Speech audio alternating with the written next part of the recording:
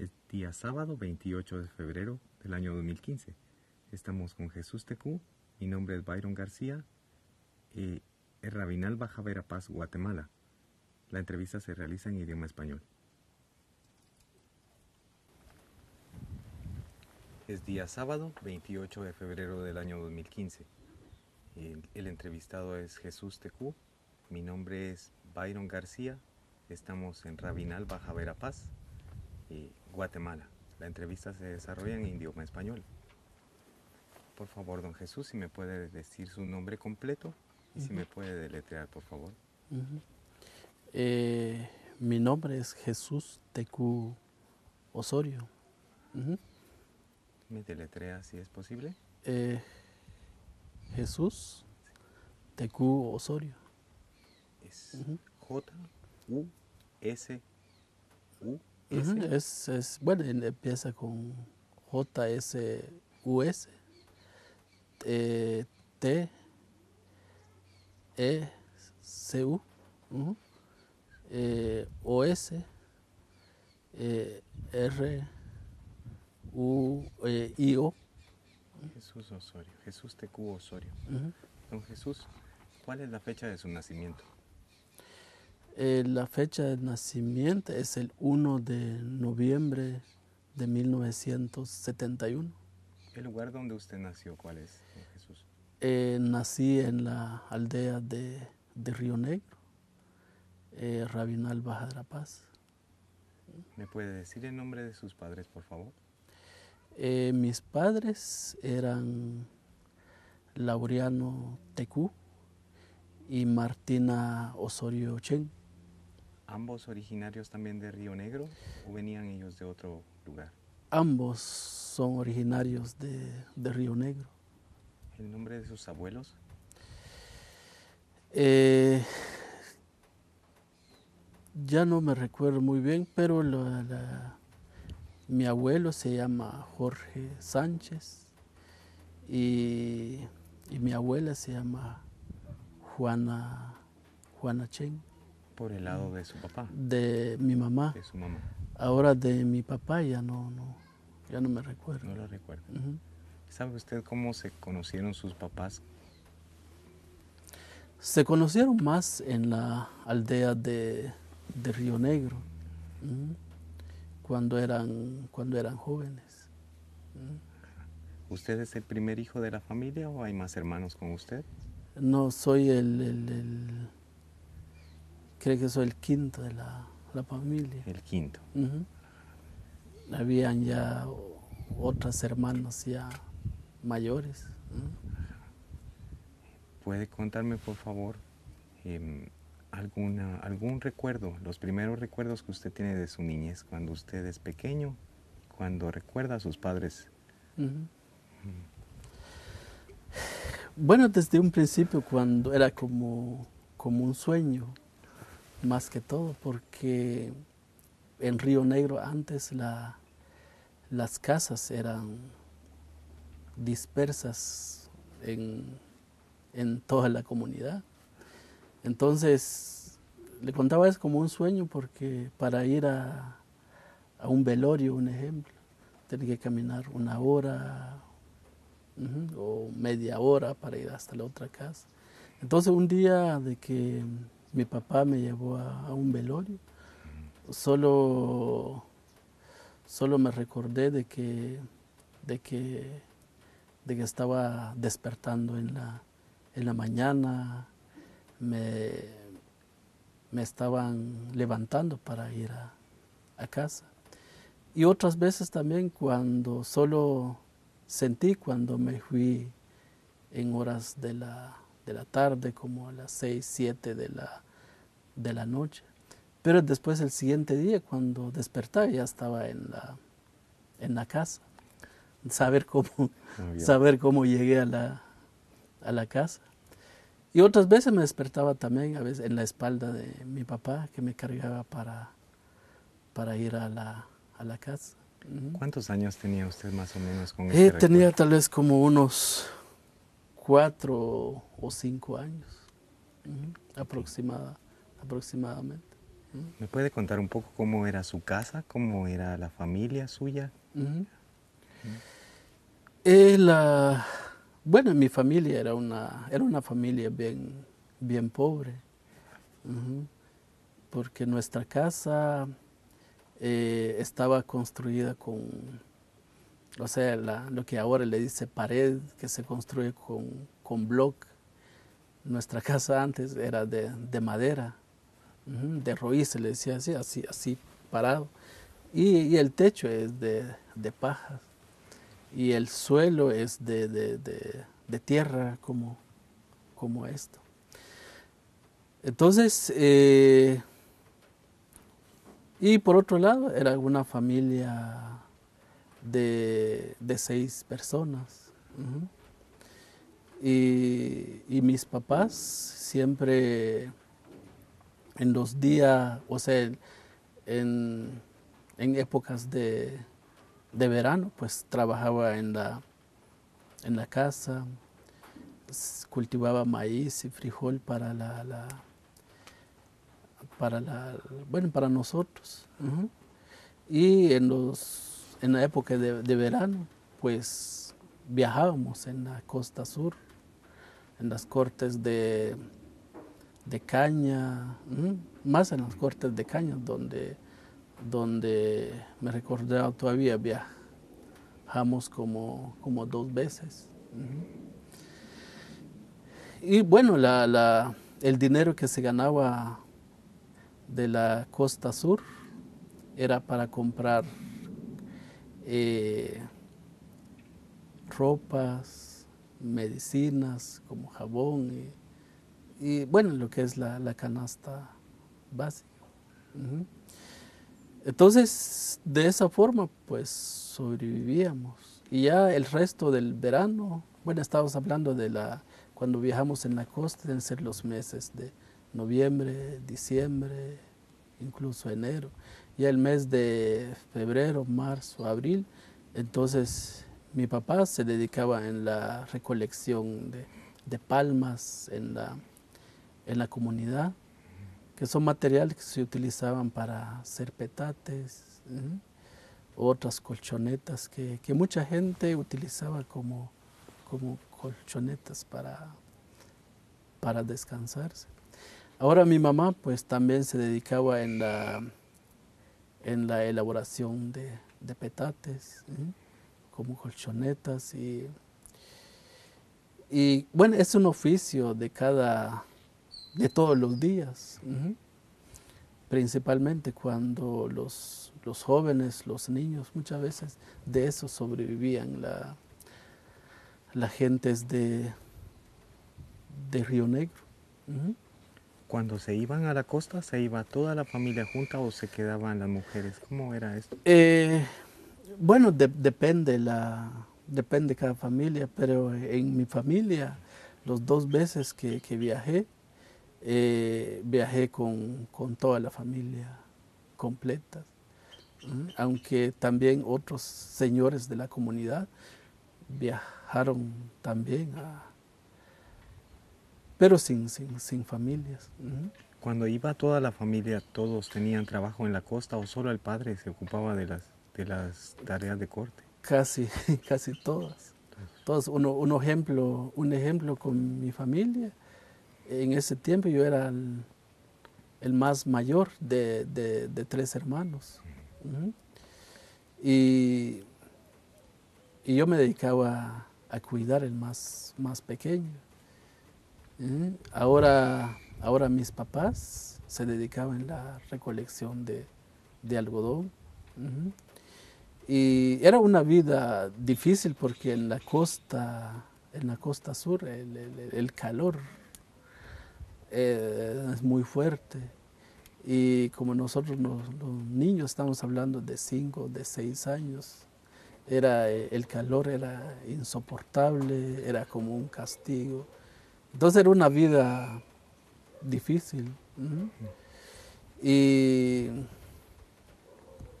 y, aparte de eso, bueno, eso es para nosotros, sin, sin sentir más que todo la, el, el calor y, y otros sacrificios también que hacían mis papás, porque desde a las 4 de la mañana ya empezaron a, a, trabajar, porque aprovechando de que la, en la mañana pues el algodón estaba mojado con, con sereno, algo así, entonces eso pues pesaba, pesaba el algodón cuando pesaba en, horas de la tarde. Pero aparte de eso salían como a las 4 o 5 de la tarde el corte de algodón y, hay que ir a hacer colas también en la oficina para pesar lo que se recolectó todo, todo el día. Y total de que llegaban hasta las, hasta, hasta en la galera, le decían, donde, donde descansaban, hasta 8, 9 de la noche. Entonces, ah, en ese tiempo apenas se ganaba 80, 90 centavos al día y un gran sacrificio que, se, que se, hacía para, para ganar esa cantidad de, dinero. Y aparte de eso, sin, sin hablar de la enfermedad que, que, pueden traer uno también, porque uno solo tomaba agua puramente del, del chorro nada de que hay agua pura o, el agua pues se han echado cloro, ¿no? Si quieres vivir y sobrevivir, pues tienes que tomar lo que, lo que está a tu alcance. Esa es la, la, vida de, de, mis papás. ¿En qué finca se desempeñaban ellos? ¿Sabe usted cómo se llamaban este nombre? Fíjese de que Fíjese, cuando, cuando yo tenía como cinco o seis años, fuimos a una finca que se llama Torapinto, le, decía. Y después de allí, creo que, que la primera vez que, que, viajamos, estuvimos en una finca Torapinta. Mis papás creo que no ganaron nada. Entonces decidieron pasar a otra finca que se queda en el municipio de, de, de, de Tiquizate, que se llama Petencito le decía. Entonces esos dos fincas donde me recordaba todavía donde, donde estuvieron trabajando mis papás. Cuando me menciona las galeras era el lugar donde se descansaba. ¿Cuántas familias podían haber en este lugar? Ay, en las galeras muchas veces ingresaba alrededor de, de, de unas 75 a 100 personas, porque otros dormían aquí, otros por allí, otros por dentro. Estaban como, como en cola la gente dentro de la, dentro de la galera. ¿Hay camas? No había camas, sino que no, dentro de la galera hay el suelo igual como, como estas, pura la tierra. Y bueno, qué, qué, bueno sería si, si fuera esto.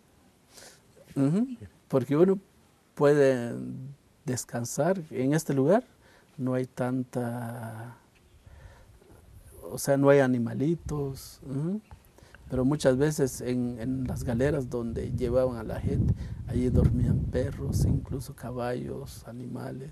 Entonces cuando, uno llega, entonces tiene que casi desinfectar el lugar, poner como algún insecticidas para, para matar a los animales, como piojos, pulgas, incluso hasta garapatas que, que habían ahí. Ya la última vez que cuando, bueno, ya cuando ya, ya tenía ya como, como 14, 15 años, fui a una finca de café aquí por, por las nubes, aquí por Guazacapán, Santa Rosa. Y nos llevaron en un potrero, solo había una galera ahí. Y, como dentro de la galera, la galera no,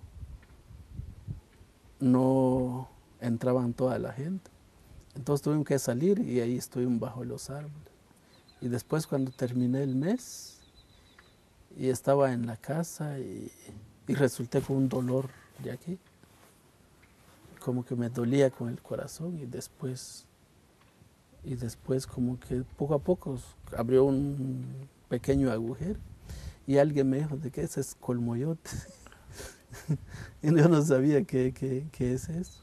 Entonces un día traté la manera de sacar, apretando la, la, la piel, y cabal era un colmoyote que conseguí por, por ahí o en, esa finca.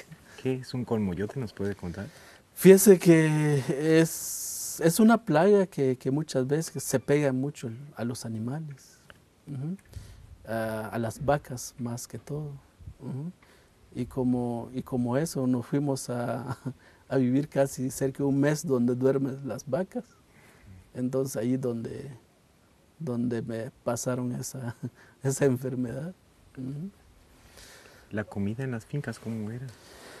la comida en las fincas solo te, te dan seis tortillas. Eso es lo que decía un, un ración, le, decía.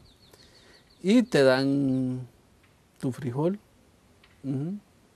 Y muchas veces eh, el frijol solo te dan casi bastante caldo y solo te dan como unos cinco granos de, de frijol nada, nada más. Y esa es la comida para, para todo el mes.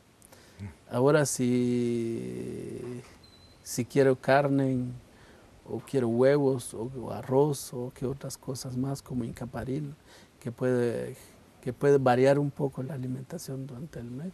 Entonces uno mismo tiene que llevar dinero porque ahí hay tiendas, hay que ir a, comprar y y si no hay dinero, pues uno tiene que pasar todo el mes frijol y tortilla, frijol y tortilla.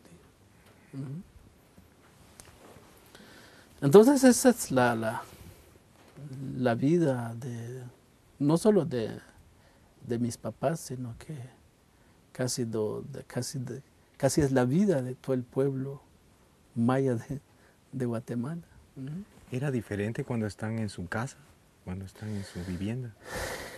Es, es diferente, es diferente porque cuando viviendo en mi casa, aparte de que puedo eh, descansar y jugar,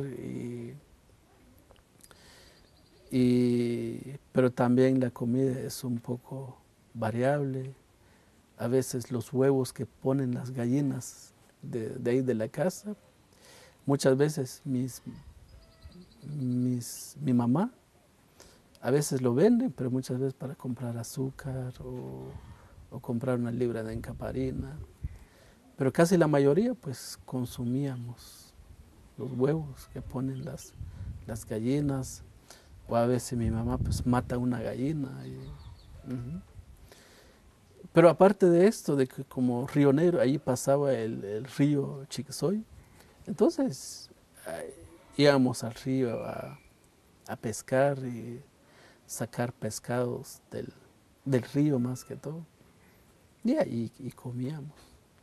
Pero aparte de eso, también en la comunidad había muchas plantas de, de mangos, en épocas de mango, casi, casi hasta se podrían los mangos también porque casi ya la gente ya no, ya no son capaces para, para comer. Entonces, son la, la, vida en la comunidad que en las fincas es, es diferente. Cuando usted es niño, eh, ¿recuerda a sus, a sus amigos, a sus, a sus compañeros en su lugar? Eh, la, la, Sí, sí, no, me recuerda muy, muy bien de que allí en Río Negro cuando era, cuando era, estábamos hablando como de, cinco, de seis años, entonces la, única forma para ir a, jugar, muchas veces ir a jugar fútbol o ir a bañarse en el río. Muchas veces cargaba mi, mi lazo y como allí pasaba el río, entonces con el asa me, salía desde afuera y, con eso me tiraba hasta, hasta el río. Era grande el río. era, era, grande el río. Y por eso de que de cuando yo era patoje, pues mucho, mucha gente de Río Negro me extrañaba mucho porque desde cinco o seis años yo podía nadar y, mis papás no. Y ahí nacieron en, Río Negro. Entonces era una admiración total de la, de, la gente. Y no, solo, y no solo yo, sino que a veces mis hermanos también y otras señoritas de ahí de, Río Negro y no tienen temor cruzar el, el, río. Y es parte también de la, de la parte de la vida cotidiana cuando, cuando uno era, eran niños. ¿En la escuela? ¿Fue en la escuela usted? Ahora en la escuela es, es, es, otra, es otra historia, porque Río Negro se encontraba casi a 30 kilómetros de, de Rabinal, no hay acceso a, a carretera, casi es una comunidad muy abandonada. Y los maestros no llegaban.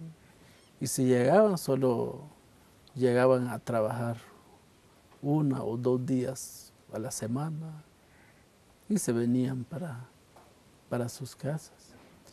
Y yo ya tenía ya casi casi 10 años. Tenían 10 años cuando salí de Río Negro y nunca fui a la, a la escuela. Igual que, que, a mis hermanos. Y por todas, casi por todo, por todas, digo yo, o a nivel de la comunidad, casi pocas personas saben, sabían leer y, y escribir. Y son los que han, que han ocupado algún algún puesto en la comunidad como, como alcaldes auxiliares o como comités o como comisionados militares. Pero no casi toda la mayoría no, no saben leer ni, ni escribir. Y eso es con relación ya puramente a, educación, a nivel de, de, salud, es más, es más peor. Porque muchas veces solo, bueno, si, si hay medicina, pues mandan a través de los promotores de, salud y, si no, pues hay que,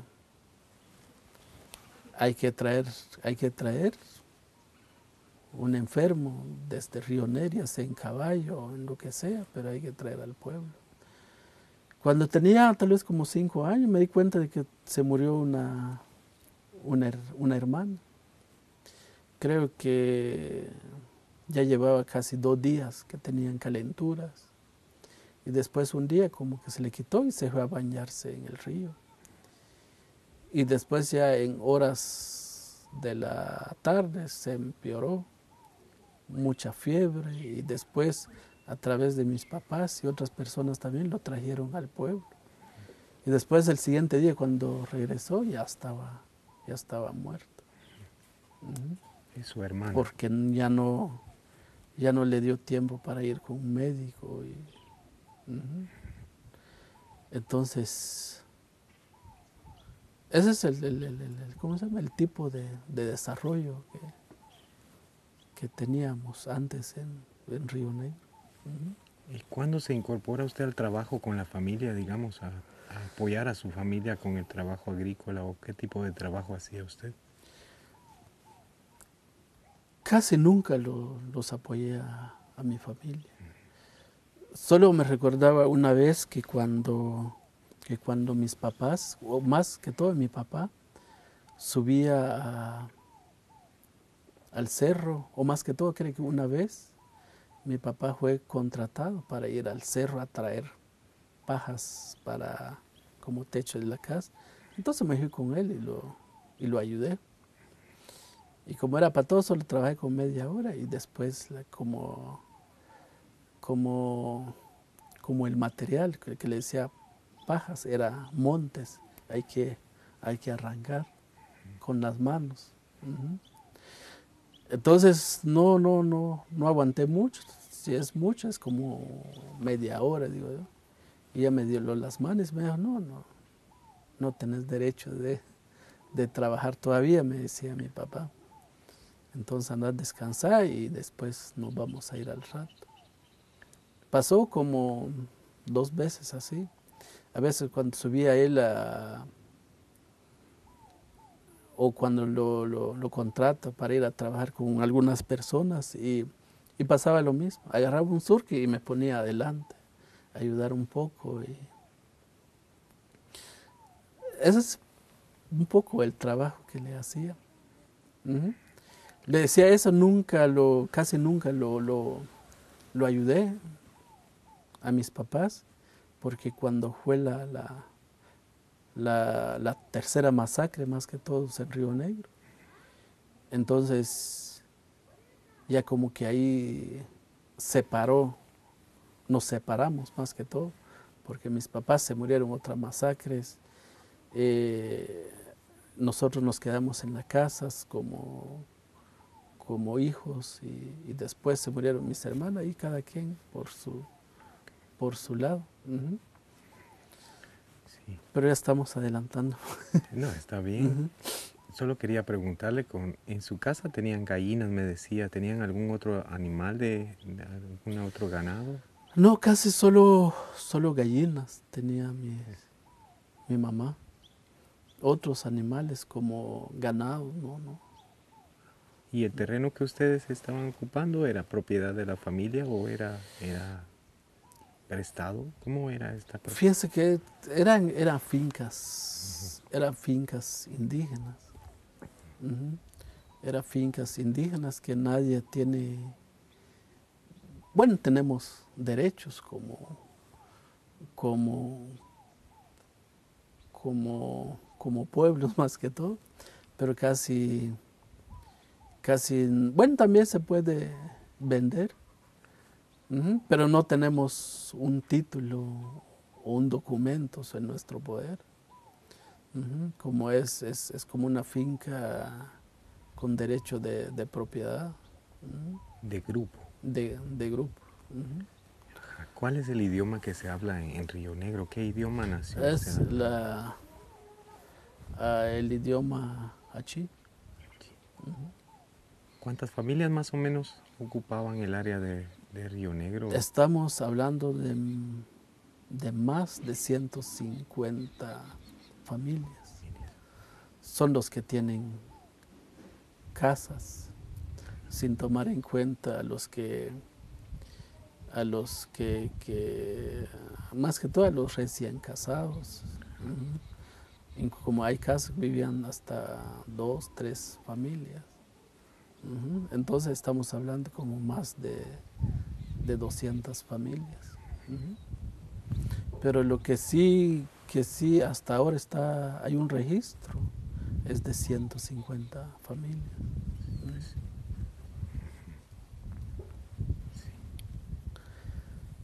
Entonces, estamos hablando como de, de más de, de 2.800 personas. ¿Hay algún otro recuerdo que usted tenga de esa parte de su niñez? ¿Recuerdos alegres? Como con sus amigos en el río, con sus, con sus hermanos, que, me, pueda contar. Lo que nos, me recordaba mucho todavía era cuando subíamos a jugar pelotas con los, con los compañeros. Pero también a veces jugábamos en el río, muchas veces jugamos venado, le decía, nombramos un venado y, y, al venado tenemos que agarrar dentro del, dentro del río. ¿Eh? era, era un juego muy, muy divertido porque a pesar de que, que, que, tenemos que atrapar el venado, pero por otro lado estamos aprendiendo a nadar, conocer el, el área, no es lo mismo como llega a un lugar y uno le da, hasta le da miedo meterse dentro del río porque uno no sabe qué, hay allá abajo, culebras o piedras o palos. Pero eso es como que, como que ya conocemos el, el área donde podemos bañar y existía confianza más, más que todo. Pero llegó un momento de que eso terminó. Terminó porque aparte de que sobre se terminó porque sobre el río Chixoy se construyó la, la represa. En ese tiempo estaba hablando de la represa más grande de, de Centroamérica. Y, y nosotros no teníamos ningún, ninguna idea que es represas, pero también, también nuestros papás, que solo hablaban de una represa para saber qué, qué es, y solo decían de que, de que algún día se va a inundar su comunidad y ustedes tienen que, que salir, porque si no se van a, se van a morir o se van a ahogar. Y nuestros abuelos no creían porque ¿y cómo, y cómo puede ser eso de que, de que la obra del ser humano puede llenar casi una vacía de una montaña? Entonces la gente no, no, no creía.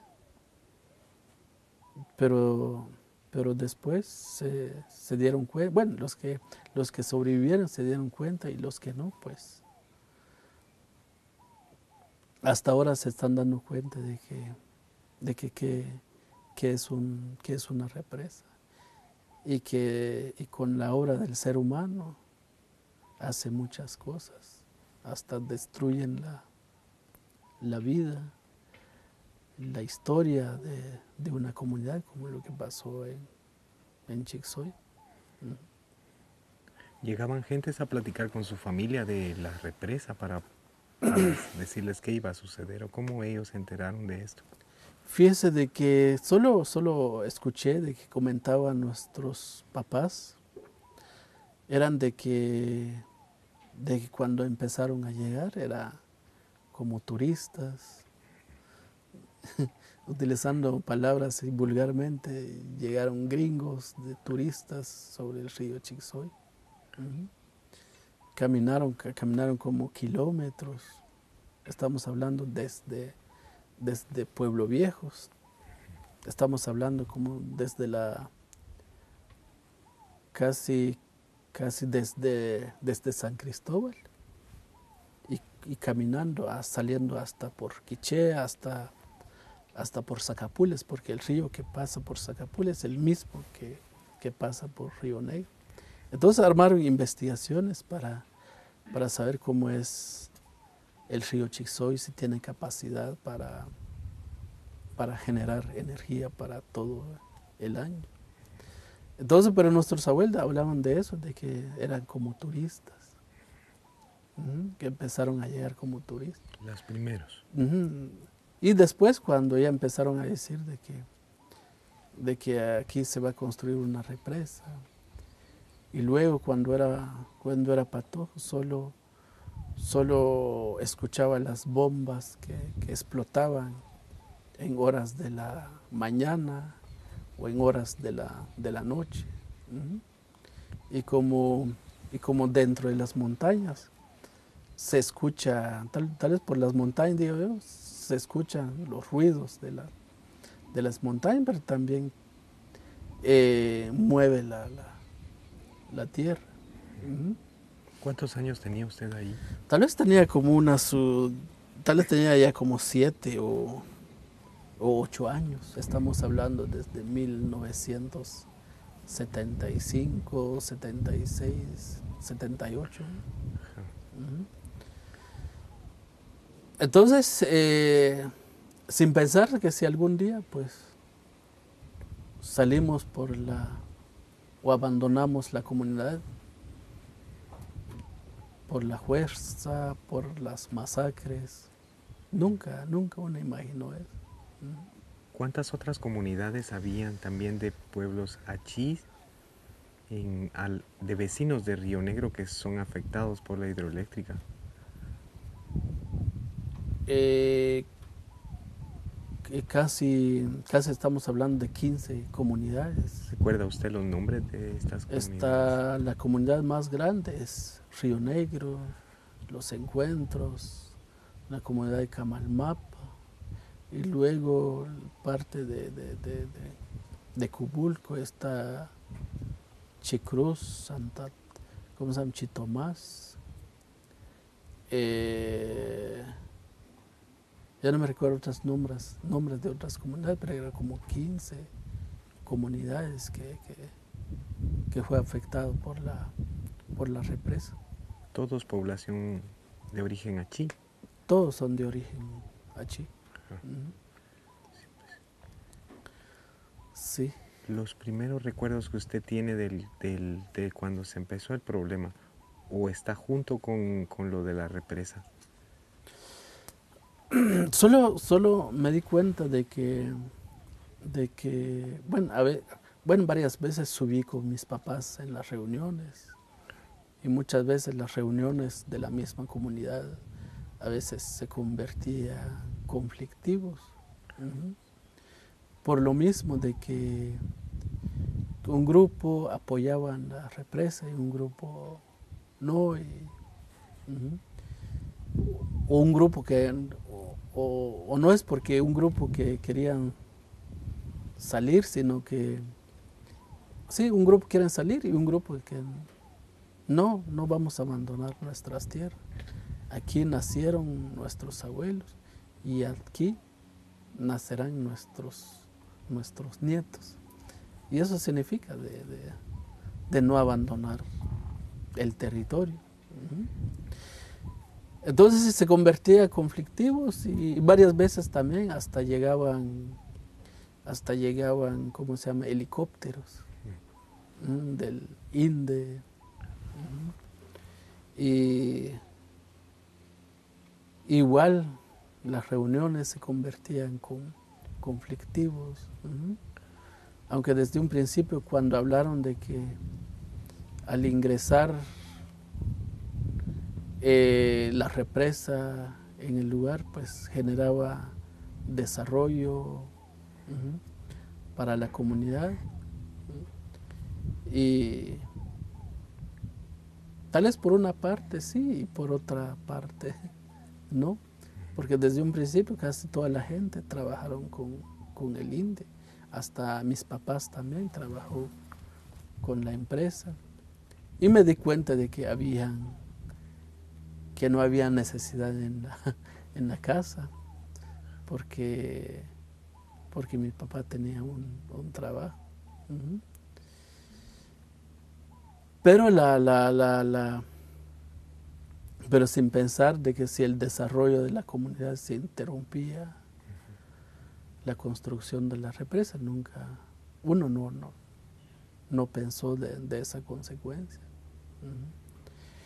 Y y, lo, y, también poco a poco, como le, decía hace rato, de que conflictivos, porque es una, es una oportunidad. Había un montón de personas en la capilla, le decíamos capilla, capilla la iglesia. Y había un montón de gente, pero también había unos soldados por ahí. Y yo ya de curiosidad me metí dentro de la gente y llegué hasta hasta ahí donde estaban, donde estaba uno de los militares o PMA creo que sí. Y solo me di cuenta de que habían discusión y otro gritando. Entonces hasta ahora estoy entendiendo de que, de que, de que ese día creo que cree que varias, bueno, no, no, no varias, sino que como dos o tres personas fueron a, a, Pueblo Viejo, donde está la compañía, y cree que varias personas entró en una bodega donde trajeron frijol y, y otros víveres más para la, la, la, de la compañía. Robaron más que todo. Y después, en horas de la tarde, llegó a, Río Negro la, una comisión del, del ejército. Estamos hablando como de un PMA y dos soldados. PMA, ¿qué es PMA? Es Policía Militar Ambulante. Y, y los tres que entraron al comedor lo agarraron. y, y, creo que lo, lo fueron torturados y, y, después lo encerraron ahí en, en Pueblo Viejo. Y a través de las torturas que, le, que sufrieron estos hombres y revelaron nombres de otras personas más de Río Negro.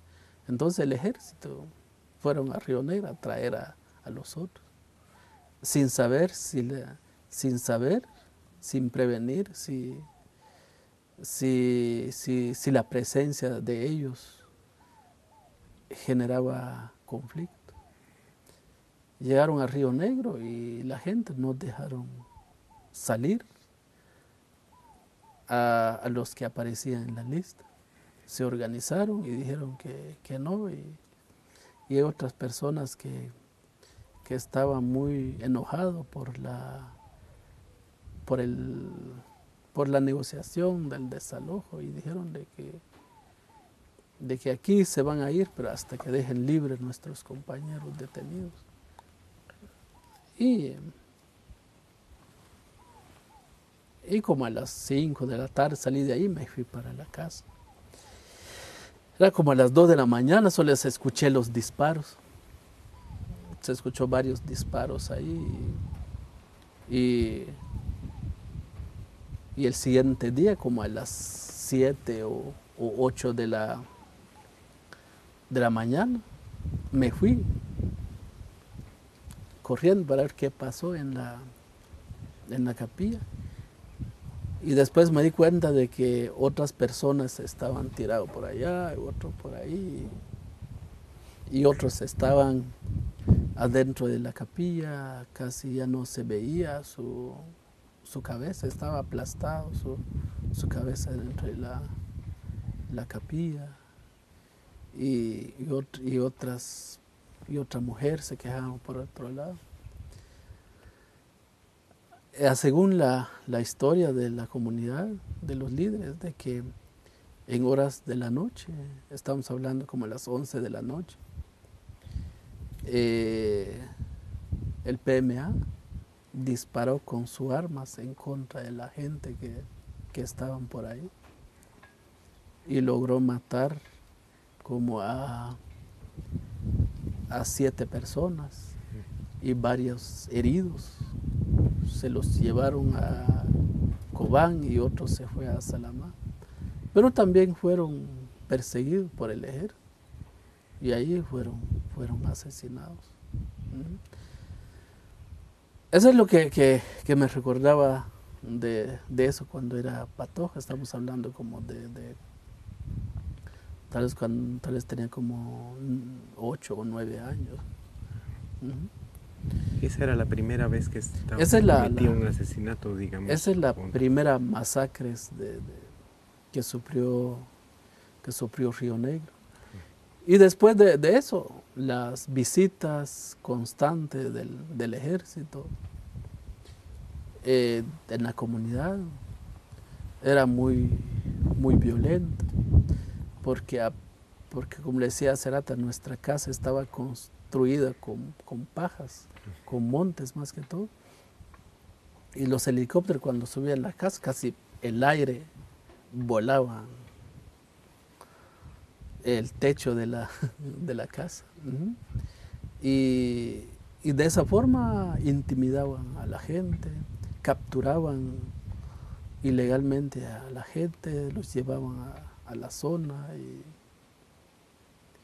y, después ya llegó un momento de que la, la gente empezó a, a, tener miedo, temor ante todo eso. Entonces cada vez cuando llegaban el ejército, ya todos los hombres subían a, a las montañas o en el monte, decimos nosotros, a, a esconderse de la, de las visitas del ejército. Y solo se quedaban las mujeres y niños en, sus casas. Y, ya después, sin, sin, pensar de que si, si, solo eso, o, va a llegar otro momento donde todos van a ir a vivir en el monte, nunca, nunca se, se pensó de, de, eso. ¿Su papá también salía a mm. esconderse o salía. usted también? Mm. ¿Cuáles eran? Y ya después la ya después de ahí de la comunidad de Río Negro se organizó las patrullas de autodefensa civil. Cuando aquí en Rabinal pues se cometían ejecuciones extrajudiciales, o sea, los paramilitares, los judiciales, la G2 mataban a, a mucha gente. Si se encontraba en su casa, si encontraban trabajando, pues igual los mataban. Entonces la única, la única forma para la gente de Rabinal era irse en esas comunidades lejanos de Rabinal como Río Negro, Canchún, Chitucán, son las comunidades montañosas de, de Rabinal. Pensaron de que ahí sí se puede esconderse y, y salvarse la vida. Entonces, eh, en Río Negro se organizó las patrullas de autodefensa civil y su trabajo era capturar a los sospechosos de la, de la guerrilla, a los que entraban en la comunidad a comprar comidas. Y me recordaba también de que, de que mi, como nuestra casa casi se encontraba casi en la salida de la, de la de la comunidad, casi en el camino que, conducía hasta Chitucán, casi sobre una, una montaña como, como esta. Y, y entraban gente en la casa a comprar comidas. Incluso mi mamá le, no solo entraban comidas, sino les daban comida en la casa. Y se sentaba frente a la casa y comía eran gentes de Rabinal y de, y de Y yo no sabía si, si, si, estaban por allá en Río Negro, escondiéndose del, del ejército. Entonces así pasó desde, desde un principio, pero ya después de que, de que ya la gente ya no dormía en sus casas, Incluso subían en las montañas también a dormir. ¿Así hacía su familia también? Sí, incluso un, una, mi una mi cuñada y me decía, nos vamos a ir a, trabajar y te vas a ir con nosotros porque usted solo va a venir a, traer comidas, porque a usted el ejército no le va a hacer nada. Entonces subíamos en los cerros a, a, trabajar, a preparar el terreno más que todo para sembrar milpa en el, en el invierno. Y terminaba la comida y me mandaban para la casa. Pero también, pero también se escondían del, del ejército. Así empezó desde un principio, pero llegó un momento de que casi ya no, ya casi subían también hasta las familias a esconderse en las, en las montañas.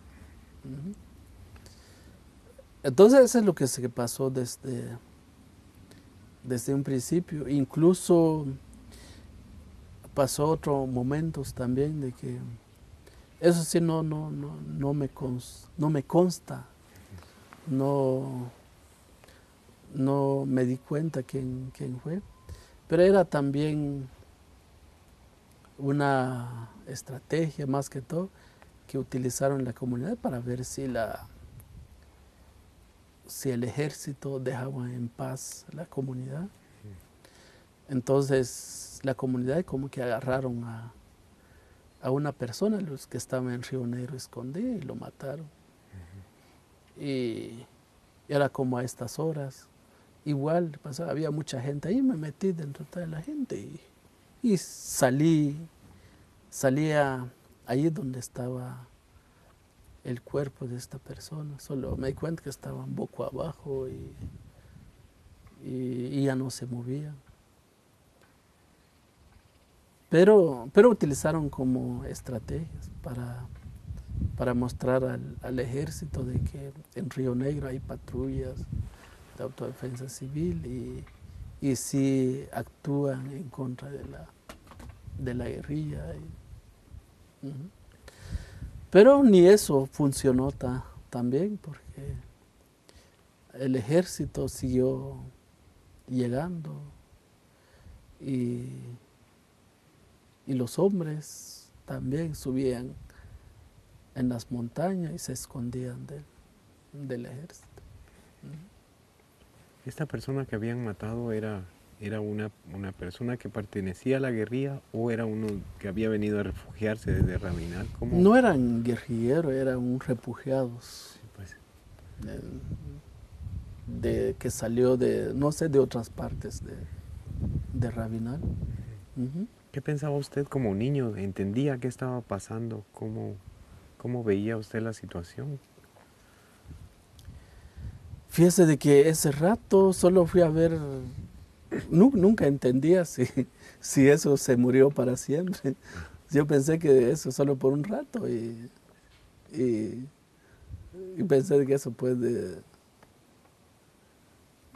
vivir o levantarse el cuerpo otro, otro día. Solo fui un momento y después regresé. Pero lo único que me llamó mucho la atención es la actitud de la, de la gente porque otros estaban llorando, porque reclamaban la muerte de, esta persona, y otros y otros rechazaban y otros reclamaban, habían de, de todo. Eso es lo que, que, que, que, lo que me di cuenta en ese, en ese momento los comisionados mili militares que usted mencionaba estaban viviendo dentro o eran parte de la aldea Río Negro? Eran parte de la aldea de Río Negro. Uh -huh. Eran comisionados militares de la comunidad. ¿Cuál era su trabajo o función de ellos? Fíjese de que sus funciones era más que todo controlar a la, a la comunidad uh -huh. y, y y reportar al, al, ejército. Si alguien de la comunidad se, se, se metían en, en babosada, como le decían, eso, babosada sería la, la organización de la, de la guerrilla. Entonces, eh, los comisionados eran como eh, ojos y oídos del ejército en la, en la comunidad. Pero creo que en Río Negro no les funcionó tan bien porque incluso más después los comisionados militares los, los mataron. Uh -huh. ¿De los patrulleros? Y, igual, igual, porque casi a todos. En una masacre, creo que la segunda masacre que sufrió Río Negro, donde se murieron casi la mayoría de, de hombres estamos hablando de 75 hombres. Uh -huh. Entonces, entonces la, la, todos los problemas que surgió en la comunidad casi, por un lado, fue provocado por la misma presencia del, del Instituto Nacional de Electrificación en Río Negro. Uh -huh pero también de la misma, también del, del ejército, que son los que, que, que cuidaba los, los intereses económicos en el país. ¿Y de la presencia de la guerrilla dentro de Río Negro o en los alrededores? ¿Qué me puede contar, don Jesús? Casi, casi no hubo presencia de la, de la guerrilla en la comunidad. Había personas que tenían, no sé si le puede decir armas, pero algunas personas tenían como un rifle o, o una escopeta, pero muchas veces lo utilizaban para, para cazar, más que todo para cazar animales, pero ya directamente para para combatir al ejército con una escopeta, hechizos, algo así. no sé si, se llama, yo creo hechizas, porque me recordaba una vez que una mi cuñada que, que se fue al campo a cazar algún venado, le colocó, ¿cómo se llama? ¿Cómo se llama? Como, como pelitos de, de maguey y le echó un plomo y pólvora en esto y, y se fue a, a cazar, se fue al monte a cazar venado. Y con un arma de eso, combatir al ejército, un ejemplo, no, sirve. Entonces, creo que es el único armas que tenía la comunidad en Río Negro. Pero ya, ya movimientos o grupos que, que, que realmente se organizaban fuertemente armados, ¿no? No había. Y,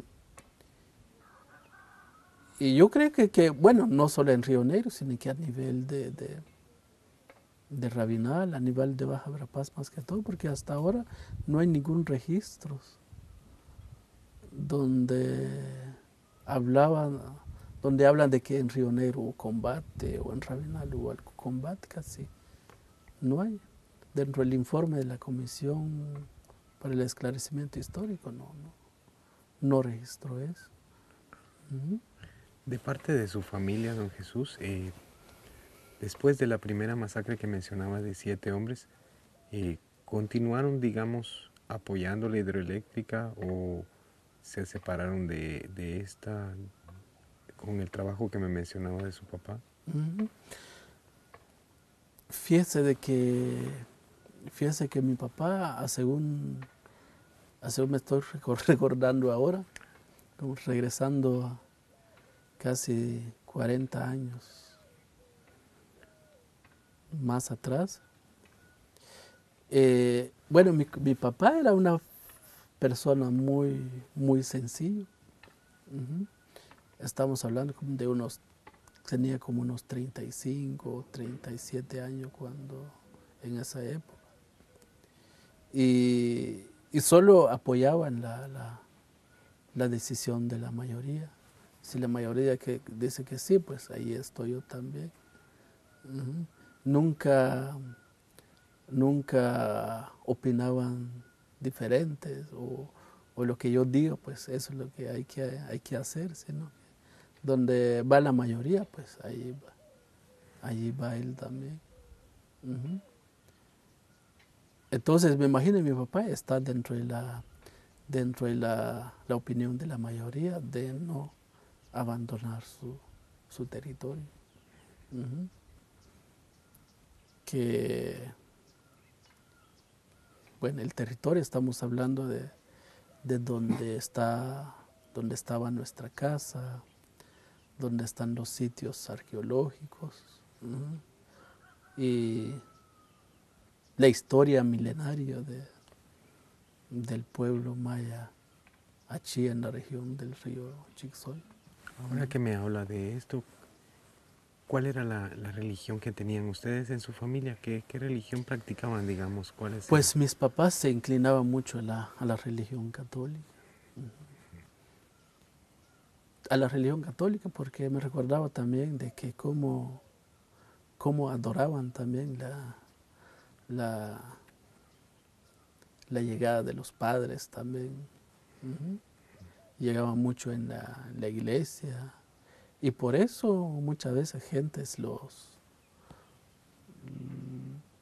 los quería mucho como padrinos de, casamientos, de primera comunión, de confirmación, algo así. Eran, eran buscados por, por, me imagino por lo mismo que se, que se inclinaba mucho a la religión católica. Aunque de vez en cuando también eh,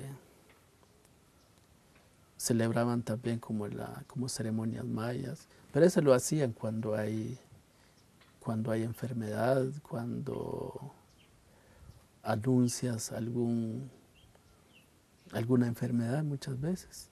Y eso sí lo, lo, lo celebraban porque incluso como dos veces logré ver todavía, subimos en las montañas a, a celebrar dos ceremonias. Muy bien. Tal vez si quiere podemos hacer una pausa un momento, tomamos un poco de agua y continuamos en, un, Muy en bien. unos segundos, ¿le parece, don Jesús? Continuamos entonces con la entrevista a don Jesús. Tecú. ¿Me puede seguir contando en el punto donde quedamos antes respecto a la primera masacre y ampliar un poquito al respecto? Pues fíjese de que la cuando sucedió esa masacres, eh, como le decía, de que en horas de la mañana llegué en la, en la capilla y, y vi a personas que estaban ya sin vidas, otros por aquí, otros por otro lado. Y, y, y casi todo, habían otras personas ahí, pero eran otros llorando. Y. Entonces era como a las 10 de la mañana, algo así, saber cómo, cómo llegaron a, a saber, cómo llegaron a saber, pero, pero llegó un helicóptero. Llegó un helicóptero y creo, creo que ahí donde iba una persona que, que, que- trabajaba con el INDE, que se llama Gaitán Sánchez, algo así. Y, y según, y según entiendo yo es de que, de que desde arriba, porque eso sí pasó, pasó, pero después que pasó como fue a dar la vuelta y, y se aterrizó ahí en Río Negro. Y según él es de que, de que me bajé por aquí porque me di cuenta que había mucha gente, había mucha gente y para ver qué estaba pasando, entonces les vengo a ver. Pero no se aterrizó ahí donde estaban tirados los muertos, sino que casi, casi por, bueno, se paró ahí casi en medio de, de un, del río, porque el, el río por la fuerza agarró, ¿cómo se llama? Agarró otro camino por un lado y otro por este lado, y en medio dejó un lugar como una playa, algo así. Y ahí se aterrizó el helicóptero y fueron a ver y le dijeron que, que, que, le, que la seguridad de la, del, del Instituto Nacional de Electrificación allí en Pueblo Viejo son los que provocaron estas muertes. Y a través de este helicóptero llevaron los cuerpos a Cobán, varios heridos a Salamá. Y bueno, los que llevaron a Salamá eh, fueron asesinados ya, ya después, porque fueron perseguidos por, por el ejército. ¿En el mismo Salamá o cuando volvieron? No, no, en, en el mismo hospital, porque hace, bueno, una, la, una, la, la esposa de, de una víctima dice que después de ocho días fue a ver su esposo en, en el hospital y ya estaba bien y le dijeron que lo, lo van a dejar salir eh, tres días después. Y después lo mandaron a llamar que vayan a traer porque se murió su, su esposo. Entonces, la señora asegura de que su esposo fue, fue asesinado por, por el ejército. Entonces así, así sucedió y,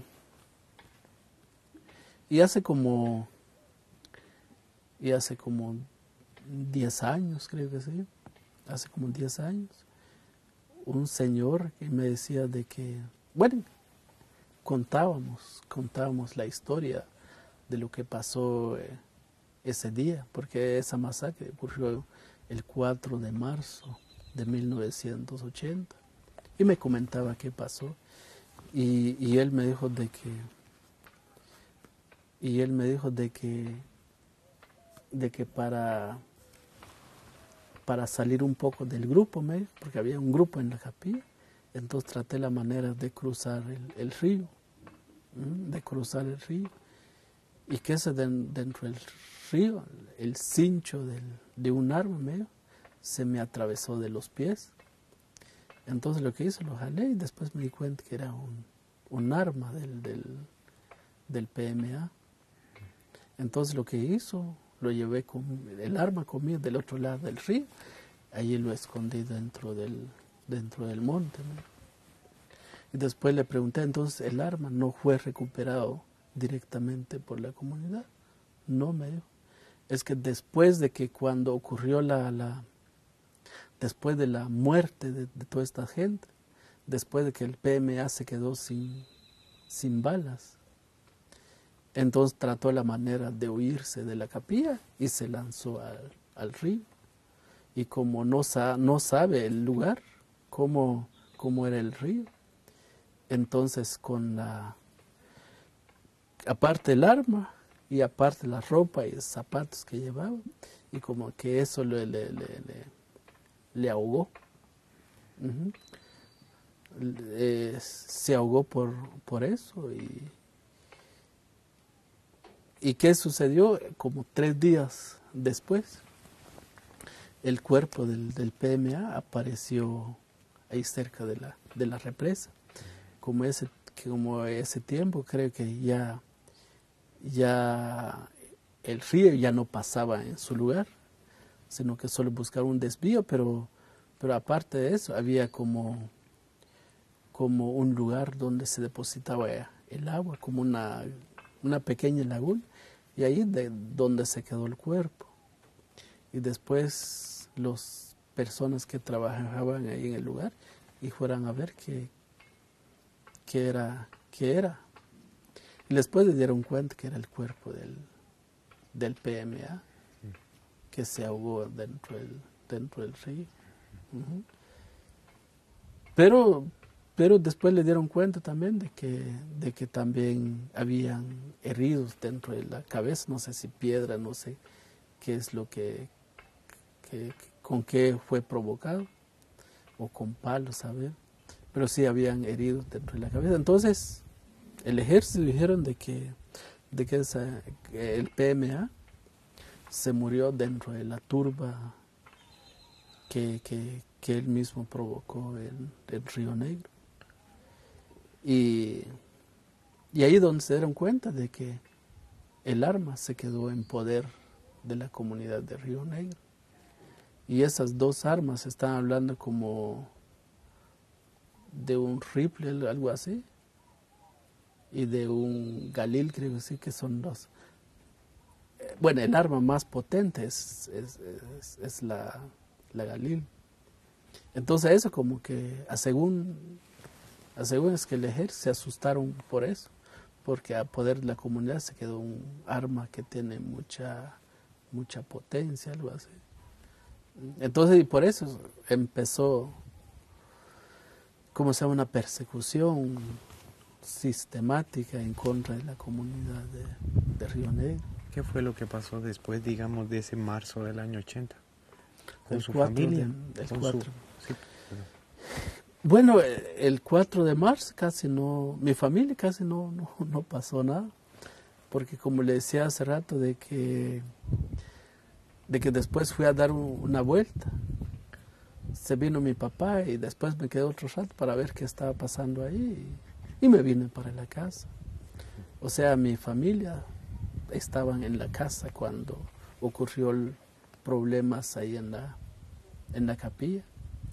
Solo, como le decía hace rato, solo, solo esa vez como, solo ese rato como a, no sé si hasta las 12 o a la 1 de la mañana, se escuchó el, eh, el sonido de las armas que, que, fue disparado.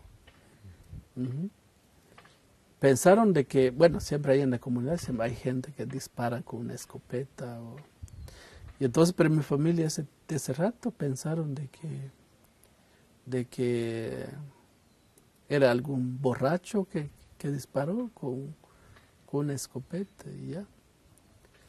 Pero después era como a las 2 de la mañana, una señora ahí cerca de nuestra casa empezó a, gritarse y llorando. Levántese, levántese, porque el ejército ya mataron a, mucha gente en Río Negro. Entonces ese rato cuando mi familia, bueno, ¿qué, qué pasó? Pero mi papá siempre dijo de que, bueno, hasta que amanece, vamos a ver qué, qué pasó. Y entonces así, así sucedió ese, ese día. ¿Cuándo se vio su familia por primera vez afectado, digamos? ¿Cuándo le empezó a afectar directamente a la familia ya? Ya directamente, ya fue la, ya fue ya, ya como a principios de, a principios de febrero de 1982. Le contaba eso porque, porque como le decía hace rato, de que en Río Negro había, había presencia de, de refugiados de otros de otras aldeas del pueblo de Rabinal. Entonces, entonces como de esas personas salió como una venganza. Entonces nos vamos a ir a... Entonces ahora vamos a vengar de, de los patrulleros de Chocó, un ejemplo. Porque ahí donde, es una comunidad donde se organizó casi todas con las patrullas de defensa civil, inclinado hacia la, política del ejército. Entonces, un día creo que todos los, los, refugiados que están en Río Negro se organizaron y se vinieron a Chobok y quemaron tiendas, mataron a personas que estaban trabajando en, sus, en su terreno. Entonces, ¿qué pasó, ¿qué pasó ahí? Entonces el ejército y los patrulleros de Chocó dijeron de que, de que, de que fueron la, la gente de Río Negro. Pero aparte de eso, creo que dejaron algunos papeles ahí donde decía que vive la, la EGP de, de Río Negro. Entonces el ejército apuntaron contra la gente de Río Negro, que, que fueron los, ellos los autores materiales e intelectuales de la quema de la tienda, de la muerte de, de, estas cuatro personas. Y, empezó como que se, se reforzó más la persecución en contra de la comunidad. Entonces ya como, eso ocurrió como el 6 de, no tal vez ocurrió como a principio de, de febrero. ¿Del año 82? Del año 1982. Entonces a la entonces la gente de Chocó dijeron que mejor vamos a, a, llamar a la gente de Río Negro y que vengan a ver lo que nos pasó. Así decían la gente de Chocó. Y vinieron la gente de Río Negro, vinieron, vino mi papá. Y mi papá vio cómo torturaban, cómo torturaban los patrulleros personas de otras comunidades de Rabinal, allá en Chocó. Entonces el día 6 aproximadamente llegó a la casa y, estaba llorando.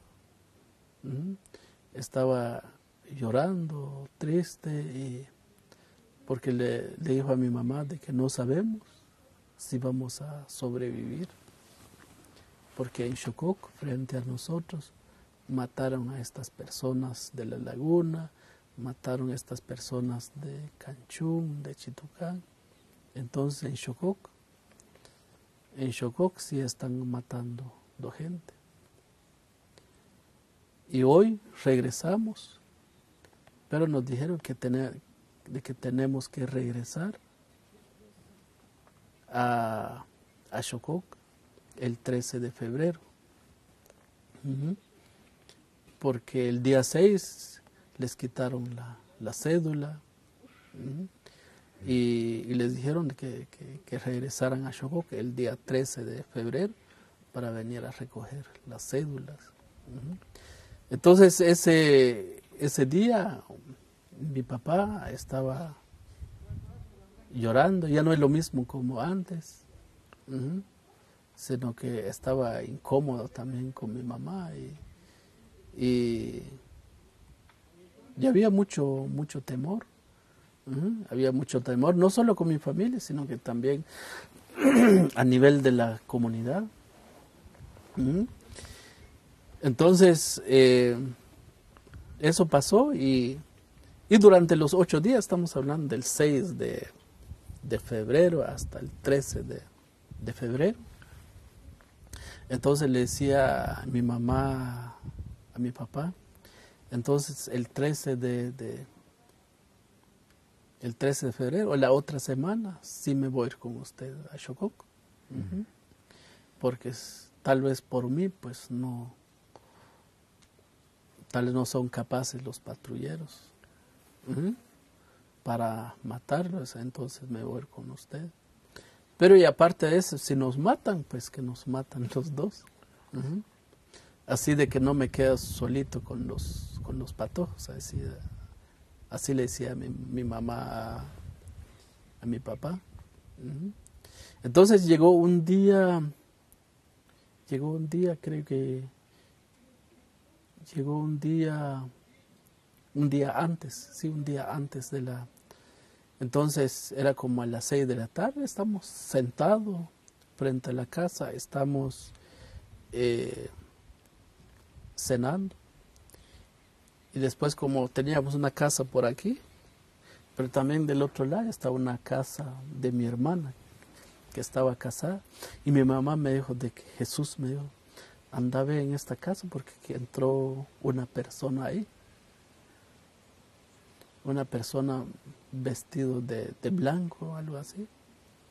Anda ve y que, y que, que, que, era, me dijo. Entonces fui a ver, entré en la casa no había nada. Y le dijo que no había nada. Entonces, pero y ese, y ese mismo momento estaba reclamando a, a ellos. Estaba reclamando a ellos porque quería viajarse con ellos a, a. O sea, el día, el día 12 de, de febrero. Entonces le dijo yo de que mañana me voy con, con ustedes a, a. Ujú. Y, y mi mamá me dijo de que, de que no, porque tenemos que levantar casi a medianoche. Estaba muy lejos, Choco. Está muy lejos, casi, casi cinco a seis horas de, de camino. Entonces, si, si alguien sale a las, la una de la mañana de Río Negro, a las seis, a las siete, entrarían en, en Chocó. Entonces, y me dijo de que como solo vamos a dar vuelta a traer los papeles de papá y, y regresar. Entonces ese día, ese día era como a las, era como a las cuatro, cinco de la mañana. Me desperté y ya no había ninguno. ya, ya estaban llegando en Chocó cuando yo, yo desperté. Y después hubiera venido con ellos, ya, ya ni estarían vivos. ¿Sí? Entonces, eh, el día 13 de febrero, ahí estuvimos en la casa, como a estas horas, esperando, esperando. ¿A qué hora llega? Y como nuestra casa está en una montaña, estamos viendo para, para abajo cuando llegaban. Cuando llegaban y, y era como a las 6, 7 de la noche, nada. Pero los, los perros, como teníamos perros, solo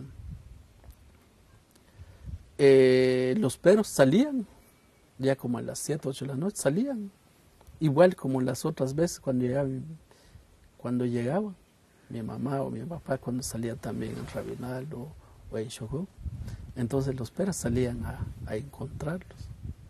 Y lo mismo hacían los perros ese, ese día. Y salía corriendo también, pensando que ya llegaron. Y, y me imagino tal vez es el, el espíritu o, saber qué, qué miraban los, los perros en ese momento. Porque igual, igual las otras veces cuando llegaba mi papá, salía al encuentro.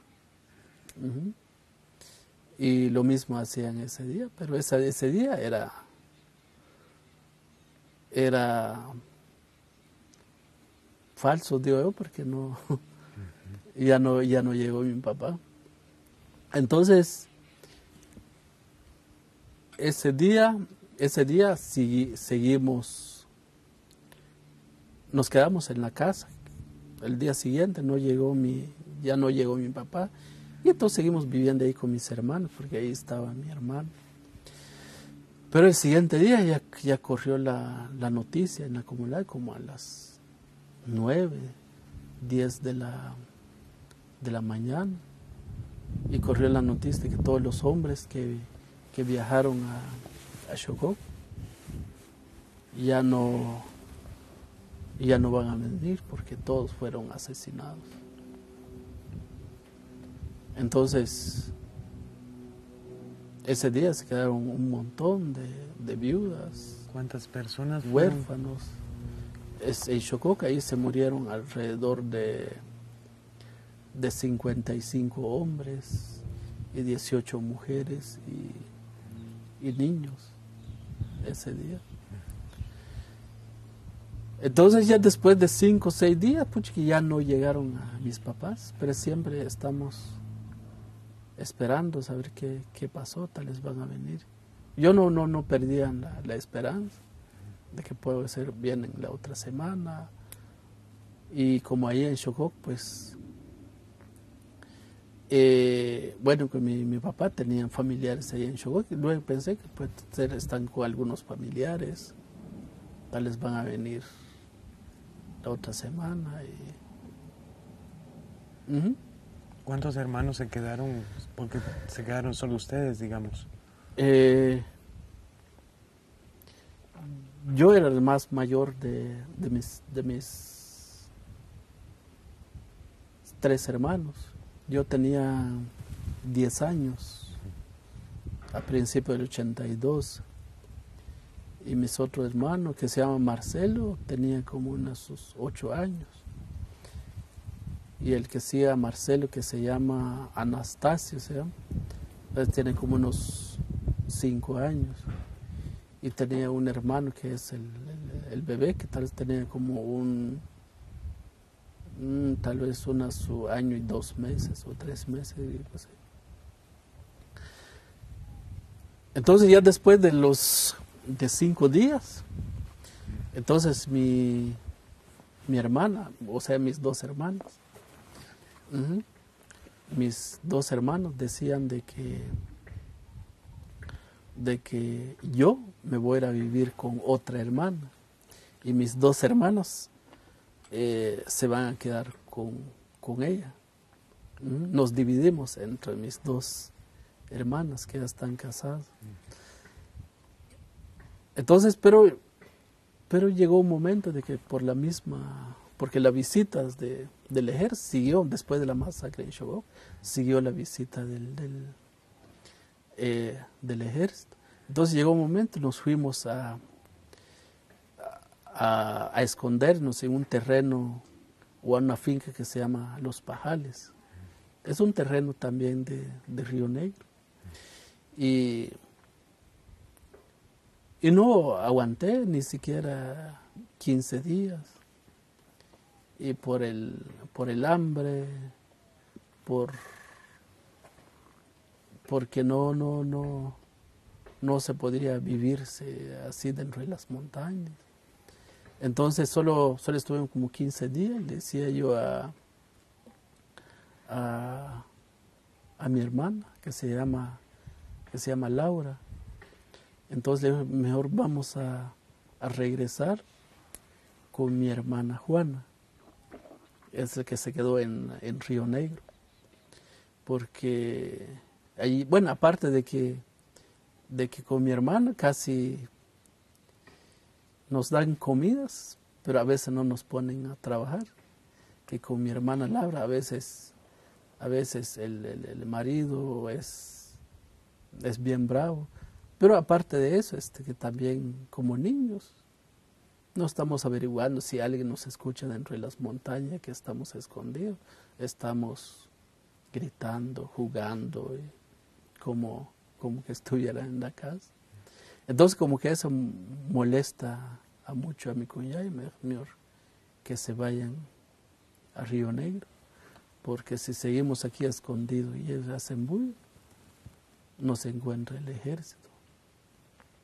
Y regresamos a, Río Negro.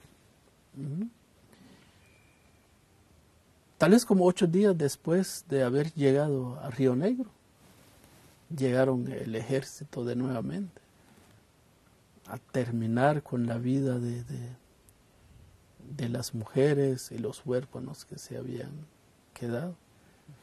Y es la, la, masacre del, del 13 de, la masacre del 13 de marzo de, 1982, donde murieron la mayoría de, de, niños y, mujeres.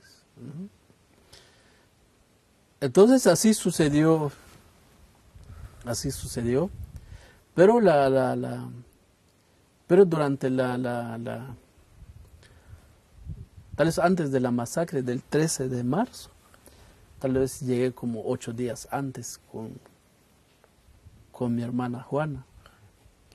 Y dentro de los ocho días soñé que, que, soñé y es un sueño casi me, me recuerda cada, cada, cada momento.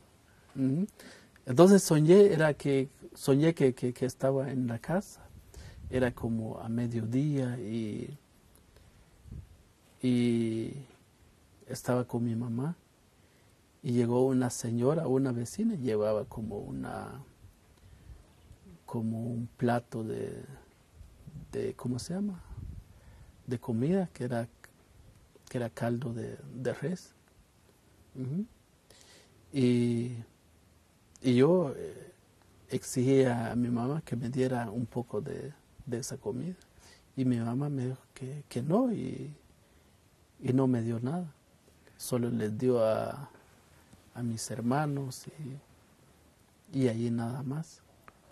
Entonces un anciano me, un anciano me dijo de que solo le, le, me le comenté y eso es lo que soñé. Entonces tenés mucho cuidado, me dijo, porque, bueno, en tu caso, me tu mamá no, no, no te dio nada, pero a tus hermanos sí. Entonces no sabemos qué, qué va a pasar. Si si van a matar a tus hermanos o, o a ti también, no sabemos. Era interpretó él. Antes de que suceda. Antes que suceda la masacre de, de, Río Negro. Y bueno, eso es lo que, que, que, sucedió. Se apagó la... Vamos a detener otro momento entonces. Me hablaba don Jesús del día 13 de marzo del año 1982. ¿Puede contarme cómo empezó esa mañana, ese día 13 de marzo? Fíjese de que, bueno, antes de, esa masacre, la, de esa masacre que, o sea, la, tal vez un poco, un poco la, la, la, intención de, más que todo de, de mi mamá, porque mi mamá me, o sea, mi papá me dijo de que no te vas a ir con, conmigo. A Shogok le decía a, mi mamá, porque si alguien pasa conmigo, entonces ¿quién va a cuidar a, los patojos? Entonces mi mamá me dijo de que, bueno, si nos matan a los dos, pues que nos matan. Hablan de eso. Que nos matan de, de, de, a los dos porque si me quedo solito en medio de los patojos, ¿quién me va a ayudar a alimentar a los patojos? Entonces, entonces mi mamá insistió mucho, insistió mucho y lo que buscó era morirse los dos, los dos. y, pero mi papá por otro lado dice que no, porque tus los patojos. Entonces, pero, pero yo creo que al final de cuentas me estoy dando cuenta ahora y pensando, pensando lo que, que buscaba era más que todo eh, morirse juntos porque porque no yo creo que se quería mucho se quería mucho y y si se muera mi mi papá y después mi mamá entonces como que sufriría más más quedando sola. Entonces eh, Ahora lo que sucedió el día, el día 13 era, bueno, el, día 12, el día 12 como era la época de, de sequía, el calor, en, bueno, no solo en Río Negro, también en Rabinal, es la época más dura del, del invierno la, la, época más dura del, invierno. Entonces el día 12 mi hermano me decía de que, mi hermana Juana me dijo de que mañana temprano te vas a ir a buscar leña en el, en el monte, vas a ir a buscar, vas a ir a traer leño o a buscar leño en el, en el cerro, porque, porque si te vas a las 5 de la mañana y a las 8 a las 9 ya estás en la casa. Entonces, por el calor, me... Entonces así pasó y, con otros patojos de ahí de la casa y fuimos al cerro, como teníamos tres perros. Y llevamos perros y estamos en, la en el cerro como que sin nada, gritando. Y los perros encontraban, ¿cómo se llama? No sé cómo se llaman estos animales que muchas veces que es difícil agarrarlos. No me recuerdo, por el momento no me recuerdo el nombre. Puede decirlo en su idioma si lo quiere. Pero es una clase de animales como le decimos en, en, Achi, como cook, que es animalitos. Y ahí estaban los perros ladrando, ladrando ahí. Y, y al rato un señor de la comunidad que se que, se llamaba que se llamaba Don Siriaco y, nos regañó. Buenos patojos dejan de estar gritando, regresen a la casa porque el ejército ya entraron en la comunidad y ya llevaron a todas las mujeres y niños. Y inmediatamente regresé a la casa, corriendo sin, sin leña, sin, sin nada. Y, y después estaba llegando a la casa, como le decía hace rato que mi casa estaba sobre una, una montaña. Llegué a la casa y vi para abajo que, que el ejército ya llevaban a las mujeres para arriba. y, y, hace rato le, le dije a, a mi hermano, de que ahora sí el ejército nos, nos van a matar. Entonces vamos a escondernos en el monte. y, y, mi hermana no, no, no quiso. Y le dijo, vámonos, le dijo yo, como vivíamos ya en la salida de la comunidad, había mucha oportunidad para meterse dentro del monte y pero, pero son oportunidades que, nunca supimos, tal vez, tal vez no nos supimos aprovechar, sino que, sino que son momentos de que uno puede salvarse la vida y, uno no, no,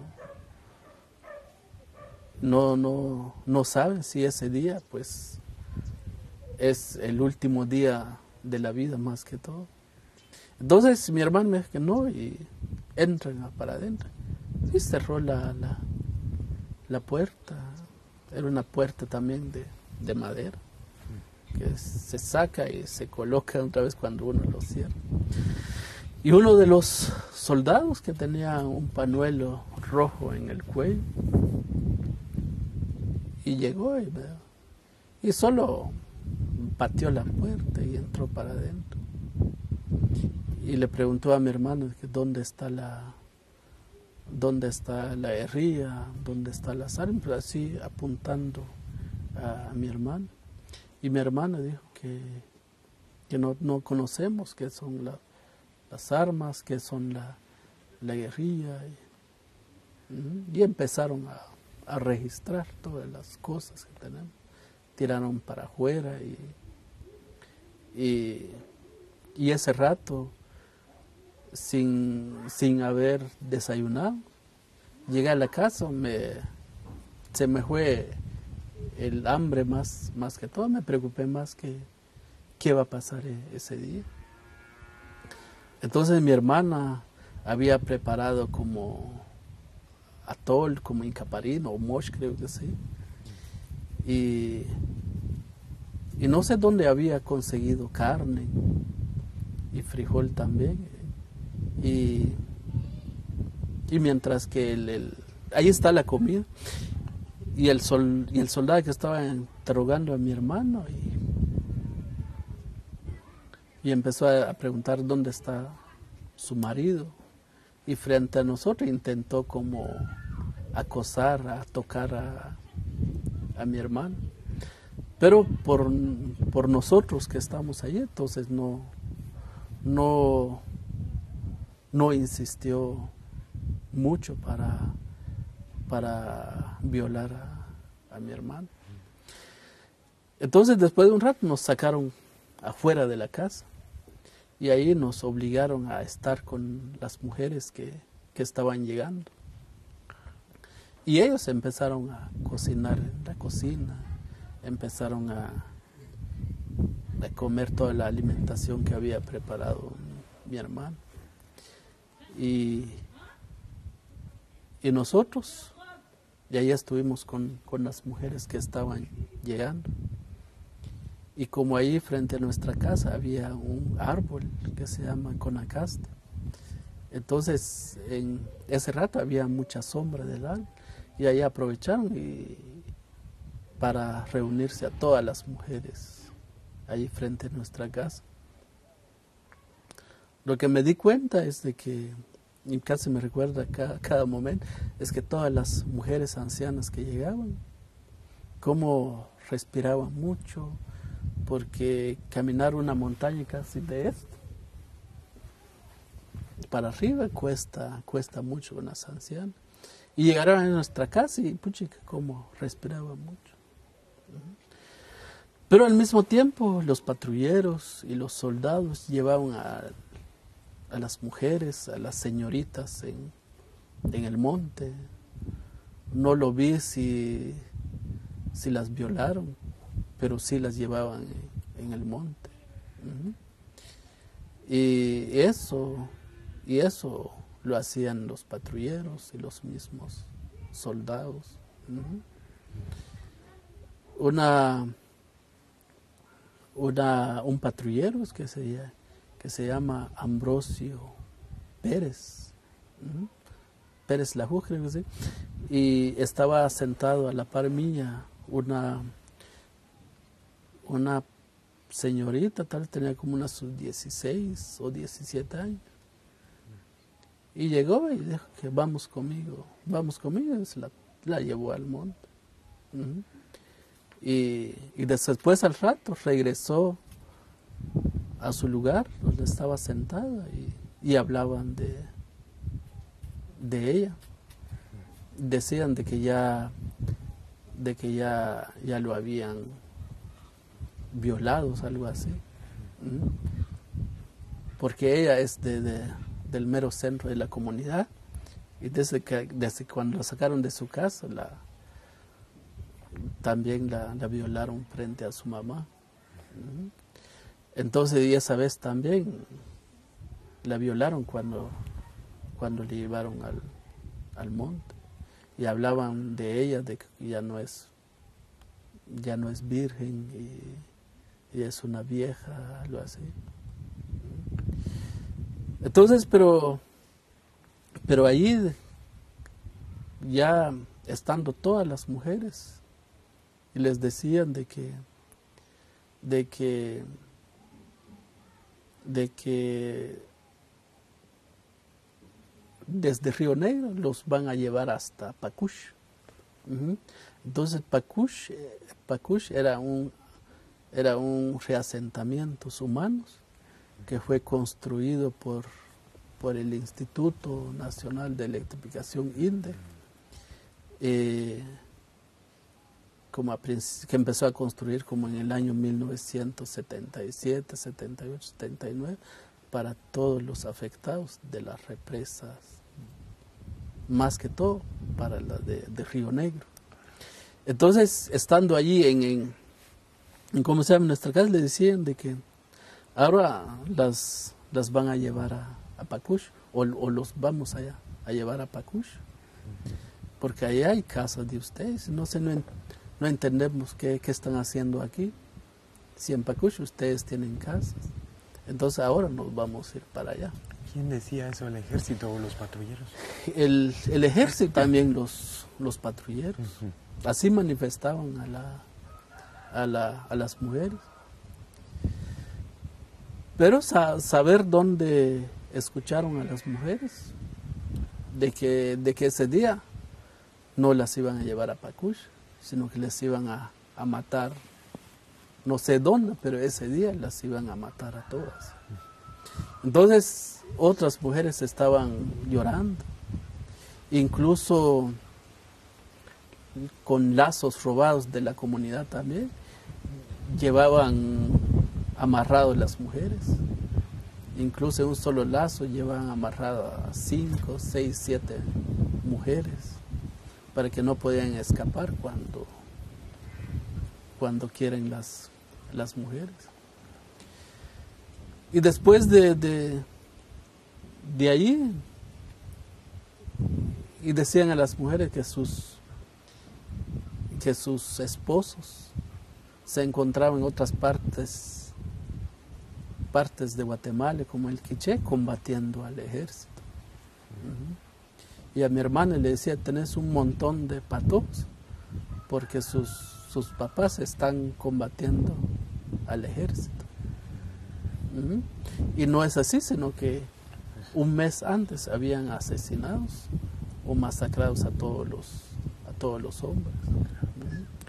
Entonces después de ahí nos obligaron a caminar más arriba de más arriba de nuestra de nuestra casa donde vivíamos. Y y durante toda la caminata estamos hablando como de, de unas dos kilómetros aproximadamente. Para ahí sí caminando para, para arriba sobre una montaña. Y, con la intención de que de ahí de Río Negro hasta, hasta Pagush.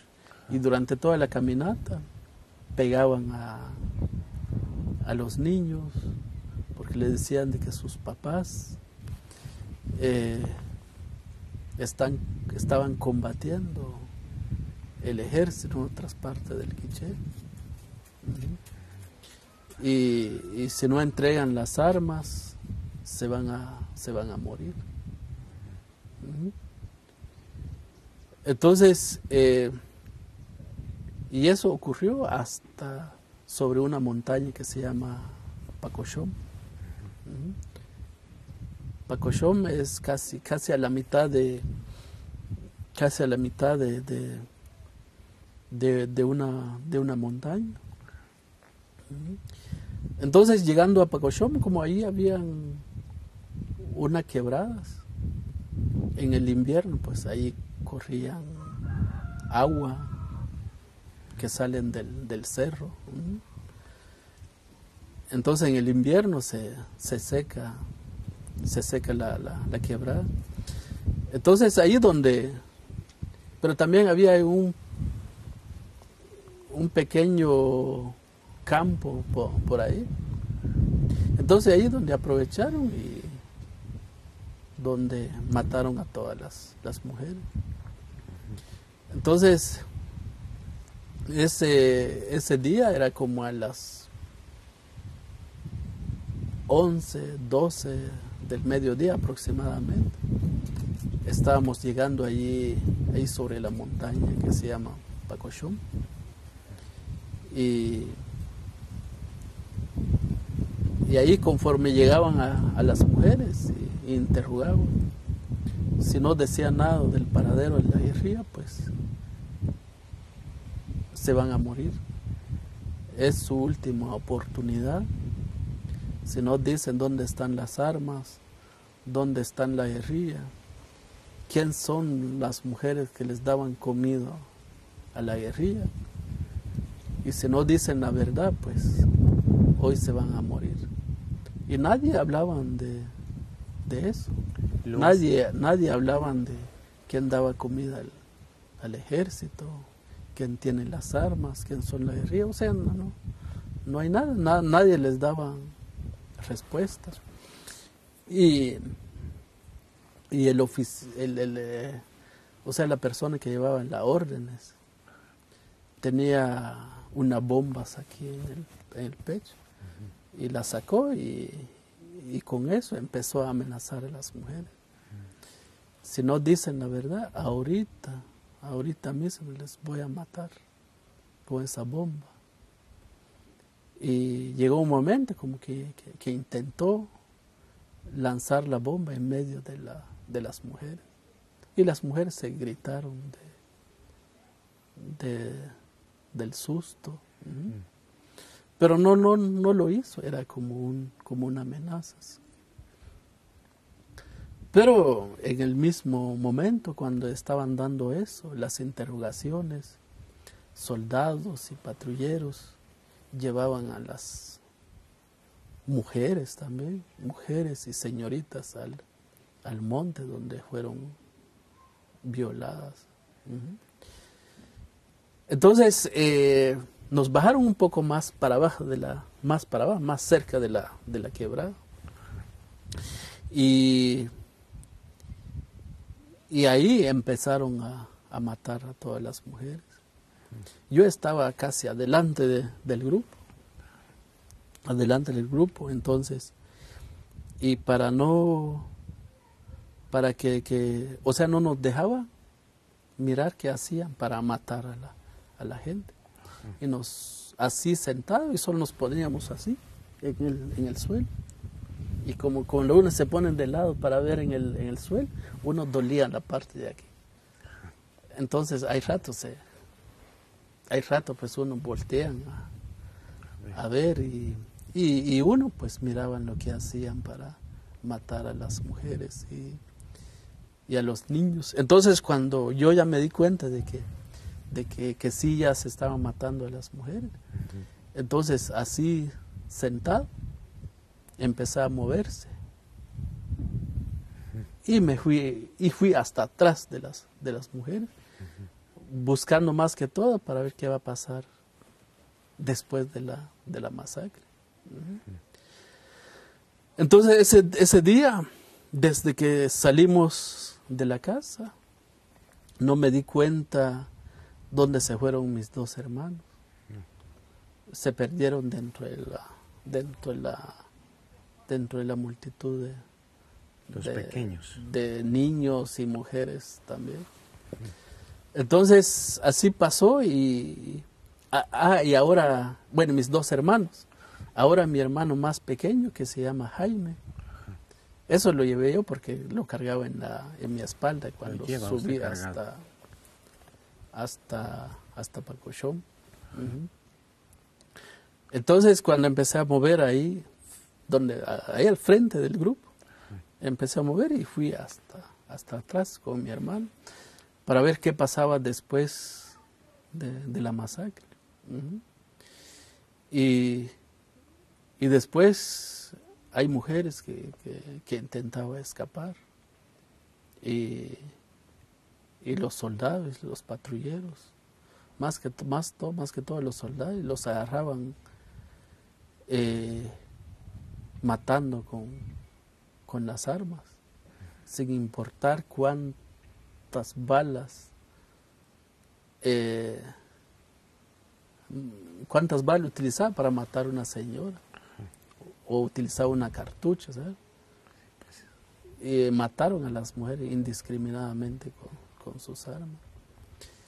Y, y, llegó un momento de que una señora, solo me di cuenta que estaba un poco abajo y un patrullero estaba encima. Solo me di cuenta que tenían un lazo en el cuello y de acá atrás les estaban dando, estaban dando vueltas, buscando para que la para, para que el lazo presiona el cuello para, para que ya no, no respirara la, señora. la señora. Solo la señora estaba ahí, estaba metiendo sus manos dentro de la dentro de la tierra. Y saber si se murió, no, no sé si se murió por eso o no. Y después lo que me di cuenta es que la, la señora, después de un rato, empezó a, a moverse los pies y temblaba su cuerpo. Y no que, más que todo no quería morirse, no quería morir la, la señora. Y, y, después cuando el patrullero se dio cuenta de que no, de que no se murió la, la señora, empezó a, con el mismo garrote que tenía, empezó a golpearse en la cabeza para matar por completamente. Y así pasó con, con muchas mujeres. ¿Cuántas mujeres fallecieron ese día? Era como 70 mujeres y 107 niños y, niñas. Y, y, así pasó y, y la, la, y hay mujeres también, de que la, las mujeres que también fueron violadas y matadas, también lo llevaron en otro, en otro lado, en la misma quebrada. Y, y otra, y otra, bueno, eso ya, ocurrió ya, ya después, de que yo ya no, no, no podía, uno no quería ver lo que estaba pasando. Entonces llegó un momento, estaba un patrullero ahí, le dijo yo de que, y le, como es de Shokoki, hablan el idioma, y le dijo yo si, si me daba permiso, si me daba permiso para ir al, al monte con mi hermano, para hacer su necesidad, y me dijo andate, me dijo.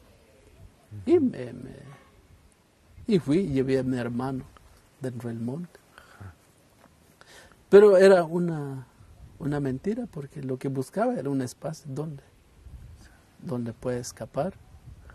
Entonces ya me metí dentro del monte y, y después me di cuenta de que, de que donde quería escapar, ahí estaban unos soldados escondidos dentro, dentro de, de, un árbol de, de pino. Entonces allí me quedé y y estoy buscando de qué forma puede escapar. Y después subí más arriba. Y cabal me fui a encontrar con un soldado, estaban violando a una, a una señorita. Estaba encima de, de ella. Estaba encima de ella y después solo me, me, di la vuelta, subí un poco y allí me quedé sentado. Y estaba pensando de que, qué voy a hacer. A ver si no hay, a ver si dentro de, dentro de los árboles, a ver si, si, si no está otro soldado por ahí o no. O solo él que estaba violando a la, a la compañera, le dijo yo.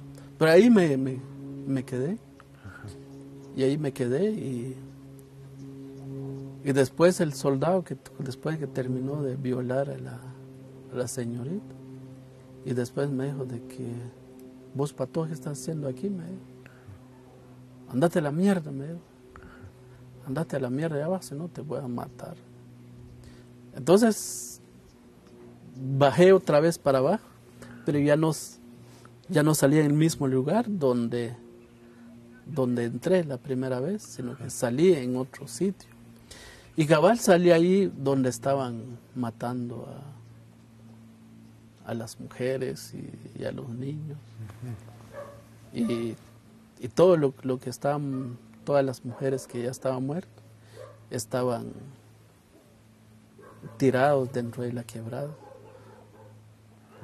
Otros encima de otros, de otras mujeres y otros que, que, que ¿cómo, ¿cómo, le dijera yo? Y otros tenían cortado la, la garganta. y, y otros agonizaban pero muchas veces por la sangre, por el pesor también de otros cadáveres se fue encima. Y eso imagino, tal vez no permitió respirar, imagino se, se murieron por, por él. Entonces después de eso, uno de los patrulleros que se, que se llama Pedro González Gómez, y, me dijo que, vos, Pato, ¿qué estás haciendo aquí? Me andate para allá, me dijo, y, y me fui, y me fui corriendo. Pero que con la misma intención, no me quedé al frente del grupo, sino que me fui hasta atrás otra vez con, con mi hermano. Y, pero, ah, pero ese rato, cuando me dije que, andate a la mierda, me, ahí estaban otra señora y después cuando me andate a la mierda y con el machete en la mano. Y después pues volví a ver, a ver si no me alcanzó con el machete. Y después, pues ese rato cuando volví a ver, me di cuenta de que, de que le zampó, no sé, uno o dos machetazos a la señora. Que, que la señora cargaba un bebé en su espalda. Y solo me di cuenta de que la, ese rato cuando volví a ver atrás, la señora se cayó de, lado, es como que, se quedó así. Y, el bebé también se, cayó la mitad en el, en el suelo, metido dentro del peraje. Entonces, eh, ese rato, ese rato no me di cuenta si la señora se murió o, o saber qué, ¿Qué pasó con ella? ¿Qué pasó con ella? Vamos a detenernos un momento para cambiar la batería. Vale. Jesús, disculpe. Vale. ¿Me cuenta más o menos a qué horas estaba sucediendo esto que me, que, que me cuenta? Tal vez como a las aproximadamente como a 12 a 1 a una de la tarde. ¿Hay más niños que están como usted dispersos en medio de la situación o es usted el único que está intentando escapar, digamos, de esta situación? No, no me di cuenta, no me di cuenta. Ahí ese rato solo, solo buscaba, solo esperaba en qué momento le tocaba su turno. Mm. Entonces, eh, ese rato lo que me di cuenta es de que varias mujeres estaban llorando, niños también, incluso llantos también de, de, niños recién nacidos, como de, de, tres meses, de dos meses. y, y, lo único que, que, más se escuchaba era el sonido de las, de las, de las armas que, que utilizaban para matar a, la, a las mujeres. Entonces con, esta señora, ya después ya no me di cuenta, pero sí se cayó de, lado, más que, le más que le cortó el cuello, saber qué pasó. Pero lo que logré ver todavía es de que ella se cayó de lado y, la mitad del, del bebé se cayó en el suelo. Y la otra mitad se quedó prendido en la espalda, porque la mitad del, del, del, del peraje cree que se quedó prendida como por aquí, Entonces así, así pasó y ahora con los niños era, era más fácil, porque los soldados, los patrulleros solo llegaban y a, y a veces con la culata de las armas los somataban en la cabeza, en la parte más peligrosa de la cabeza. Y con eso los... Ya después de, que se mueren los niños, solo jalaban de sus pies y, lo tiraban en la, en la quebrada. Y, y, muchas veces también solo llegaban y, y el lazo con un nudo. Llegaban y los colocaban en el cuello y los llevaban en las zanjas o en la quebrada. Y muchas veces los niños, por, porque el lazo lo apretaban el cuello, ahí iban pataleando. Y ya después, no sé cómo, cómo los terminaron, cómo terminaron después de quitarse la vida. Ya, ya, ya después, ya solo, tal vez ya solo había como, como unas 50 mujeres tal vez. Y, y ellos estaban sentados en medio de, de, de, de varias señoras que ya, ya de edad, o sea, ya son mayores de edad, estamos hablando de 50, 60, incluso una señora que, que era mi tía y una señora también es comadrona de la comunidad, que se llamaba que se llama Petronila Chen y otra mi tía que se llama que se llama Pascuala Osorio, creo. Y otra señora, y, llegaron los patrulleros, entonces ahora les toca ustedes. Póngase de, de, de boca abajo en el monte. Y una señora le decía, ahorita le decía a la señora, pero déjame de, de colocar mi, mi peraje. Entonces la señora le amarró su peraje en, el, en la cintura. Y la otra señora creo que lo amarró su peraje de aquí en la cabeza. Y entonces la señora dice, ahora pues les toca a usted. Y la misma forma, amarraron el lazo en el cuello. Ahí, ahí frente a mí, sentado ahí y aquí lo, donde empezaron a, a matar y escuché muy bien cuando, cuando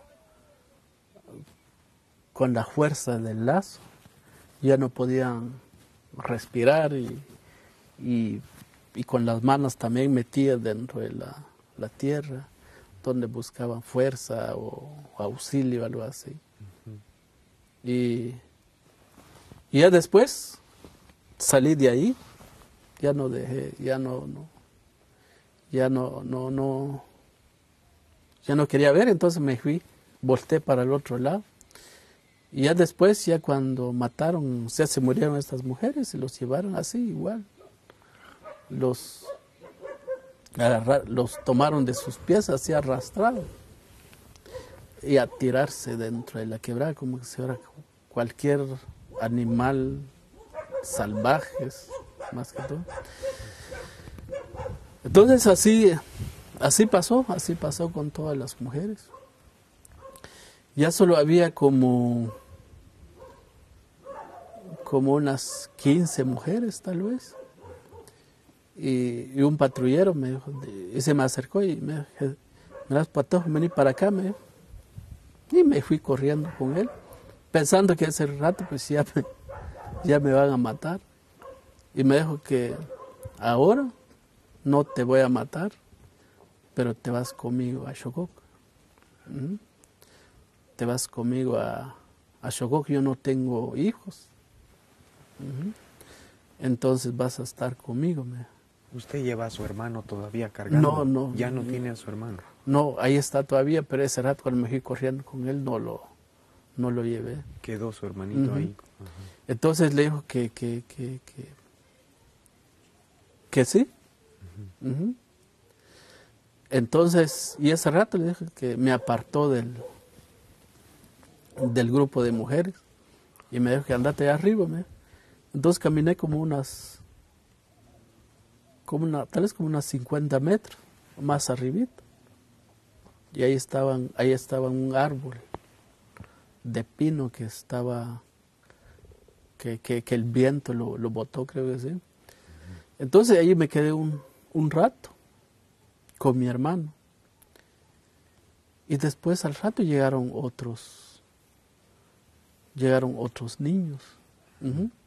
Pero antes de que me, me, fuera donde está el árbol tirado por ahí, entonces después otros patrulleros se acercaron y entraron y le dijeron de que y un patrullero que se llama Macario Alvarado Toji se acercó a una señora y a usted sí le voy a llevar a su a su hija está muy bonito a su hija entonces le voy a llevar conmigo como como mi hija algo así. Y la señora dijo ay por favor llévanos a mi hija no lo van a matar. Solo mátame a mí, pero a mi hija no. Y así otros patrulleros se acercaron y, ese día pues, y ese día pues trajeron desde Río Negro, los patrulleros trajeron desde Río Negro. 17 niños y niñas y una y una compañera también que tenía tal vez como unas 14 años, que fue objetos de, varias violaciones. y, y, ella dice que es, me pueden violar, pero, pero van a salvar la vida de mis hermanos. Entonces por eso creo que salvó la vida de sus casi de cuatro hermanos. Pero igual cuando llegaron a Chocó, creo que también la, la violaron. Entonces así pasó, entonces ya después del rato. ¿Lo llevaron usted, los 17 niños? Los llevaron a Chocó. ¿Con su hermano? ¿Cuál es el nombre de su hermano que iba con usted? Se llama Jaime. Jaime, era pequeñito el médico, ¿verdad? Entonces me dijo que no sé más que se dio cuenta que yo tenía un hermanito o no. Después de ahí entonces me fui donde está el árbol que estaba botado por ahí. Y entonces estaba escuchando mujeres llorando, disparos todavía desde, desde, desde arriba. Y después al rato llegaron los, los patrulleros y empezaron a, a, a revisarse si, si todos si todo salió bien, si no se murió algunos de ellos por ahí o en la masacre. Y, entonces ahí estaba sentado, entonces, pero ya no, ya no lo, reconocía el patrullero que quien, fue me sacó la primera vez, sino que después se acercó otro hombre conmigo donde está el árbol. Pero después me di cuenta que es la misma persona. Y me dijo de que ahora no vamos a Chocó, pero no vamos a llevar a tu hermano, porque tenemos que caminar toda la noche. Y además yo estoy cansado, yo no puedo llevar a tu hermano.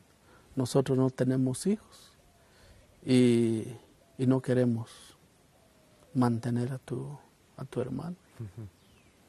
Y así que, vamos a, a, dejar a tu hermano por aquí. Entonces, y ahí estaban los, los otros niños. Y los otros, los otros niños cuando, cuando estaban hablando, negociando con, con el patrullero con relación a mi hermano, y, los otros decían de que, de que la compañera que tenían 14 años y no lloren, decían su hermano, porque no sabemos todavía si nos van a si nos van a salvar o nos van a matar. Entonces, y, así me dijo, volvimos a retomar con ellos la, negociación. Y le dijo yo de que, de que no, porque si usted no puede llevar, yo puedo llevar a mi hermano hasta, hasta Yo lo voy a cargar. Sí, pero no, pero si no querés, mejor se van a quedar los dos. Se van a quedar los dos aquí de una vez. Entonces yo estaba sentado ahí sobre el árbol botá y llegó y colocó el lazo en el cuello de mi hermano y lo llevó.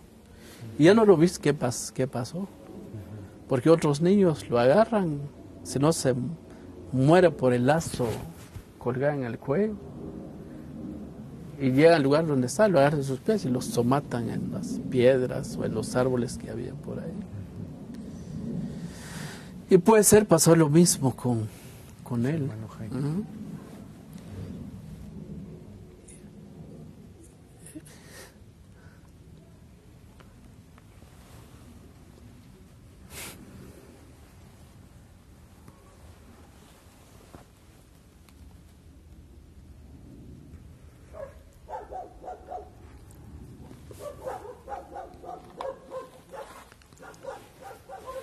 ¿Quiere que detengamos un momento la cámara?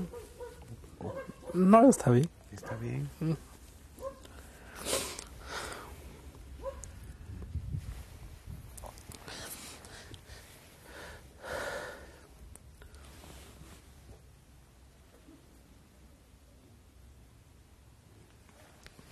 Entonces, ah, bueno, así pasó. Y, y después lle- llegó y me, bueno, ahora nos vamos a, a Shogok. Y, y después, como utilizaban kaite, ujú,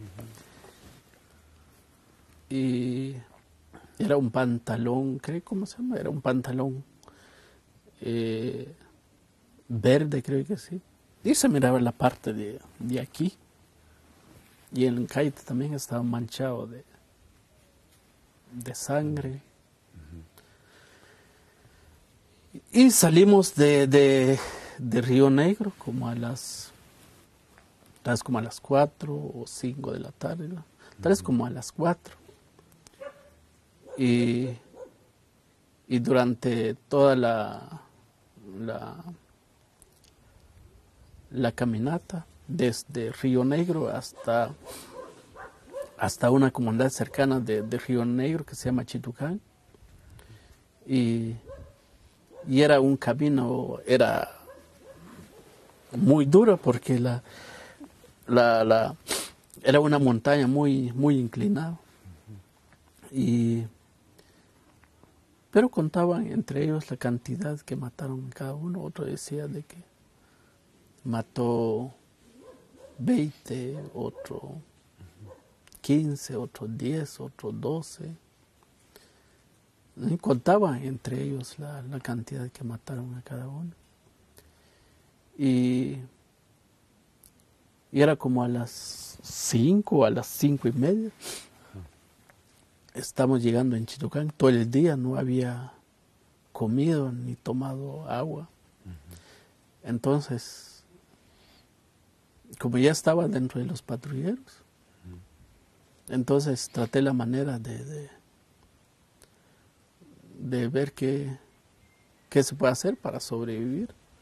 No solo de ellos, de los soldados, de los patrulleros, sino que también para tomar un poco de, de agua. Entré a una casa, encontré como un- una plangana que estaba por ahí, agua, pero también con jabón. Ahí tomé un poco porque no, no, no había no había agua. Y después de allí, en, en un pequeño campo que había sobre la aldea, y ahí se reunieron a todos los, los soldados y los patrulleros, porque, porque en esa comunidad también había, o sea, todo el día estuvieron el ejército También. y los patrulleros. Y, pero solamente allí no mataron ninguno, No. porque salieron la, la gente de la comunidad antes, abandonaron la comunidad antes, que en Río Negro casi lo mataron a todo porque no, no, no salieron de la comunidad. Y ahí uno de los patrulleros y, y se desmayó. se desmayó, no sé más que del sed, de, hambre, o por toda la, masacre que, que hizo en Río Negro, saber. Pero los patrulleros, otros se orinó y, le dieron orina para recuperarse. Y salimos de ahí tal vez como a las seis de la tarde. Y estábamos llegando como hasta la aldea Xococa, como a la una de la mañana. Allí en, allí en Buenavista, es una comunidad antes de, de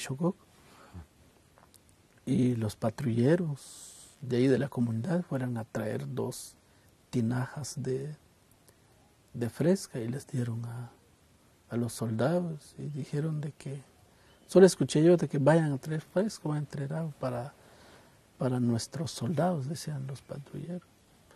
Y nos dieron, nos dieron agua. A las, como a la una estábamos llegando en Chococo. Allí entramos en la, en la iglesia y la comida que, que, que, que, nos daron era carne de, res o caldo de res, algo así. Pero después me a pensar de que, de que por todo lo que pasó en, en Río Negro, después pensé que será que será que realmente es carne de, de res o tal vez de carne de seres humanos.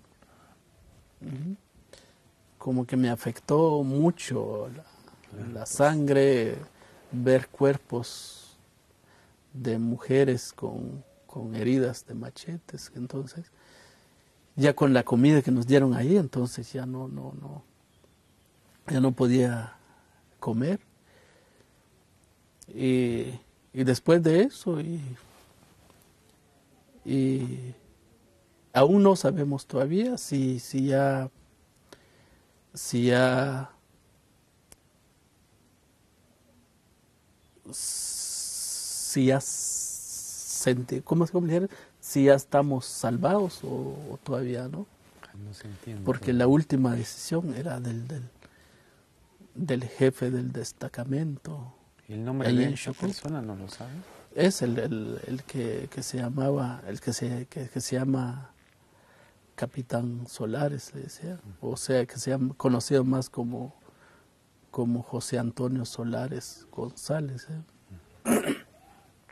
Y, y después ya en horas de la, de la noche, aún no, no, no sabemos, y, y fui a dormir a la par del, del dormí a la par del patrullero. El patrullero donde, que me trajo de Río Negro se llama Pedro González Gómez. Y, y toda la noche no, no, no podía dormir porque sentía como que, que, alguien me quería matar. Cada rato levantaba y, y gritaba. Y como dos veces desperté, sentía que, estaba en, dentro de mi casa en, en Río Negro. El siguiente día, como a las seis de la mañana, y levantate, me dijo, porque nos vamos a la casa.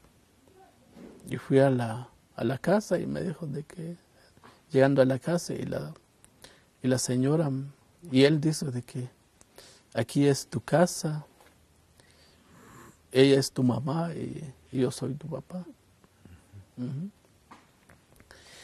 y, y, así fue, y llegué y empecé a, a hacer petates, a ayudar a la señora a hacer petates. ¿Ya se había retirado el ejército para el otro día?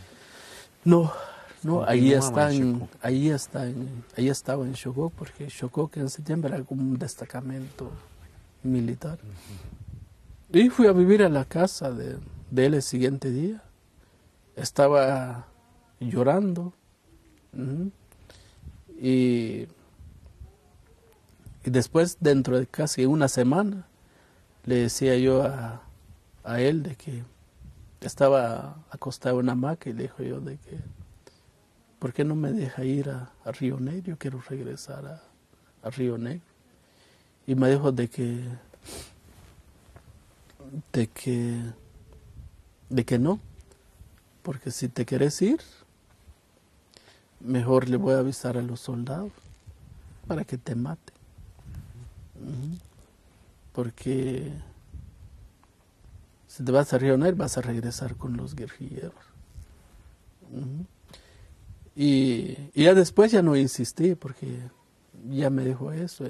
Y aparte de eso, no, no lo puedo decir de que él no me puede matar porque ya, ya mató a, a mi hermano. Entonces, Björn, de qué forma se puede olvidar un poco de lo que pasó y, y ayudar a la, la, señora y vivir con, con él a ver qué, qué pasa. Y así pasó y, después de que cuando llegué a Chocok, no, ahí no, no, no hay, no hay niños. Desde los 10 años empecé a, hacer trabajo en el campo.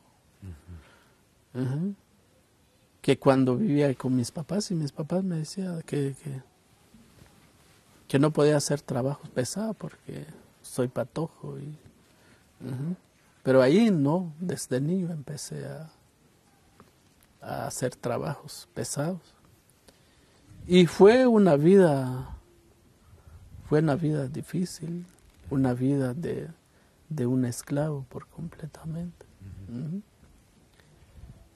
Eh, los durante el mes de, o sea, durante la época de, de verano, la tarea es hacer petates. Cuando llegué a Chocó me miraba como si fuera una máquina para, para hacer petate, porque me vino de, de Río Negro. Y como la gente de Río de, solo de eso se, se dedicaba. Entonces pensando que, que yo pues era, era una mano de obra más para hacer petate. Y así, y así fue. Y durante el verano trabajamos con, con bueyes en el campo para cultivar la, la tierra. Y si no respondía al trabajo, si no trabajaba igual como él, me, pegaba. Una vez que, creo que, que, subimos a cultivar la tierra y no se me caí sobre una piedra y sin averiguar pasaron los bueyes sobre mi persona, saber, saber qué pasó, pero los bueyes pasaron por otro lado y, y yo pasé por otro lado. Cree que un buey pasó de este lado y otro pasó de este lado y yo pasé en medio. y, y también ocurrió otro momento de que como él es muy, muy loco para, para guiar a los bueyes, entonces estamos limpiando la milpa también con, bueyes, con, con arado se llama la, la herramienta que se llama para cultivar la tierra. Y Y los bueyes se metieron dentro de la mirca, arrancaron, saber cuántas matas. Y me dijo de que, de que mis papás eran unos guerrilleros, porque nunca me enseñaron a, a trabajar. Y con el mismo palo que utilizaban para pegar a los, a los bueyes, casi un palo casi igual con eso, es más grande con eso y me, y me dio, pensó de que, que, me iba a pegar por la espalda y no, sino que me dio en la parte de acá. Y después al rato empecé a, a vomitar sangre. Saber de dónde me salió la, la sangre más que en los pulmones, ¿sabes? Pues empecé a vomitar, a vomitar sangre. Entonces, debido a, a eso, ya me empezó a dar, a dar miedo. Porque ya estamos, ya estamos ya casi a finales del 82, casi ya. Y, y aún me di cuenta que es peligroso vivir con él. Entonces una vez, una vez creo que, que las, que uno de los bueyos, cree que lo robaron. Y me dijo de que, de que no sé cómo, pero tenían que encontrar. Porque si no encuentro, entonces a mí me, me toca. Y un día me dijo de que, de que si no lo vas a encontrar los bueyes, entonces tal día me vas a esperar tal lugar, porque ahí te voy a encontrar. Entonces lo que sucedió es que me dijo eso, entonces ya no fui, ni fui a ver a buscar los, los bueyes, creo que es un, creo que fue un, un 1 de mayo, creo que sí, que, que aquí en Rabinal, el 1 de mayo es el día de la, de la Santa Cruz, pero también era, estamos en la puerta del, del invierno, o en la entrada del invierno. Y, y me dijo de que así pasó. Entonces ese día no ni fui a buscar el buey o para y para encontrar en tal lugar. No fui, sino que fui a, a una aldea que se llama Buenavista. Y fui a acompañar a los bailadores del costeños que se llaman, que son los que se los bailes que que salían para, para la fiesta de la Santa Cruz. Y entonces ahí todo el día, pasé todo el día y me regalaban comida. Entonces ahí pasó el, el día. Y después el siguiente día fui a, a, la casa de él y, y la señora me dijo, ay, mira si te vas a quedar ahí en la casa. Porque ahora está muy, muy enojado. Y yo ya no, incluso ya no quiero vivir en la casa, porque si no, si no ha hecho muchas cosas y puede hacer lo mismo a ti o a mí. Entonces, entonces lo que hizo fui a la, a la iglesia, o sea, el centro de la comunidad, había una iglesia por lado del mercado, y, pero allí mismo donde se juntaban todos los patrulleros y también utilizaban también un mercado como destacamento militar. Entonces fui por ahí, entonces encontré con otros pastores y, me, y solo me vio y me dijo de que encontraste, encontraste los bueyes. Me dijo, no, fui a buscar, pero no los encontré. Entonces, imagínate, ya se los robaron. Y así fue, y después el siguiente día regresé a la casa y, y como que no hubiera pasado nada. Entonces así, así pasó. Pero otros momentos también de que, de que, de que ahí en Chocó, como no tienen hijos, me utilizaban para, para otras cosas, para hacer trabajo en el campo, pero también me mandaban a, a llevar maíz para hacer tortillas en, un mo- en el motor de Mixtamal, algo así. Así se llama en Chocó. Y, y como otros patos ahí en Chocó, jugaban con discos, estos discos que utilizaban para moler maíz. Y después pensé de que, pero esos patos, esos discos que utilizaban para, para jugarse en las calles, entonces lo tomé uno. Y con eso empecé a, a jugarse en, la- en las calles con, con el disco. Y después la señora que se dio cuenta que yo tomé el disco y se quejó al patrullero. Un día bien temprano llegó y estaba, era como a las 5, ya estaba en la cocina juntando el juego, cociendo café para, para ellos. Y me dijo, venite para acá. Me en mi casa no quiero un ladrón y no quiero un guerrillero. Y frente a su señora me agarró el lazo aquí en el cuello. y me colgó del, de la madera de la, de la casa.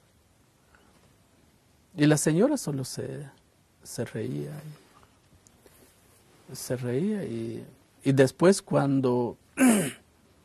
y después de, un rato, después de un rato, cuando solo sentí de que, que como que perdí el control, pero también como que se me entró oscuridad y después al rato desperté que estaba tirado en el suelo. Y la señora ya no estaba ahí, después desperté y solo él me estaba dando un vaso de agua a la fuerza. Y, y la señora, después al rato, la señora llegó y me dijo, comete, anda a traer leño, ¿por qué estás llorando ahí?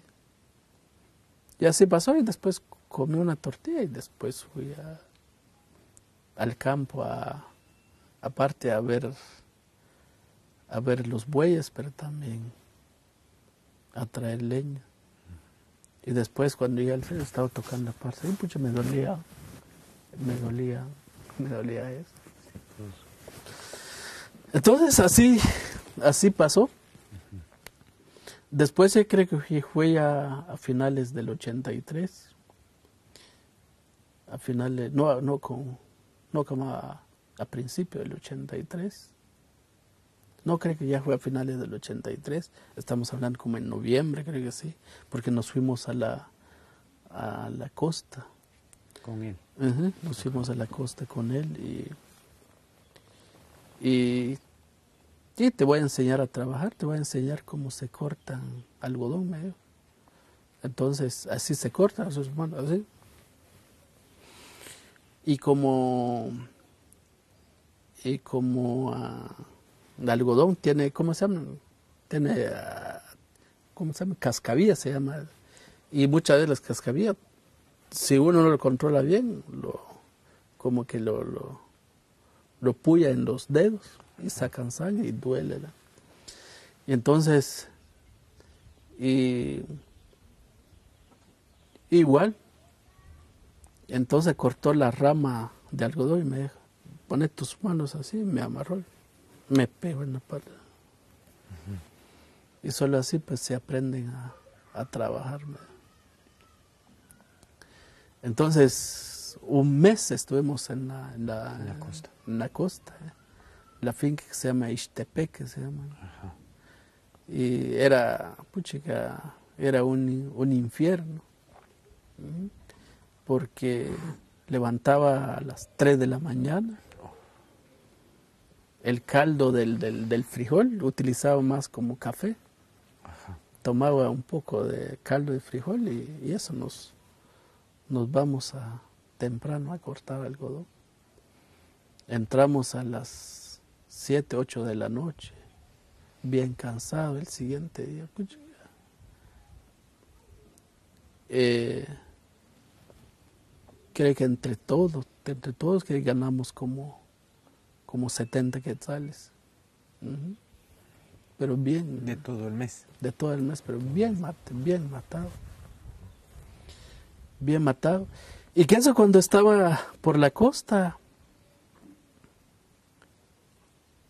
Y después apareció mi hermana en Chocó. Ajá. Que sea la, que se llama Laura. Laura. Porque Juana se murió con mis dos hermanos, en, mis dos hermanos en Río Negro. Y después mi hermana llegó a Chocuk y mi hermana Laura llegó a Chocuk y, preguntó de que preguntó a los patrulleros que yo solo vengo a buscar a, a mi hermano que se llama Jesús y vive con don Pedro González. Ya lo sabía ella. Ya lo, ya lo sabía. Entonces mi hermano mi hermana cuando Ríos Montt llegó en el poder, eh, a través de un golpe de, Estado, entonces decretó la, ley de amnistía. Entonces, con la ley de amnistía, entonces mi hermana se, entregó, le decimos, se entregó al destacamento, suena un poco feo, así se entregó, como que tenía armas. o, Pero ahí se, se, ahí entraron al destacamento. Después del destacamento los mandaron a Pacush y formando como un como, como un aldeo modelo Pacush desde desde desde a media, desde mediados del 2000 sí, desde mediados de, de 1983 estamos hablando como el mes de de junio julio del 83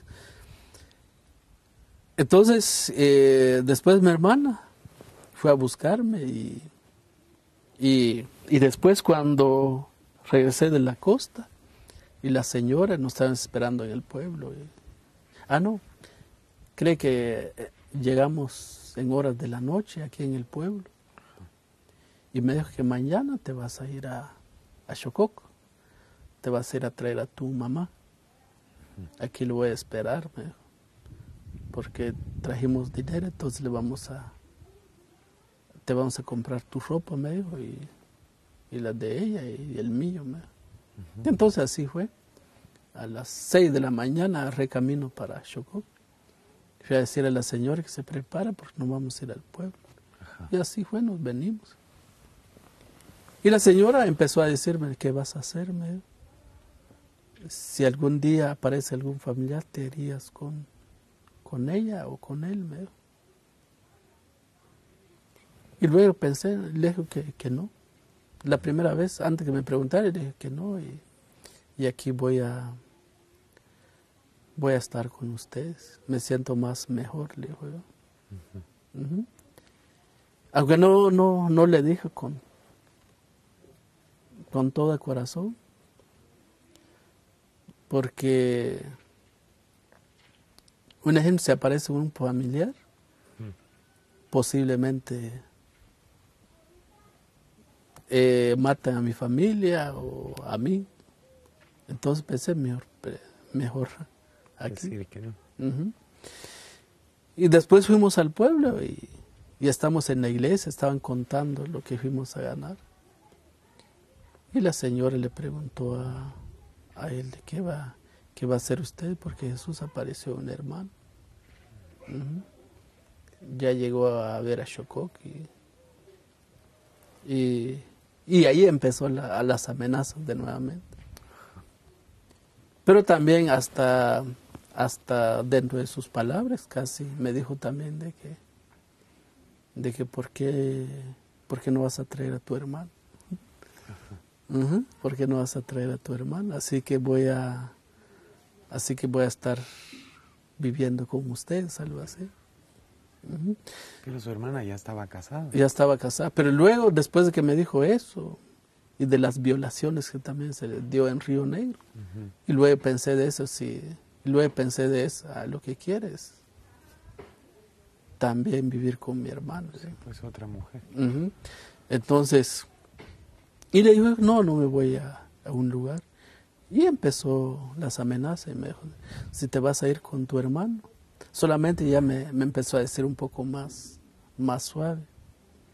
Y si te vas a ir a vivir con tu hermano, ten cuidado, me dijo, porque todas esas gentes que viven en Pacush, Pacush, en ese tiempo estamos hablando de unos 10 o 15 personas que viven en Pacush, no familia. Pocas. Que sobrevivieron de la masacre de Río Negro. Uh -huh. Entonces, muy pronto esta gente, el ejército, va a ir de nuevamente a, a terminar con estas personas, incluso hasta nosotros también. Así que pensa muy bien si te vas a ir. Y si te vas a ir, ya no te voy a ya no te voy a salvar si te encuentro entre toda esa gente. Entonces, recordando la historia, pensé de que es cierto y mejor ya no. Un día también, creo que ya, ya fue a principio de que, que como, no, no tal vez no fue a principio, sino que tal vez fue como en diciembre del 83. Y estaba caminando por el parque y, y después desde lejos me di cuenta, es mi hermano. Y se dirigía hacia mí. Yo no le hice caso también a mi hermano, pero ella sí se emocionó mucho. Y, y se me acercó y me dijo, ¿qué vas a hacer? Me dijo, te vas a ir a, reconocer la casa de, del papá. Porque la casa, el, el, el INDE no va a entregar a mí, porque esto también es otra, es otra violación que cometió el INDE, el Instituto Nacional de, de la Investigación INDE con la gente de Pacush. Porque esa vez le dijo a mi mamá de que a usted ya tiene un esposo, su esposo tiene casa, entonces a usted ya no tiene derecho a reconocer la casa de tu papá. Solamente si aparece una tu hermano o una hermana que no tiene casa, ahí sí te vamos a dar la, la casa. Pues. Entonces mi hermano me dijo de que te vas a ir a Pacush para, para, para que nosotros podamos recuperar la casa del papá. Después pensé, entonces tengo una casa en Pacush. Entonces digo yo, pero no me interesa la casa. Entonces ahora ya estoy en Chocó, entonces ya me siento más, más mejor, ya más salvado, le digo yo. Entonces así no me voy a, a vivir con ustedes. Entonces pensando que mi hermana, pues, pensó mi hermano de que esa vez, pues, me iría de una vez con, con ella y no, y no fue así, sino que fue un, una actitud mía también tan, tan abusivo también, porque como que como que los mismos criterios del patrullero, lo mismo que, que utilicé yo. Y le dijo que no, porque algún día el ejército va a llegar y los van a matar. Entonces, ahí miren, ahí mire usted si va a ser en Pacucho o, va a ir a otro lugar. Y así nada más y, nos separamos. Entonces ya la, la, ya creo que eso, eso fue como en diciembre. Y ya después fue el mes de, como el mes de, enero, creo que sí. Igual, igual lo encontré a mi hermano otra vez y, con la misma insistencia. Y me dijo de que entonces va a ir a, a ver la casa del papá. No me importa si, si seguís viviendo en Chocó, pero venía a reconocer la, la casa. Entonces, igual ni las palabras mías no, no, no, fue, no fue de su agrado. Entonces nos separamos y pero, pero ella siguió con todos los trámites a través de la municipalidad, a través de la gobernación, a través de la gobernación y, y, llegó un momento, creo que creo que fue como, como a finales de febrero, a través de la municipalidad llegó una nota citando al patrullero o a Pedro González para que me llevara a la municipalidad a entregar al niño Jesús. Pero saber qué pasó ese rato, creo que no, no nos fuimos. Y ya no me recuerdo qué, qué es lo que pasó y, y hasta y hasta nueva orden, creo que sí. Creo que lo que pasó es que creo dentro de los mismos patrulleros como que inventaron, como no sé más que amenazas, creo que sí. Entonces, entonces por eso no, no, no fuimos. Entonces el creo que el 19 de marzo es la segunda cita ya del, del, del 84. Y esa vez sí ya no regresé a, a Desde temprano la señora me dijo, ve que bañate Jesús y, y come y, se van a ir. Pero luego me dijo de que si el alcalde insiste mucho, entonces salí corriendo de ahí de la municipalidad. Y desde que, y así, y así fue. Y así fue todo la, lo, lo, que me había dicho, así fue. Lo hizo usted. Uh -huh. Y desde que, bueno, en, temprano me dijo de que salimos de la casa, llévate 80 centavos, me dijo la señora, porque a ver qué pasa si salís corriendo, entonces con eso puedes pagar tu pasaje hasta de transporte hasta Chocó. Entonces lo tomé 80 centavos. Y nos venimos. Y la, la, la, y la actitud del, del, alcalde fue muy, muy fuerte, la, la, porque incluso hasta amenazó a Pedro, diciéndole que, que yo no puedo estar en su poder sin la autorización de, de un juez. Tiene que haber declarado la tiene que haber declarado por un juez que, que yo estoy bajo su responsabilidad. Pero apareció un hermano, entonces me tenían que entregar a, a mi hermano. Claro. Y solo escuché y salí corriendo de la. Salió corriendo. Salí corriendo de ahí, de la municipalidad. Y que ese mi cuñado me siguió y, y, me, y me alcanzó. y me alcanzó ahí por el parque y, y, me dijo de que me abrazó y por qué. Y le dijo a, y le dijo a mi cuñada, es que no puedo ir con ustedes porque ustedes son, son guerrilleros, son, son resto de la guerrilla y, y en cualquier momento el ejército, los patrulleros de Chococo van a llegar de nuevamente a terminar con ustedes. Y mi hermano me dijo que no, eso ya no va a ser posible. Ahora ya hay, ahora pues ya se ha mejorado un poco la, la ley, entonces ya hay un poco más de autoridad. Entonces no va a ser lo, lo mismo. Y me agarraron a la fuerza y, y me llevaron a, a Pacucho.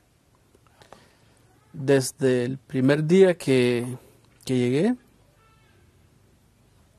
entonces como como miraba a mi hermano que elaboraba petate, entonces le ayudé a, a elaborar petate y me dijo y mandó a, como, como y mandó como a, a comprar incaparina, pan en la tienda, como leche, algo así. Y ya empezó a, a preparar alimentación para, bueno, para mí, pero también para su familia. Ajá. Y que en Chocó nunca había visto como leche con, con incaparina ni, ni pan. Uh -huh. Entonces, y me dijo de que, y me dijo de que, ah, por la tarde me, hay jóvenes que se van a ir a jugar al campo. De veras, digo yo, entonces, si querés te vamos a comprar una tu par de zapatos para ir a, a jugar con los demás jóvenes, me dijo, los más patos. Tal vez después, le dijo yo, y, y así fue. Y, pero después ya como que llegué a otro a otra vida di, distinta. Ahí en Pacush. Uh -huh. Entonces, y eso como que me, me ayudó y a, a regresar con, con, con, mi hermano, a regresar a vivir con, con mi hermana. Y, y ya el siguiente día me dijo de que te vamos a llevar a, a la escuela porque aquí todos los patos están estudiando. Entonces me, el siguiente día me compró mi cuaderno, mi lapicero y, y, a la escuela. Y después cuando salía a la escuela, entonces solo ayudaba un poco a hacer petate, a veces, a veces subía hasta aquí a traer leña. Hasta aquí. Y, uh -huh, pero también pero también subía en otro lado a traer leña. Y también trabajaba un poco en el campo. Pero sí, pero sí sacaba un, un tiempo para ir a jugar pelotas. Entonces ya había libertad. Entonces pensé de que no, mejor me voy a quedar aquí. Pero después cada rato llegaba a donde está la, la, la casa de mi papá, Ajá. donde vivo actualmente. Y llegaba por ahí y ahí está la, la, la casa. Aunque me, me han dicho de que es que es parte también de la de la herencia de mi papá. Ajá. Entonces ahí ahí está la casa, pero yo vivía con, con mi hermano. Entonces y después llegó un momento de que la, la, la el el INDE dijo de que sí la casa se va a pasar a, a mi nombre. La casa de Pacush Sí, la casa en Pacush. era la que le iba a pertenecer a su papá, digamos. Sí, sí. Entonces así, así fue. Solo estuve, ahora con la escuela solo estuve como, como tres años. Ajá. Y como había mucha, mucha pobreza, mucha pobreza, entonces, y casi los jóvenes allí, veía yo de que no, no terminaba con la, con la escuela. Y se iban a, a la costa sur, en las fincas de algodón y, y de café. Y entonces casi hizo lo, lo mismo. Casi solo estuvo como tres años en la escuela. Desde hasta tercer grado nada más. Y después fuimos al, después fui a trabajar en la en las fincas de café y también de, de algodón. Ujú. Y ¿Ya tiene usted cuántos años para ese momento? Cuando ya... tenía como, como 13, 14, 15, 15 años. 15 años. Ujú. Entonces, así, así pasó. Y después creo que cuando tenía, cuando tenía como 14 años, 15 años, creo que sí, creo que 15 años tenía, fui a trabajar hasta Playa Grande, creo que fue como en el, año 1987, 80 y 86, 87 y 88. Pero sí, en esos tres años, a través de algunos compañeros nos fuimos. Y, ahí encontramos trabajo en la parroquia. Y el trabajo era un trabajo muy suave. El padre nos, nos dio chance para pintar casi toda la instalación de la parroquia, que es como un trabajo de que cuando termino, cuando termino de pintar ya ya la donde empecé primero y ya pedían pintura otra vez, solo les daba la vuelta. Ah, Era un trabajo casi fijo. Pero después también llegó un momento de que pensé de que qué- qué vine a buscar aquí. en la parroquia de Playa Grande, Sí, de playa de Ixcán. de Ixcán, Playa. Grande. Y después pensé que vengo a buscar aquí. La, la, la guerrilla y el ejército se enfrentan casi constantemente. Cerca de una aldea de ahí cerca de, de, de Cantabal que se llama San Pablo. Era como un día, era un día, o sea, de que ahí en, en San Pablo, pero también en otras aldeas más adelante de, de, de San Pablo, en el carretero que se va para, sobre la carretera que se va a Santa María Ceja, que se llama Trinitario.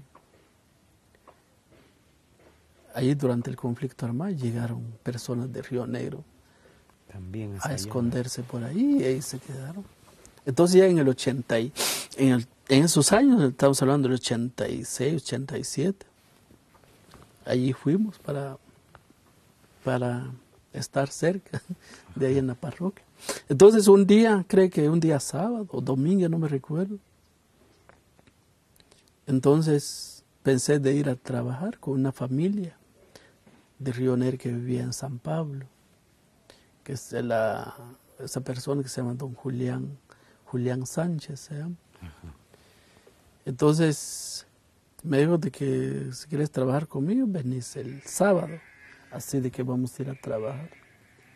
Y así fue, y, yo creo que ya no me recuerdo si es el día sábado temprano o el día domingo temprano. Y se escuchó la, la balacera como si fuera como si fuera un cumpleaños ahí cerca de la comunidad. ¿En Santa María Ceja? No, en Santa, ¿cómo se llama? En la aldea San Pablo. Aldea San Pablo. Y, y después ya como a las 7 de la mañana, nadie podía salir porque llegó el helicóptero casi, casi pasaba, igual como en Río Negro, pasaba encima de las casas. Y estaba ahí en la casa, pues ¿qué vengo a buscar aquí? Hubiera quedado en Rabinal o, o hubiera ido a otro lugar. Y ya igual, igual como pasó en Río Negro, ya pasaron el ejército, llevaron a la fuerza la, la gente de las casas y, y, nos llevaron al centro ahí de la comunidad. Y el ejército empezaron a interrogar a la gente, como ahí con la, ahí donde se enfrentaron. La guerrilla llevaban pan recién salido de, de ahí de la comunidad. Y dijeron de que aquí salió y ahí hay una venta de panadería ahí. Y ya después de la reunión era la persona que se quedó a mano del ejército.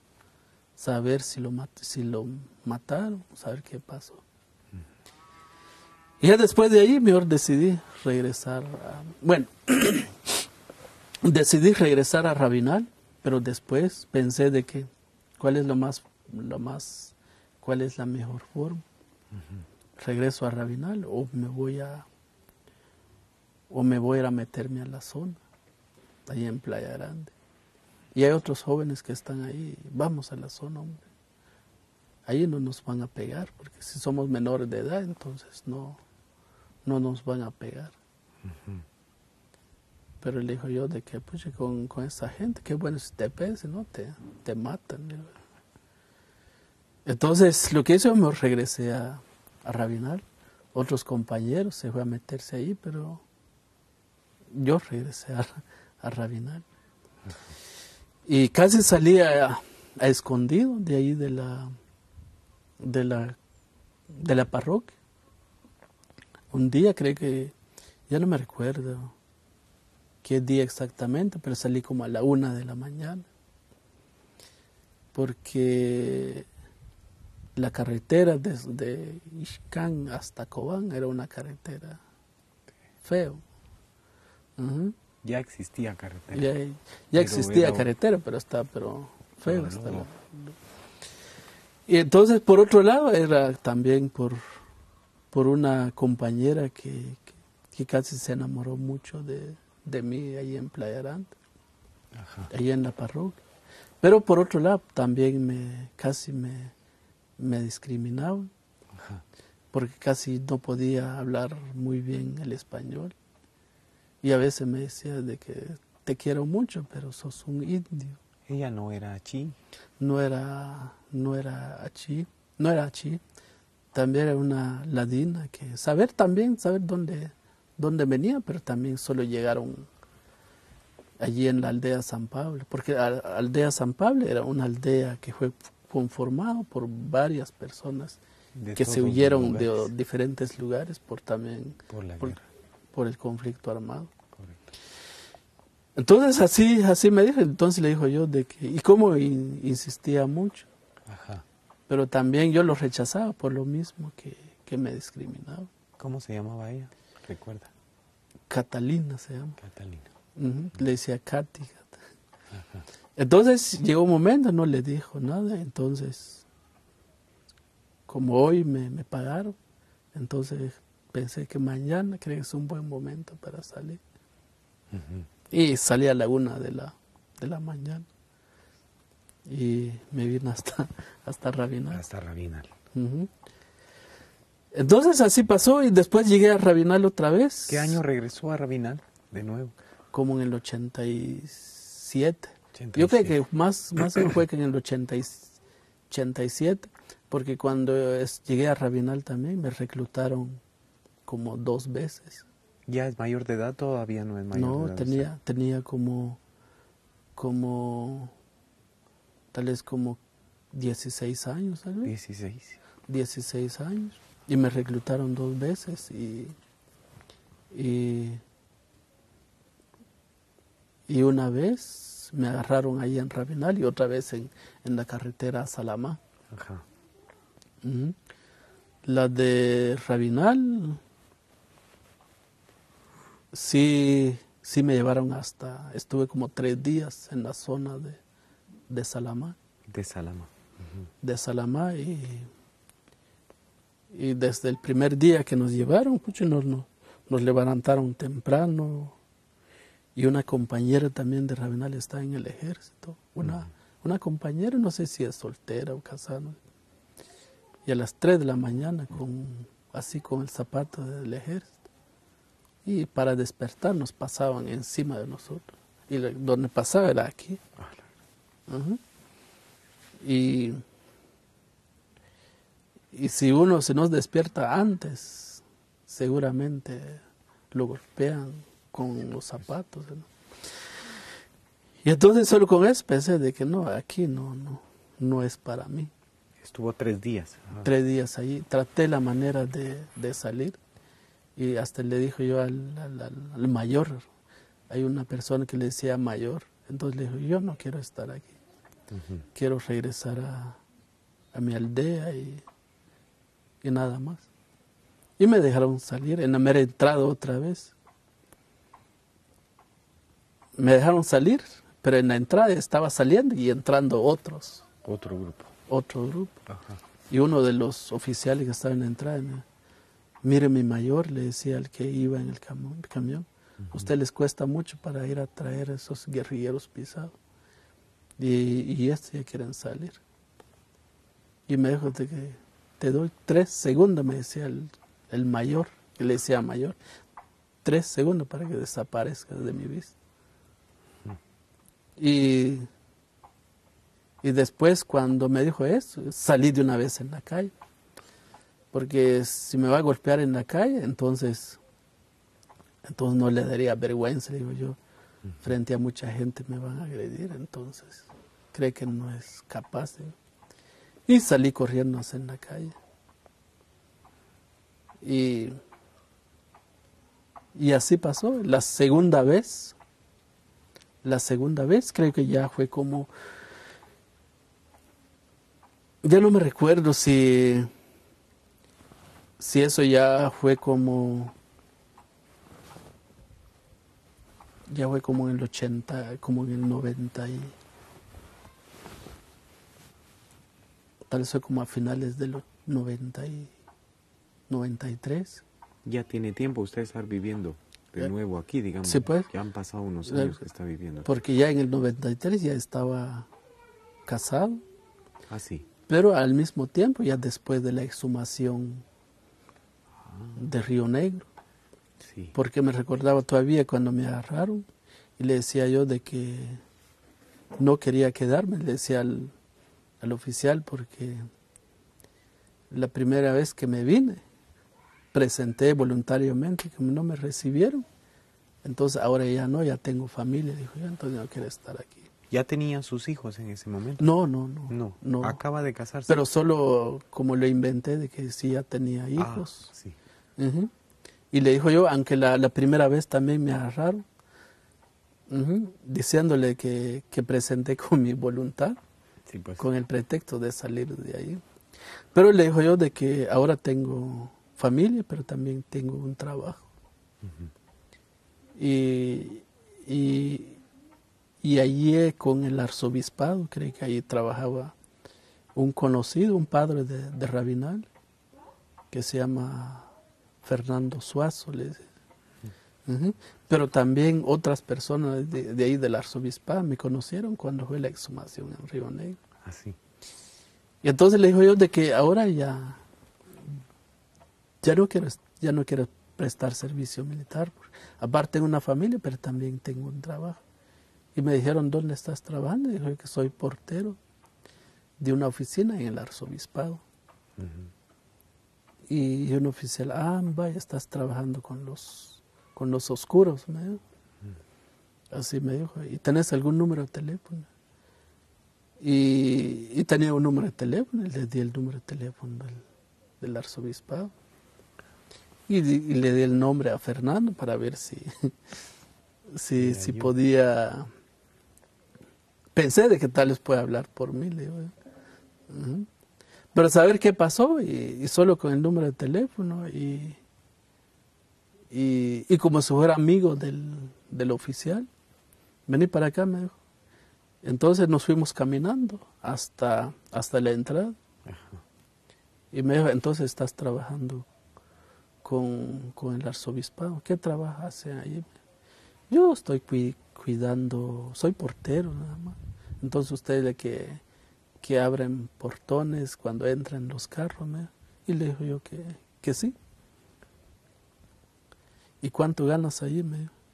Y le dijo, gano 800 quetzales. Ah, entonces ganas muy bien. Y mientras que aquí solo se pagan 200, 300 quetzales al, al ejército. Entonces, pero mira, no tengas pena, te vas a ir y, no le digas nada lo que viste aquí. Y me acompañó hasta, hasta la entrada, o hasta la salida más que todo. Así, así pasó. Se acaba de juntar usted con su esposa y lo dejaron salir en ese momento. No, no, no, ni. No tenía esposa todavía. No, ni, ni, mi esposa no, no sabía si, si, si fue, si fue reclutado por. No sabía ella. No, no, no sabía. no pues. sabía, hasta se dio cuenta, hasta el siguiente día cuando llegué a la casa. Sí, pues porque ya en ese tiempo ya estaba dando vuelta por, por la, ya no es por la exhumación, sino que ya por la inhumación.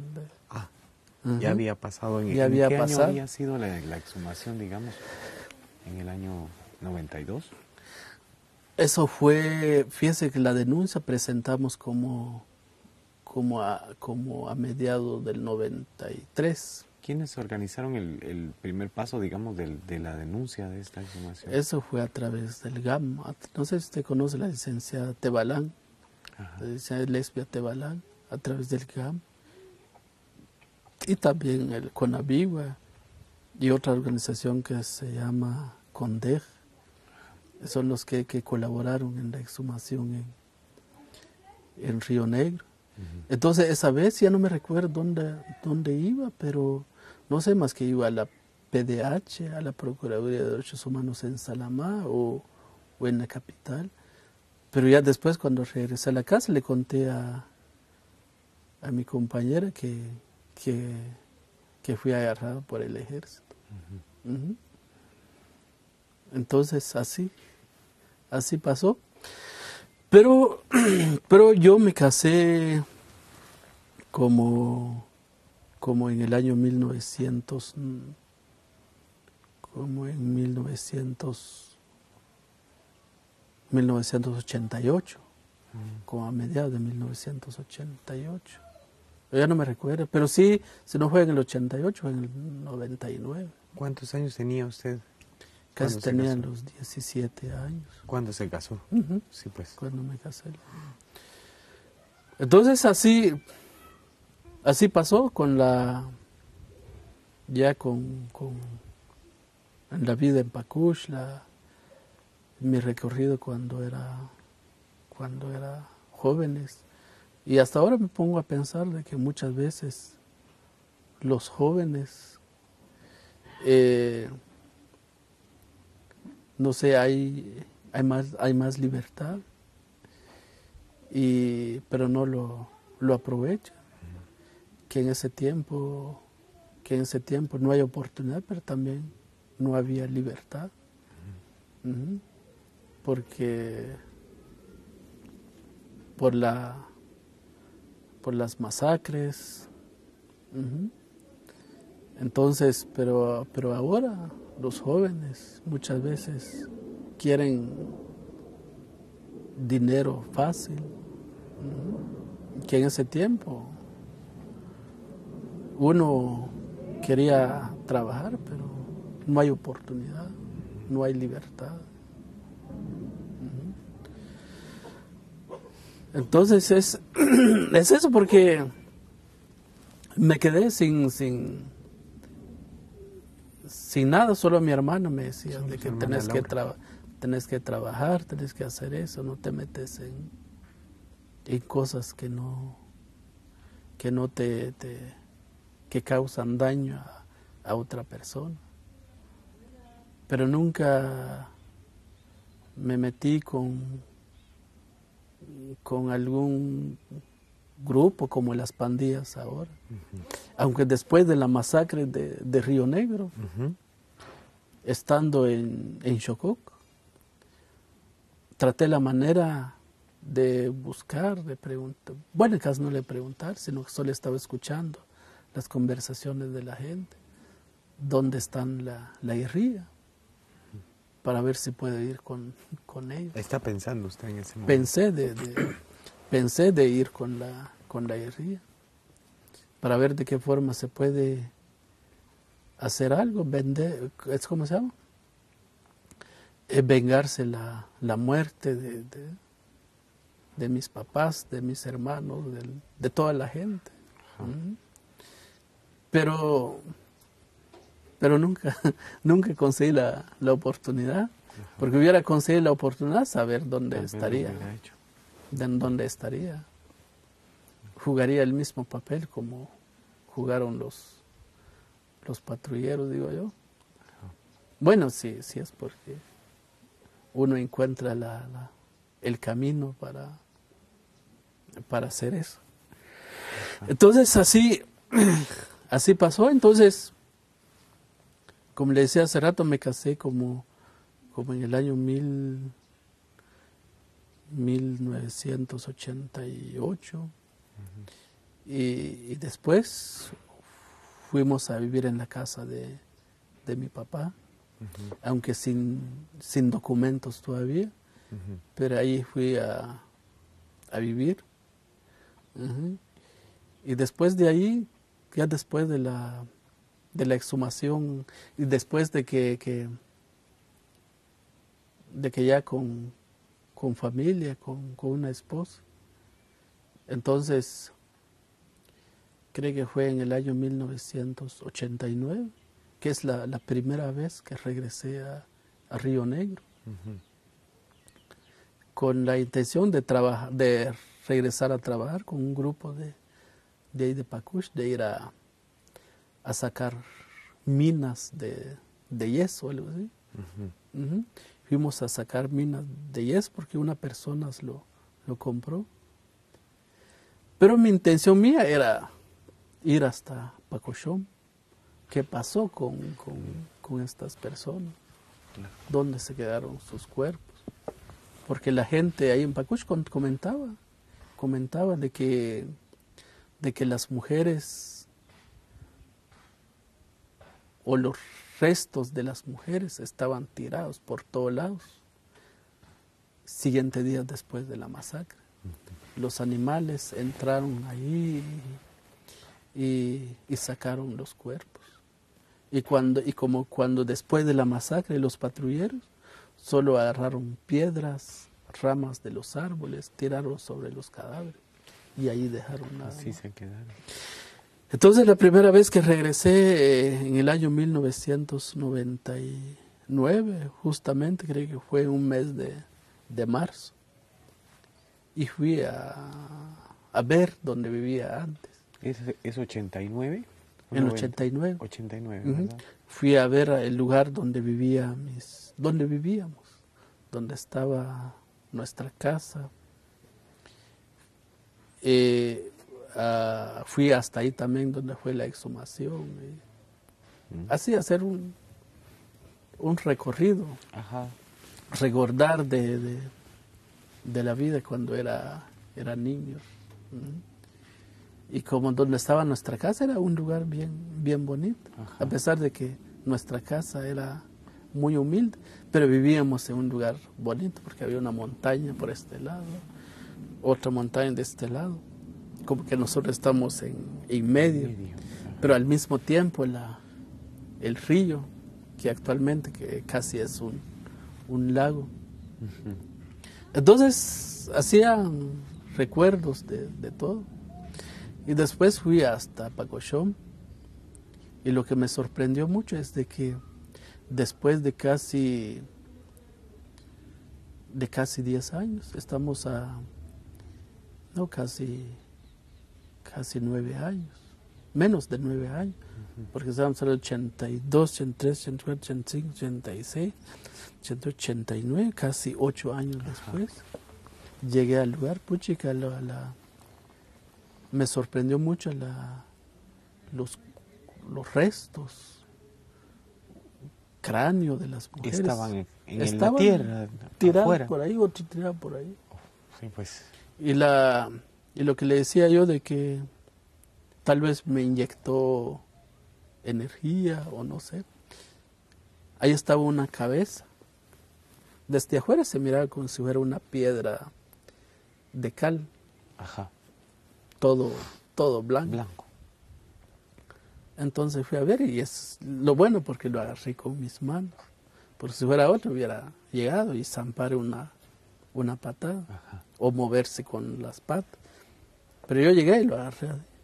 Y después cuando me di cuenta no era una piedra, era un cráneo. Y después cuando le di cuenta era, era un, un cráneo. Y después al rato no me, no me dio miedo, sino que recordé de todo lo que pasó ahí. Pero después, después al rato, después fui a sentar un rato ahí, pero que me empezó a doler las, Las manos. las manos. Y por eso le decía, tal vez me inyectó energía. Me empezó a doler las manos y, y después por estar pensando en muchas cosas, cuando bajé de nuevamente y saber dónde, dónde se fue el dolor. Y después pensé de que, de que no es justo de que los cuerpos de estas personas continúan así como está son seres importantes, son seres humanos y son seres humanos importantes en la comunidad. Entonces, entonces ya no es justo que, que, que continúen así los cuerpos tirados en, las, en los cerros como si fuera resto de cualquier animal uh -huh. salvaje. Entonces, ahí en Rabinal, se leía por la prensa, pero también por las noticias. Como mi cuñado siempre en horas de almuerzo escuchaban las noticias uh -huh. de emisoras unidas a través de, de, un programa que se llama el patrullaje, algo así. Y se escuchaba de que en el área del Quiché se encontró un cementerio clandestino. Uh -huh. Y le pregunté, ¿qué es un cementerio clandestino? Ah, son los que donde se enterraron, donde el ejército enterraron cuerpos de, de mucha gente. Entonces, entonces, como la de Río Negro. Y él ni me dijo que sí, ni, ni no. Entonces pensé de que, entonces eso entonces se puede exhumar. Entonces ya en el año 1993, entonces a través del padre de Rabinal, el padre Melchor, y le decía la misma pregunta y le dijo de que, de que, de que hablábamos de, de eso, usted, usted el que vivió en Chocó, me dijo, con Pedro González, me dijo, sí, sí soy yo, le digo. Pero lo que el padre que quería era de que el señor donde vivía antes ya no, o sea, se olvidaba de todo lo que, que hizo en Río Negro. Uh -huh. Y ya después se pasaba como catequistas, uh -huh. como mayordoma de las cofradías. Uh -huh. Entonces que ya se veía como una persona buena, buena una persona respetada, digno, y, y, no. Entonces, ah, no, eso no se puede seguir así, me decía el padre. Por un lado tiene sus propios intereses y yo tenía mis propios intereses por aparte, porque le pregunté de que, de que en Río Negro se puede exhumar, se puede sacar los cuerpos, decía yo. Y me dijo que sí, se puede sacar, pero usted no lo puede hacer. Entonces, ¿quién va a hacer? Le dijo yo. Ah, tiene que buscar gente para que lo, que lo sacan de ahí, pero tiene que saber un juez. Ahí se complica más la, la cosa para, para mí. Pero después, creo que un mes de mayo, fui, fui a, a Guate con otro catequista. Fuimos a preguntar de qué forma se puede eh, lograr la, la exhumación, lograr sacar los cuerpos. Y me dijeron de que sí se puede poner una, una querella. Presentaron una querella al juzgado y, y, el juez o la organización que, que está apoyando es que propongan que quién son las personas que se encargarían de sacar los cuerpos. Y nos fuimos ahí con la licenciada Tebalán, lo encontramos a través del, del GAM. Pero después me puse a pensar otra vez que ya estando ahí con la licenciada, ya empezó a, a preguntar quién son los responsables, el ejército y los patrulleros. Y lo que más, y lo que más me tocó a mí es de que el otro catequista tenía mayor de edad y, y, se huyó ese día cuando mataron a las mujeres, se huyó en las montañas y no vio cuando mataron a las mujeres. Y él decía de que usted puede hacer la denuncia y, usted puede ser testigo, pues usted vio eso y usted vivió en Chocoque. Y ya no solo me fui como, como denunciante, sino que también como testigo. Claro. Y después pensé otra vez y le decía a la licenciada, mejor la denuncia se prepare con más tiempo, más despacio, dijo yo, y, y, venimos la otra semana a traer y a firmar y a entregar al juzgado, le dijo yo. Pero lo que busqué era tardar más. Tardar un poco más. Tardar más porque... Por temor. Por, por el miedo y aparte de esto, allí en la mera entrada para acá hay un destacamento militar. Mm. Existían existían todavía las patrullas de, las patrullas de autodefensa civil, los comisionados militares.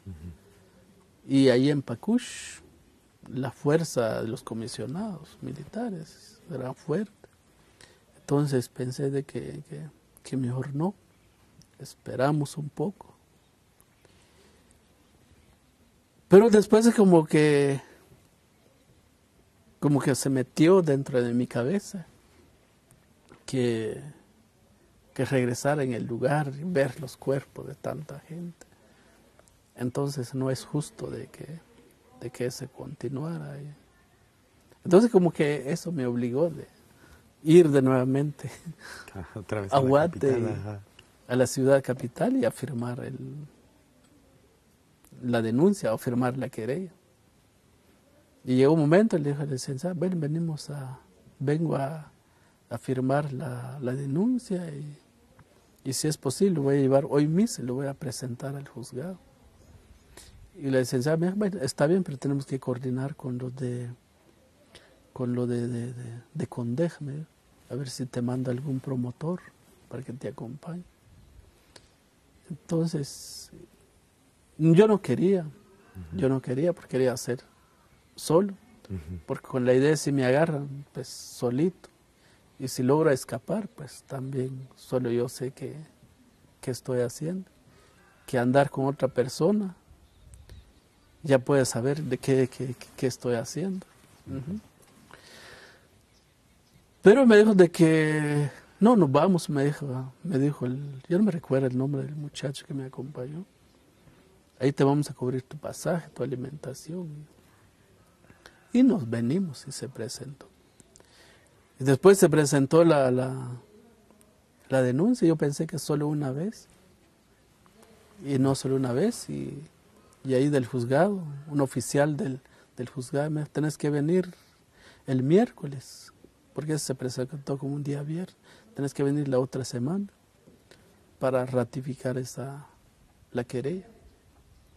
Y le decía, hoy ten que volver otra vez. Yo pensé que solo con eso.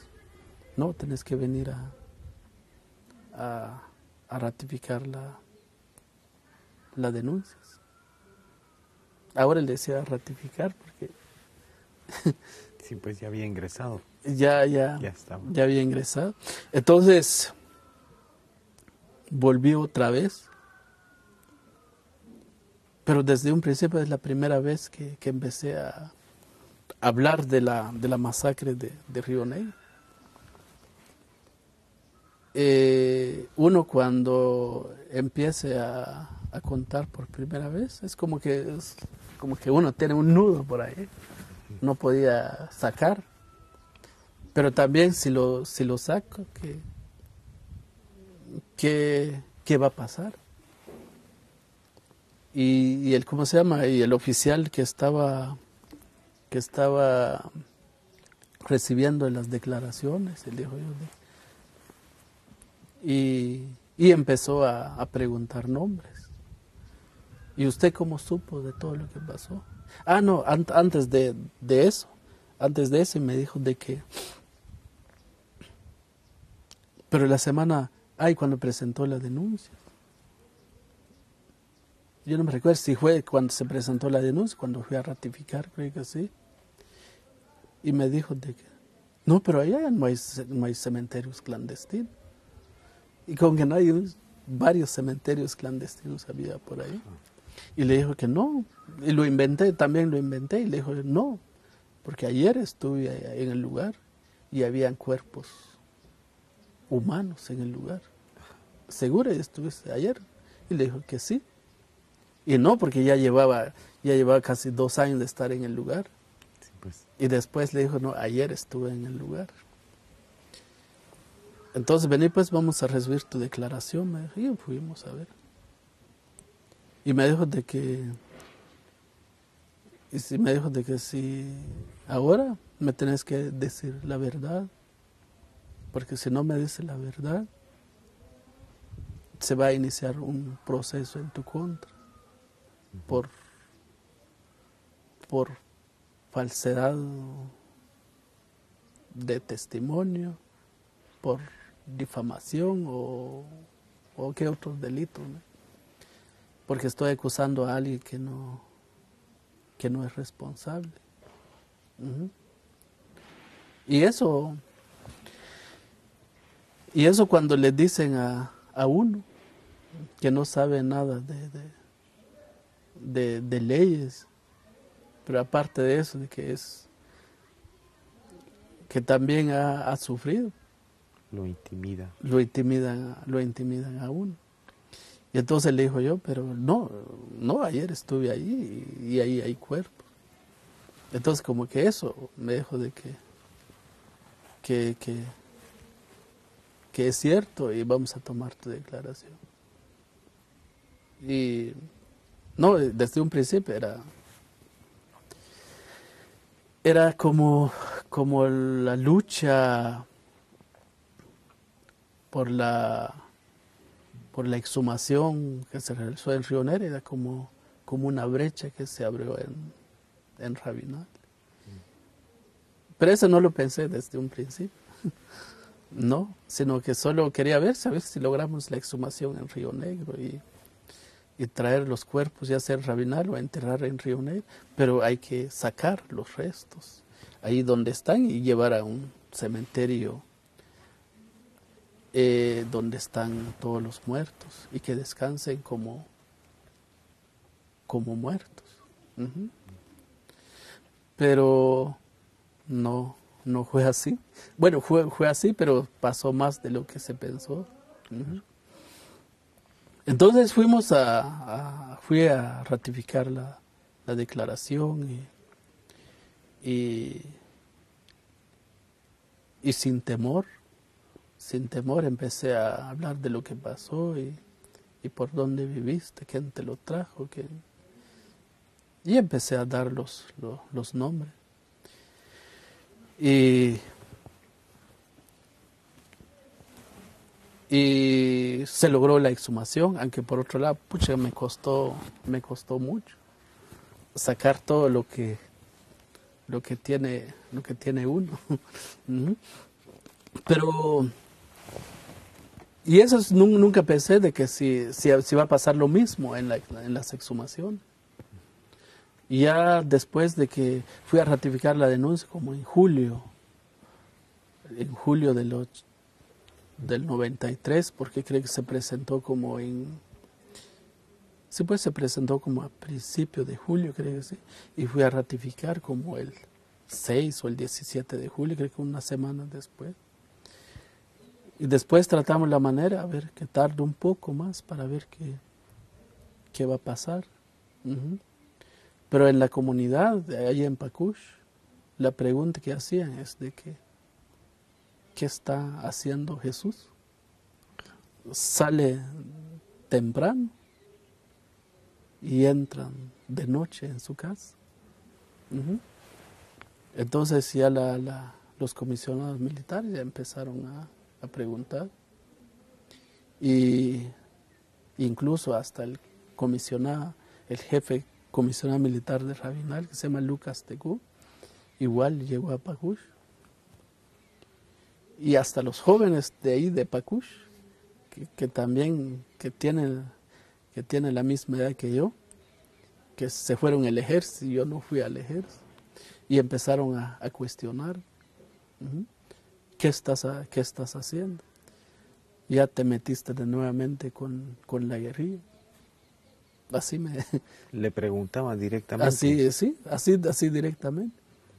Lucas Tecú también directamente con usted le iba a preguntar. Sí, estuve hablando con, con él y, y le digo yo de que no, solo Solo, bueno, a la, a la gente de Pacush, en una reunión le dijo yo de que, de que cuando ya casi iba a salir la exhumación, estamos promoviendo una exhumación.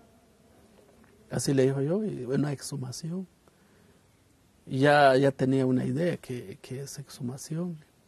Entonces, no sabemos qué, qué va a pasar, si va a ser este año, el otro año, pero estamos buscando traer los cuerpos de nuestros familiares que se quedaron en Río Negro, ya sea los traemos aquí o enterrar en el Campo Santo de Río Negro, pero lo importante es sacarlos de ahí donde están y enterrar dignamente como, como personas fallecidas. Y solo eso. Y solo eso hablamos, no hablamos de justicia, no hablamos de nada más. Entonces algunos sí y algunos que no, y mejor que no se haga, porque no sabemos qué va a traer para nosotros. Y un y un cristiano o un compañero de ahí de Pacushi me dijo de que así entre amigos estamos platicando, pero realmente qué estás haciendo Jesús me dijo pues fíjate que estamos promoviendo la exhumación de hoy. Pensé que, somos amigos con él. Y, ah, pero tener cuidado, ¿me?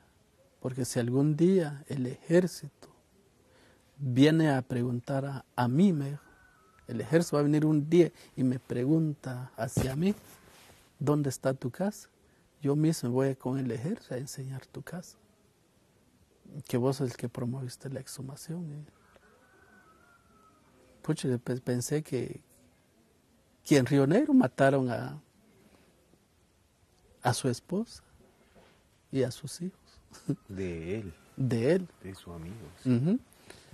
Entonces, no, le dijo yo, de que todo lo que estamos haciendo sabe el Ministerio Público, sabe el juez, dijo yo.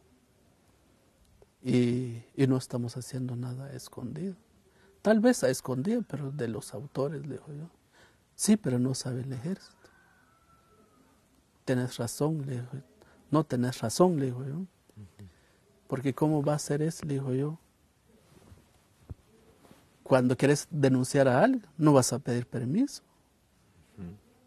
a él para que vayas a poner la denuncia en tu contra, si no, no te dejaría. Le. Igual que pasa el ejército, le digo yo. Él les da mucha vergüenza por toda esa cantidad de personas que mataron en Río Negro.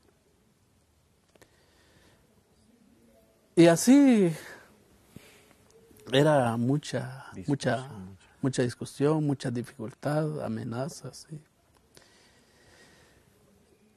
Y Su esposa le apoyaba. Estaba de acuerdo su esposa con usted. sí, Sí. sí. Y no solo, bueno, a mi esposo, también a, a mi cuñado, a mi cuñado.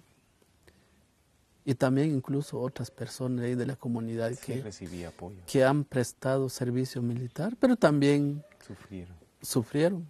Ujú. Entonces se realizó la exhumación y yo pensé que otras personas iba- que iban a ir a la exhumación y no.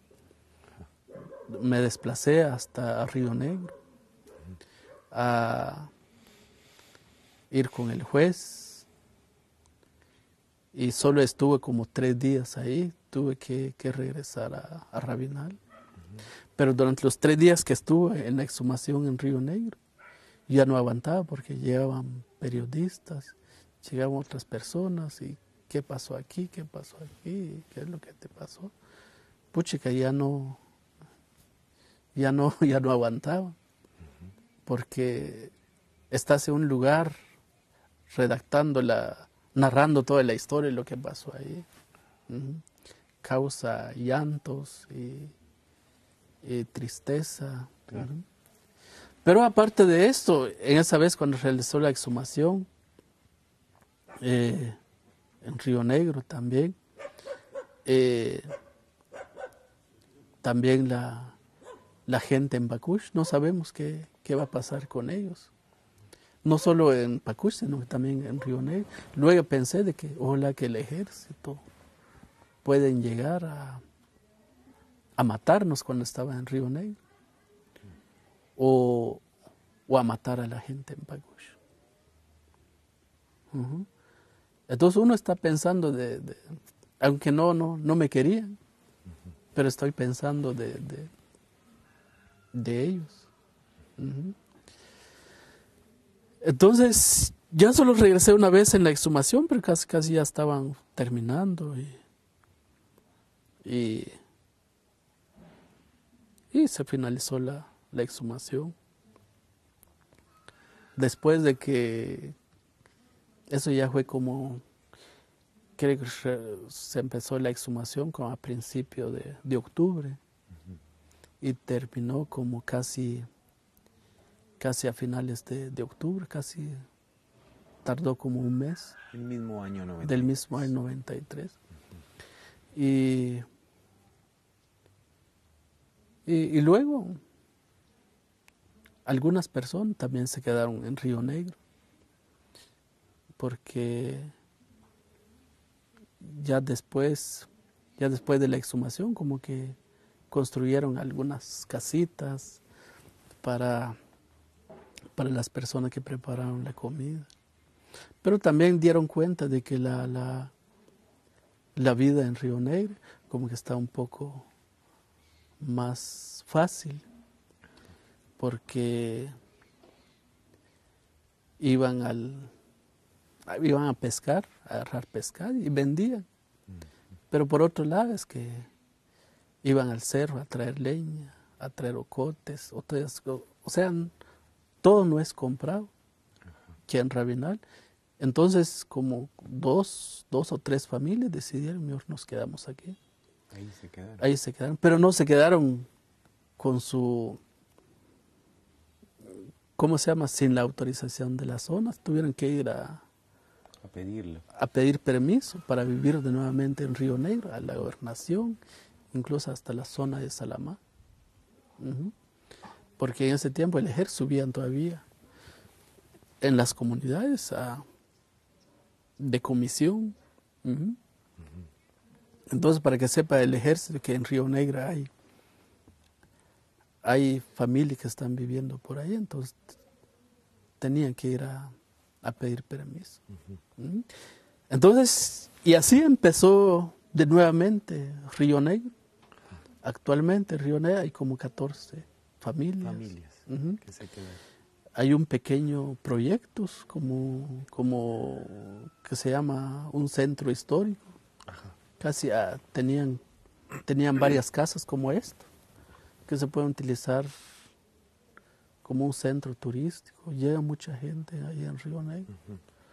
y, y, y, cree que viven más mejor que, que la gente que, está en Pagush. Entonces así pasó en, en, el año 1990, en el año 1993 y luego ya ya como en marzo de 1994 eh, empezamos a empezamos a, a, empujar no solo no solo la inhumación el proceso para volver a enterrar los restos de nuestros familiares sino que también eh, se dio continuidad con el proceso penal. Como que eh, los cuestionamientos que hacían ahí en el juzgado, como que poco a poco iba abriendo caminos, pero también uno va acostumbrando de todo lo que pasa en, el, en los procesos legales. En los procesos legales. Entonces le dimos seguimiento. Subía a la PDH, a la, a la al Ministerio Público, que no es justo de que cientos de personas que, que fueron asesinados y los responsables siguen libres. Y entonces ya cree que fue como en julio, como en julio de, de en julio, en agosto de 1980 de 1994 salió las primeras órdenes en contra de los patrulleros. Tres patrulleros de, de Pero antes de eso, cree que fue como el 24, el 25 de mayo, fue la inhumación de los cuerpos. Igual, igual fue un momento difícil. Es lo mismo cuando uno da cristiana sepultura a un familiar que se muere de una enfermedad. Pero en este caso estamos hablando de grandes cantidades de, de cajas mortuales de, mucha gente. Muchas Entonces muchas familias estaban llorando y, y, como uno piensa de que ahora sí le, le digo un adiós a nuestras familias. Pero lo que, que, que, ayudó ahí es que todos empezaron a, como que cuando fue la inhumación, como que todos llamó a la, a la unidad de todos los familiares, porque todos colaboraron. Y como que llegó un momento que ya no existía miedo ni, ni temor, a pesar de que, de que a unos 100 metros ahí está un destacamento militar. ¿Mm? Pero eh, la gente empezaron a hablar y a colaborar para dar cristiana sepultura a sus, a sus seres queridos. Entonces, así sucedió. Y luego, y luego después de la, de la, de la inhumación, se colocó una pequeña plaqueta donde en el texto decían de que quién son los responsables materiales e intelectuales de estas masacres. Y luchamos para que eso nunca vuelva a repetir eh, en la historia de, de los pueblos. Solo ni siquiera aguantó un día. Ya lo quitaron. Lo destruyeron. Y luego, y luego siempre con la, con la idea de que, de que eso no vuelve a, a repetirse. Y es importante construir un monumento más. Construir una pequeña, pero es importante construir uno más grande. Y se logró y se logró la, creo que como, ya no me recuerdo si es en el mismo año de 1900, de 1980, 1994 o fue en el 95, pero, pero nos dieron un fondo, creo que fue a través de una organización que se llama Épica, no sé, son, son las iniciales, pero no, no, ya no me recuerdo y dieron un fondo, no es mucho, son como 14 mil quetzales, se construyó un monumento de concreto, casi de de varios, casi, casi de, de, de tres metros de, de alturas. Y, y es un, un, un, monumento grande donde se colocó todos los nombres de, de las mujeres y, y, niños de la, de la masacre de, de, Río Negro. Y ahora es visitado por, por mucha, mucha gente. Mucha gente. Uh -huh. Vamos a detenernos de nuevo un momento, Vale. Jesús. Así tomamos agua. Vale. Pues, este, gracias. Hoy es día sábado 11 de abril, eh, año 2015. Estamos con, don, con Jesús Tecú para la segunda parte de su entrevista. Mi nombre es Byron García. Estamos en Rabinal, Baja Verapaz, Guatemala. El idioma en que se realiza la entrevista es español. Buenas tardes, hoy es día 11 de abril, año 2015. La entrevista se realiza con don Jesús Tecú. Estamos en una segunda parte de su entrevista. Mi nombre es Byron García. Este lugar es Rabinal, Baja Verapaz, Guatemala. La entrevista se realiza en idioma español. Don Jesús Tecú, buenas tardes. Buenas tardes. Y la vez anterior nos quedamos con la parte en la que nos habla de la inhumación de los uh -huh. cuerpos del, de la masacre de Río Negro. Uh -huh. ¿Me podría usted eh, comenzar a, a, contar desde esa parte cómo ha sido su vida desde ahí para acá? Uh -huh. Bueno, la, la, lucha por la justicia, la lucha para recuperar los cuerpos de nuestros seres queridos, desde un principio estamos hablando, desde que cuando se presentó la, la denuncia. ¿En el año qué año? En el año, mil, en el año 1993, Ajá. como a mediados del año 1993. No se contó con, la, con el apoyo más que todo de, de la mayoría por razones de miedo, amenazas, porque en la entrada a Pacush había un destacamento militar.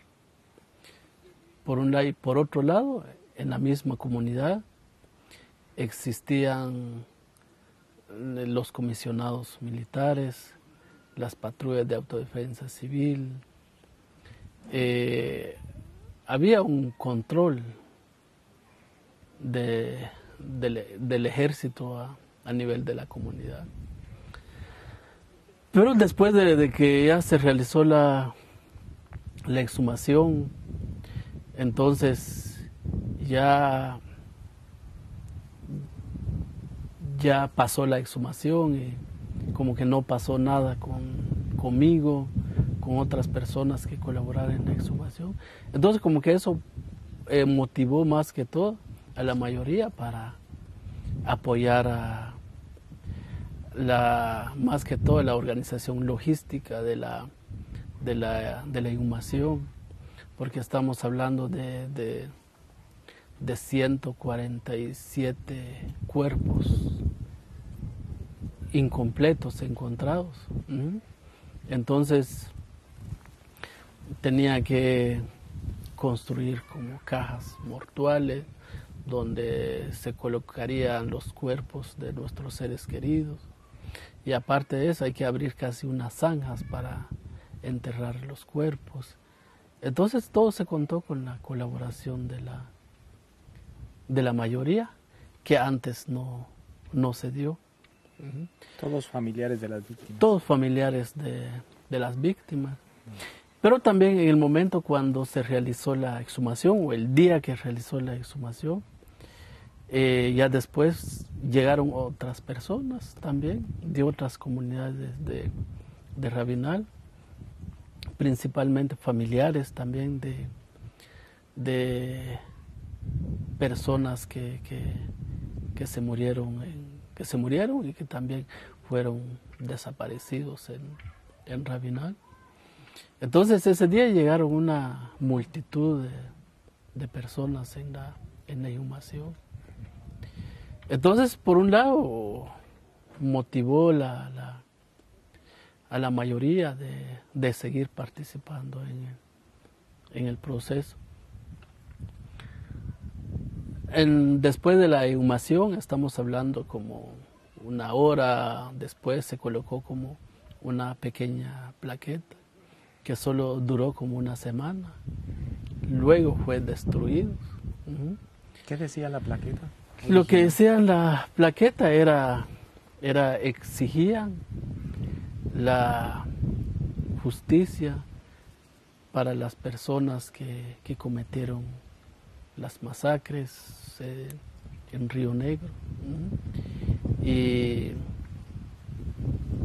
y, y, pedían también la, que, que, se esclarezcan quién son los autores materiales e intelectuales de, de, estas, de estas masacres.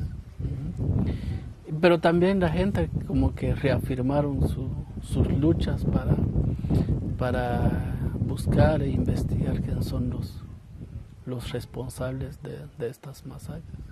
Eso es lo que, que, que decía la, la plaqueta.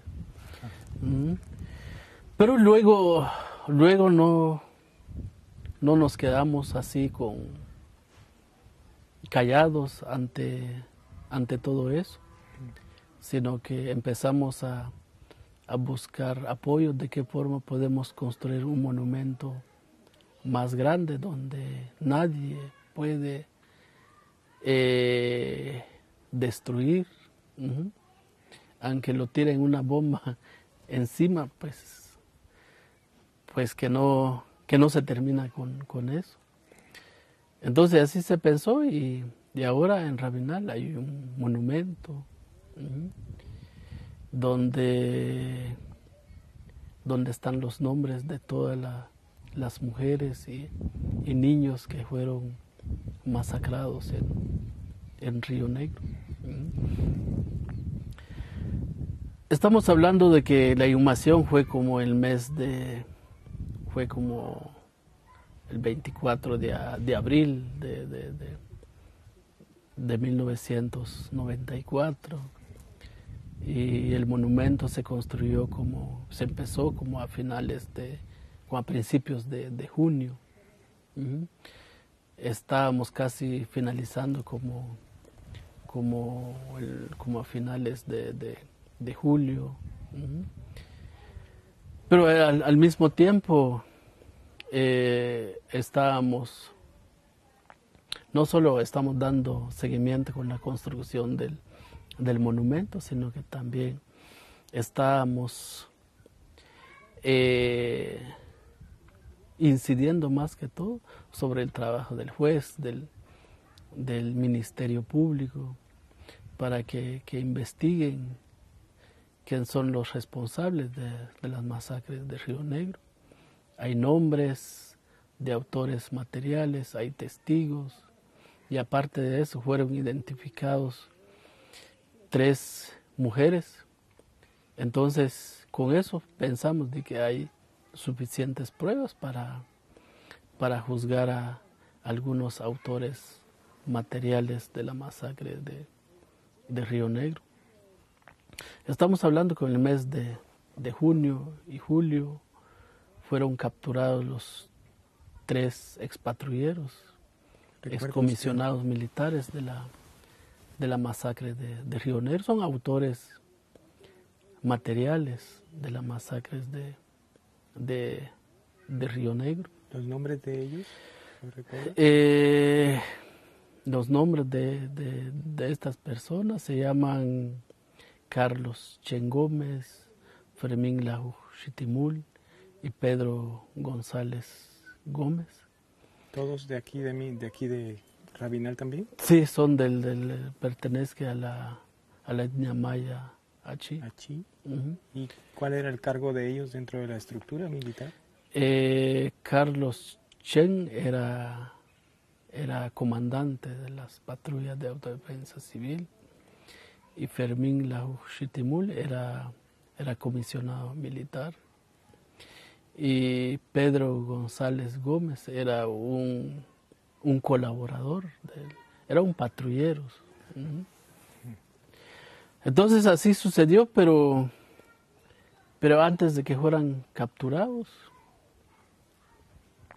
el apoyo del ejército hacia ellos era muy, muy fuerte, porque antes de que eran capturados, el comandante de la zona militar de Cobán vino a Rabinal, reunió a todos los patrulleros en el campo, en el campo de, Rabinal, donde reafirmó de nuevamente las amenazas en contra de, estas personas que, que, querían buscar a sus, a sus seres queridos, acusándolos de, de, sobrevivientes de la, de la subversión y si, y si no dejan de, de, luchar por, por denunciar más que todo en cementerios clandestinos, eran asesinados y secuestrados desde, desde sus casas. Entonces, pero también ante eso, también no nos quedamos callados ya para ese momento ya era una organización la que, con la que usted trabajaba o trabajaban solo como grupo de víctimas? No, en, en Rabinal no había organización todavía. En ese tiempo solo habían, solo habían varias luchas, pero venían directamente de, de diferentes líderes, como de Río Negro, como de Plan de Sánchez, como la masacre de sobrevivientes de la masacre de, de Chichupac. Entonces están surgiendo líderes. Ahí se están juntando ustedes, ya son Entonces, entonces, pero, pero las luchas más que todo ante para dar respuestas al comandante ante sus amenazas era eran de, era salió más que todo desde ahí de, de Pacush un día, ya no me recuerdo qué día, pero subimos a la, a la ciudad capital, fuimos a denunciar a través del, del grupo de apoyo mutuo, el GAM y la, y la Oficina de Derechos Humanos del Arzobispado. Y, y cada una de estas organizaciones empezaron a, a, dar a conocer a través de la prensa, a través de la, de la televisión, lo que estaba sucediendo en, en Rabinal. Y, y después, como días después de que, ya se empezó a, a, publicar por la prensa, el comandante de la, de la zona militar de Cobán, el mismo que, que llevó a, a los tres ex paramilitares y los presentó al, al juez de Salamán donde, donde les decían de que, de que, que vayan a resolver su situación jurídica. Y después fueron detenidos y ya después ya no los dejaron libres. Entonces, pero luego se ha venido o, o más que todo, se ha venido pidiendo al juez, al Ministerio Público, que se esclarezca más, más la responsabilidad de, más autores materiales, buscando de qué forma pueden culpar a algunos, algunos autores intelectuales, porque sabemos que, que era una comunidad, aparte de que casi la mayoría eran que han prestado servicios con, el ejército, pero también, también la ideología militar se han penetrado mucho en esa comunidad. Entonces, de alguna forma, de alguna forma saben quién son, quién son los autores intelectuales de, las masacres de, de Río Negro. Y en el año 1990 en el año 1998 el caso de, Río Negro llegó a juicio. Estamos hablando desde 1994 fueron capturados, 2004, 2005, 6, 7, casi cinco años después llegó a, juicio el, el, caso. En el, país, en el país no es porque hay no se cumple con los plazos establecidos por las leyes o por el Código Procesal Penal, sino que muchas veces los amparos que fueron presentados por los abogados de los ex paramilitares, pagados también por los militares, entonces retrasó casi cinco años el, el proceso. Pero no solo los amparos también que presentaron, pues retrasó el proceso, sino, que también, por otro lado, las amenazas también en contra de la, de la comunidad de, de Pacush, en contra de los líderes principalmente, eran muy, eran muy fuertes, porque incluso le decían a, a la comunidad de Pacush que eran sobrevivientes de la, o resto de la, de la subversión. Entonces el ejército en cualquier momento o los patrulleros pueden llegar en cualquier momento a terminar con la vida de estas personas porque son sobrevivientes de la, de la subversión. Son amenazas que salieron desde, desde afuera, pero también hay amenazas que salían eh, adentro de la misma comunidad. Dentro de Pacush. Dentro de Pacush, porque muchas veces que, que que cuando necesitamos alguna asesoría de algunos abogados que dan las organizaciones que, están en la capital, pues desde de Rabinal tenemos que madrugar la una, dos de la mañana para estar en la capital a las ocho, nueve de la mañana. Entonces la gente en Pacucha empezaron a preguntar, bueno, ¿qué está pasando con, con Jesús? salían temprano y entraban muy tarde en su casa. ¿Será que será que está será que no está metido en, en, algo o en alguna organización ilegal? Entonces ya empezó los comentarios de la gente. Entonces llegó un momento donde pensé de que de que como que no tiene mucha importancia para la, comunidad, para la población lo que estamos haciendo.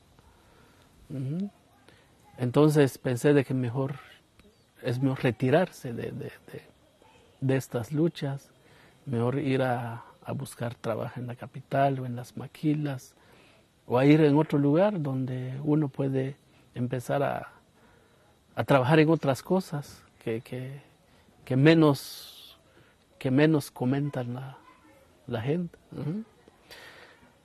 Entonces, pero al mismo tiempo, a través de otras personas que, que, que, apoyaron la, exhumación en Río Negro, que apoyaron la exhumación, que saben de, la, de las luchas que está empezando en, en Río Negro, entonces pensaron de que es, es importante de, de dar a, conocer a nivel nacional e internacional todo lo que estaba pasando. Entonces, sin conocer, era a través de, una persona que se llama Graham. Entonces me, me, presentó como candidatos a, un premio. Era a través de una fundación de la, de la compañía que hace zapatos, la Reebok.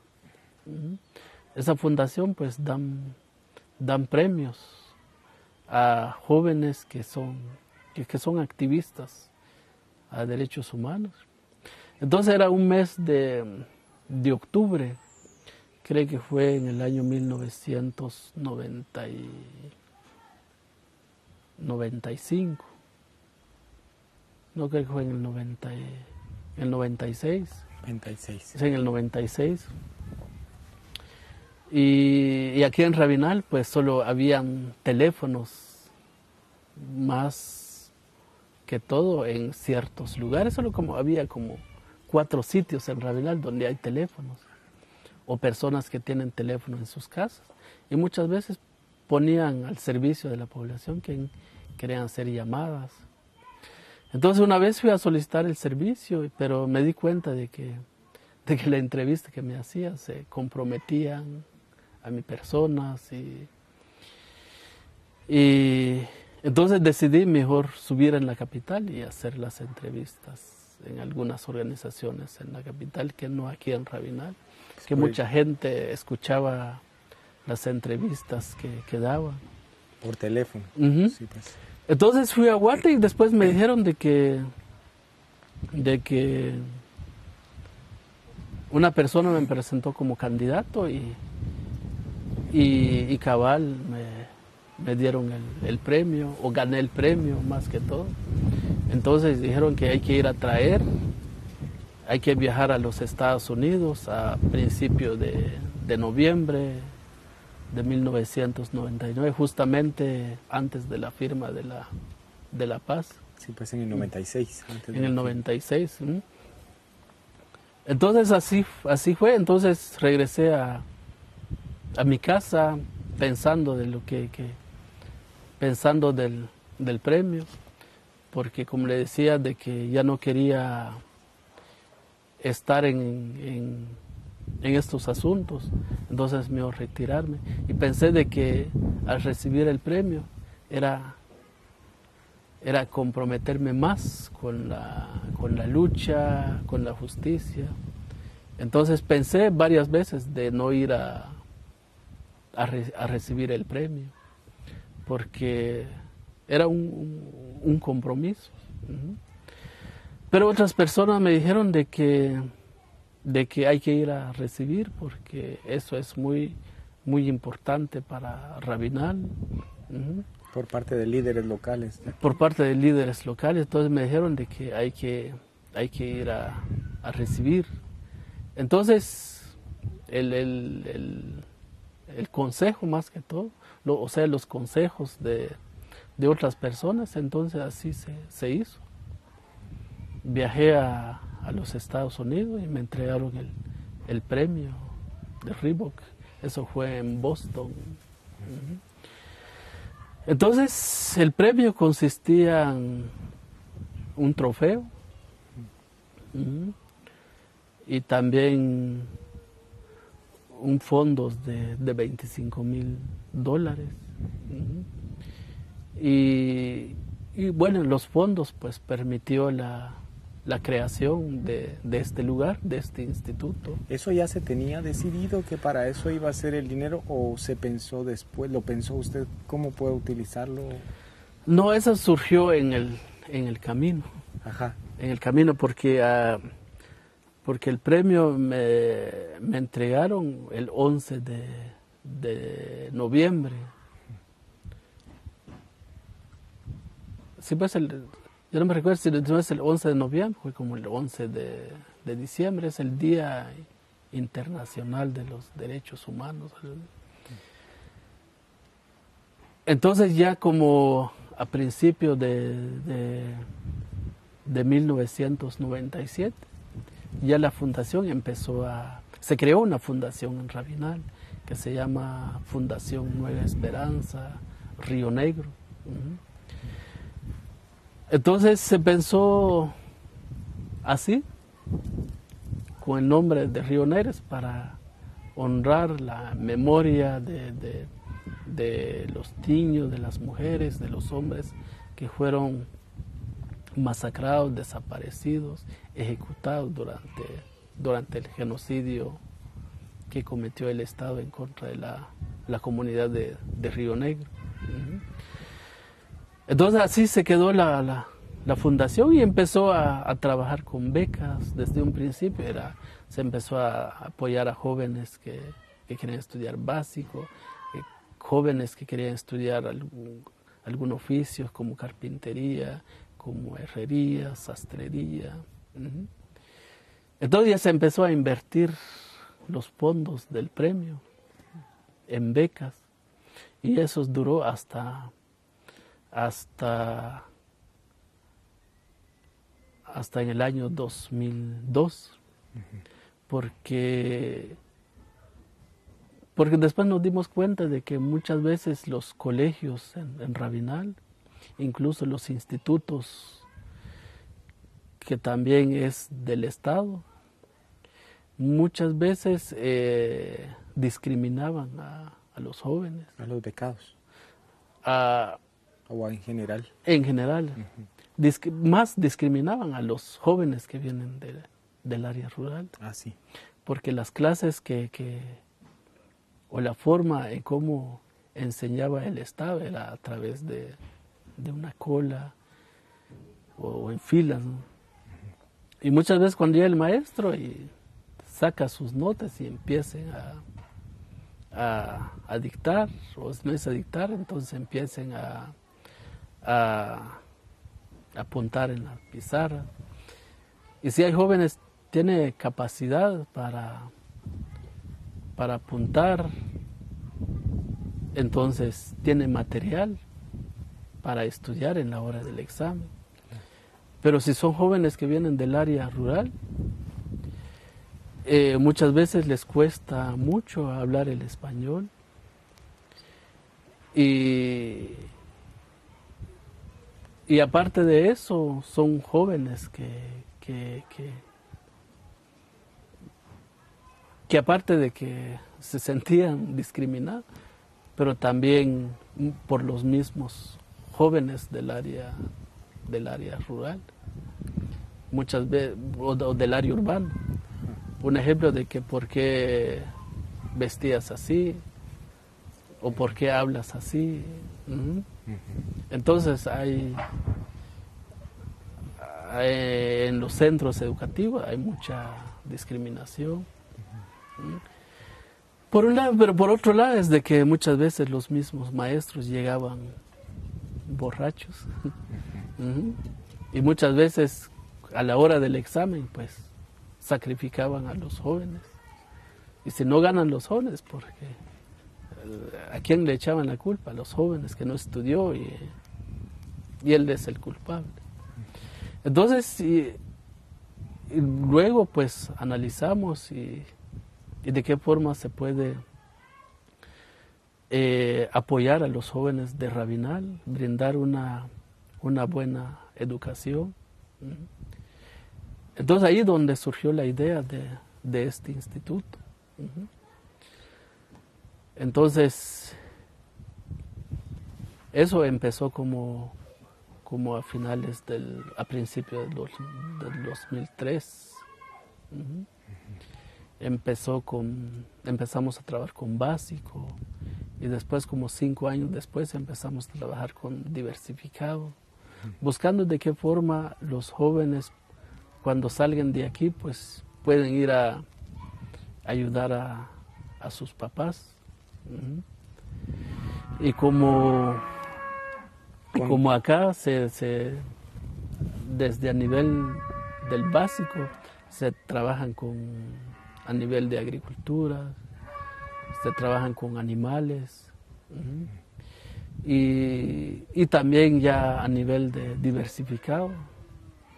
También se enseñan a los jóvenes cómo utilizar la, tierra, cómo mantener a los animales. Entonces, tratando la manera de que no solo los jóvenes aprenden leer y, escribir, sino que también acompañado con, con trabajo a, nivel de, campo.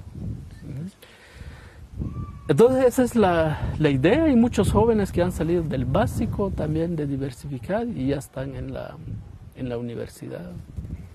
Y los que salieron el 2003, 2004, 2005 otros ya casi ya, algunos ya se graduó de, abogados, de doctor, de, ingenieros también. Entonces muchas veces cuando visitan de que, de qué, cómo les, les podemos ayudar, a veces vienen al instituto, entonces de qué forma les podemos ayudar con algún tema, alguna clase, entonces, entonces uno se sienten agradecido por por los trabajos que se, que se han dado a los jóvenes. Eso es lo que se ha hecho después de que se, se, que, después del, del, premio de, de Pero también en, en Rabinal. Por un lado, el premio permitió la creación de la fundación, de las becas, pero también en ese tiempo, estamos hablando desde 1997, Adivima, que es, la, que es una asociación que se llama Asociación para el Desarrollo Integral de las Víctimas de la Violencia en Rabinal, en ese tiempo no contaba con un, con un terreno, con un local en, en Rabinal. ¿Ya existía para el 97 entonces? Ya existía Adivima porque se creó como, como, como en el año 1995, era como una coordinadora y después se, se, convirtió ya en el, ya en el, en el año 1900, ya en el año 1997 ya como una asociación. ¿Usted no es miembro de Adivima? Soy. Parte, forma parte también. Soy fundador de, de, Adivima. Entonces, ¿dónde está ahora el Adivima? Ah, la instalación. La instalación, esa fue comprada con, con fondos del, del premio. Donde está instalada Adivima, se compró con fondos del premio de, de otorgado a, a mi persona.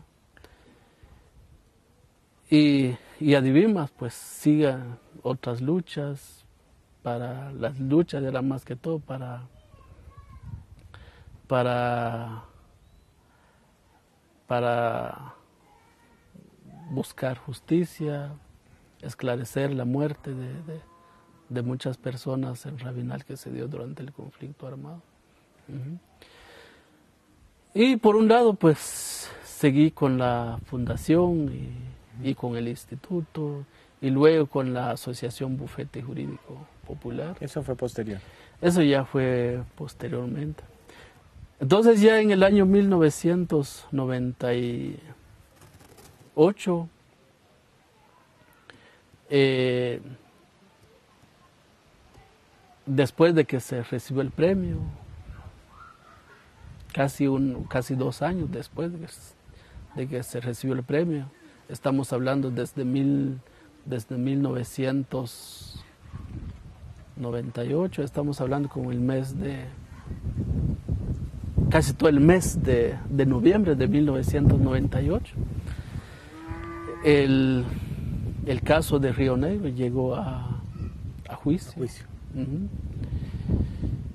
En ese tiempo no, nos costaba mucho entender cómo es la, cómo, cómo se juzgan a un hecho tan inhumano en, Guatemala.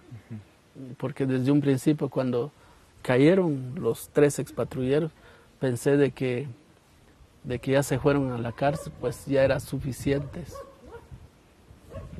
O ya fueron juzgados.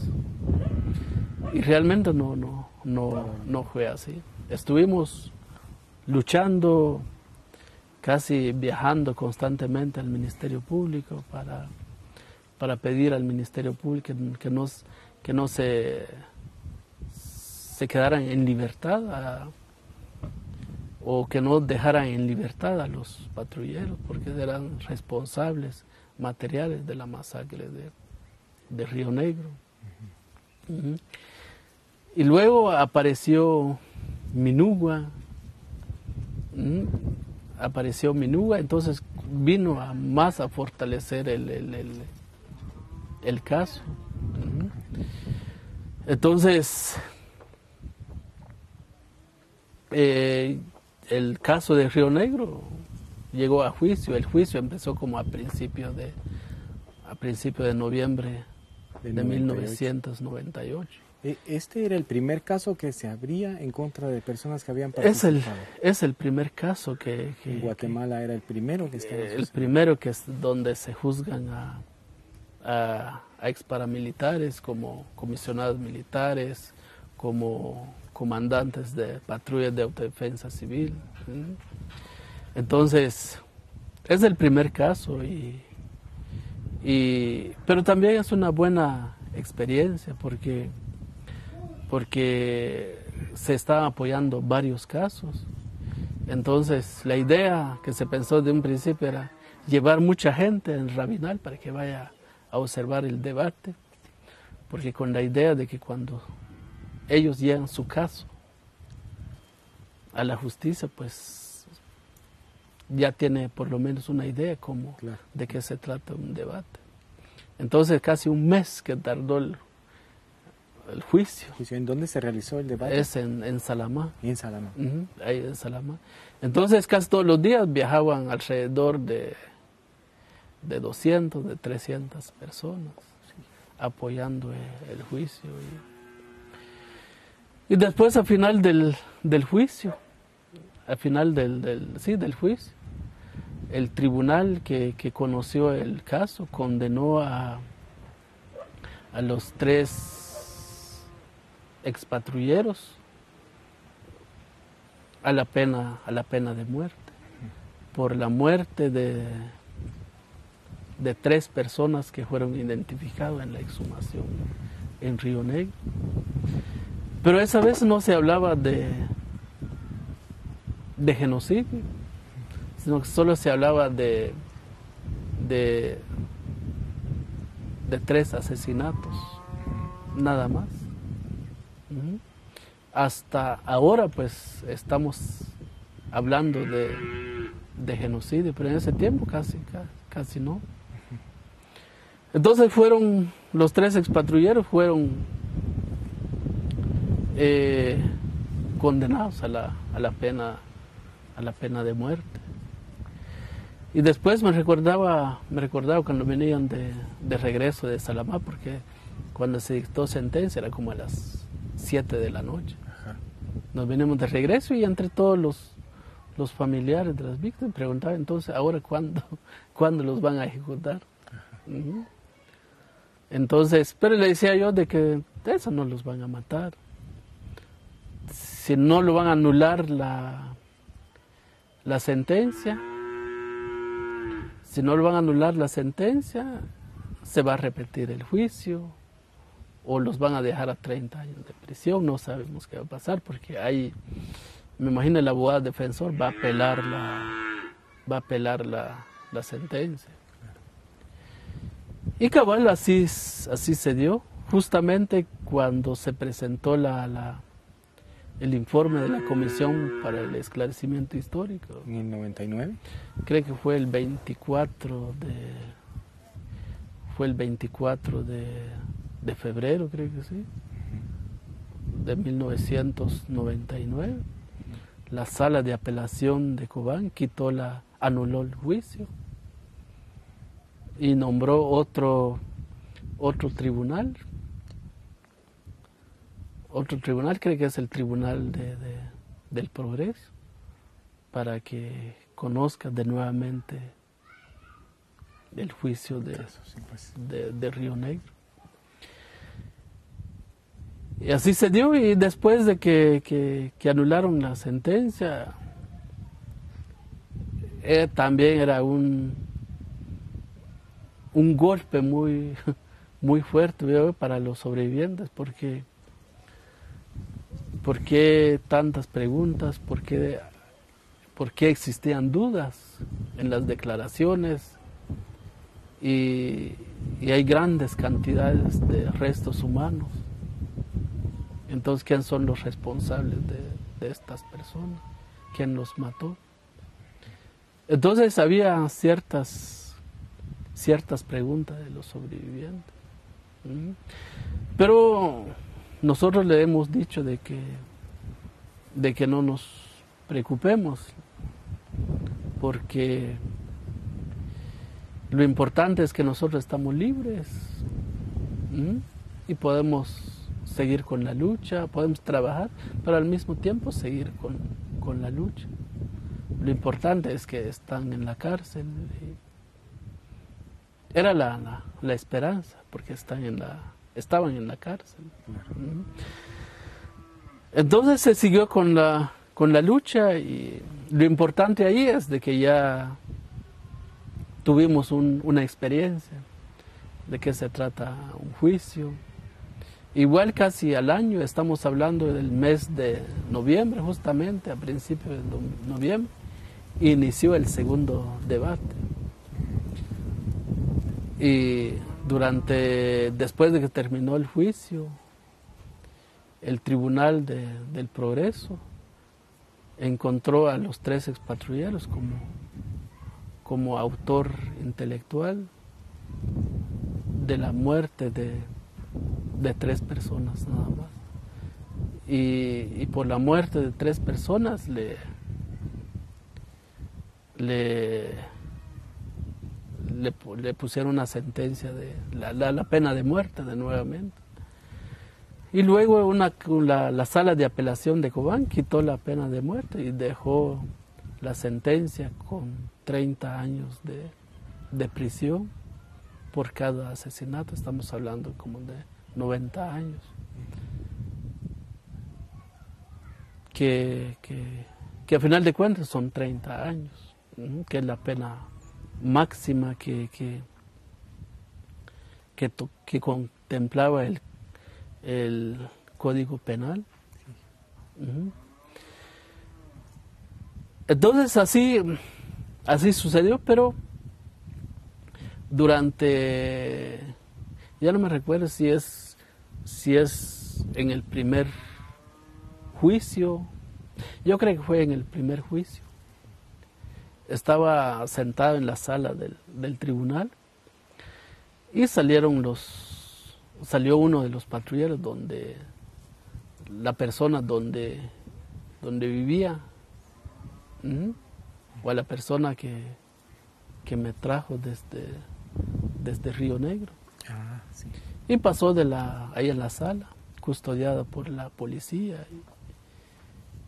Y, y- y intentó, intentó como tirar, tirarme encima con tanto enojo y como con tanta rabia en mi contra, porque ¿Quién de los tres era él? ¿Cómo? Pedro, Pedro González Pedro González. y decía de que por qué no lo, no lo maté. Si hubiera matado no estaría, A usted. ¿Por qué no le había matado a usted? sí, por qué no lo había matado. Hubiera matado no estaría aquí en la cárcel. Entonces intentó agredirme en la, en pleno, en el pleno debate. Ujú. Entonces ahí me di cuenta de que, de que, de que me odiaba, me odiaba mucho. Pero también me costaba mucho entender porque yo no maté a, ninguno de su familia, ni tampoco fui a buscar refugio a su casa, sino que él llegó a mi comunidad, me lo trajo a la fuerza y tiene mucho que, que informar a la, a la justicia.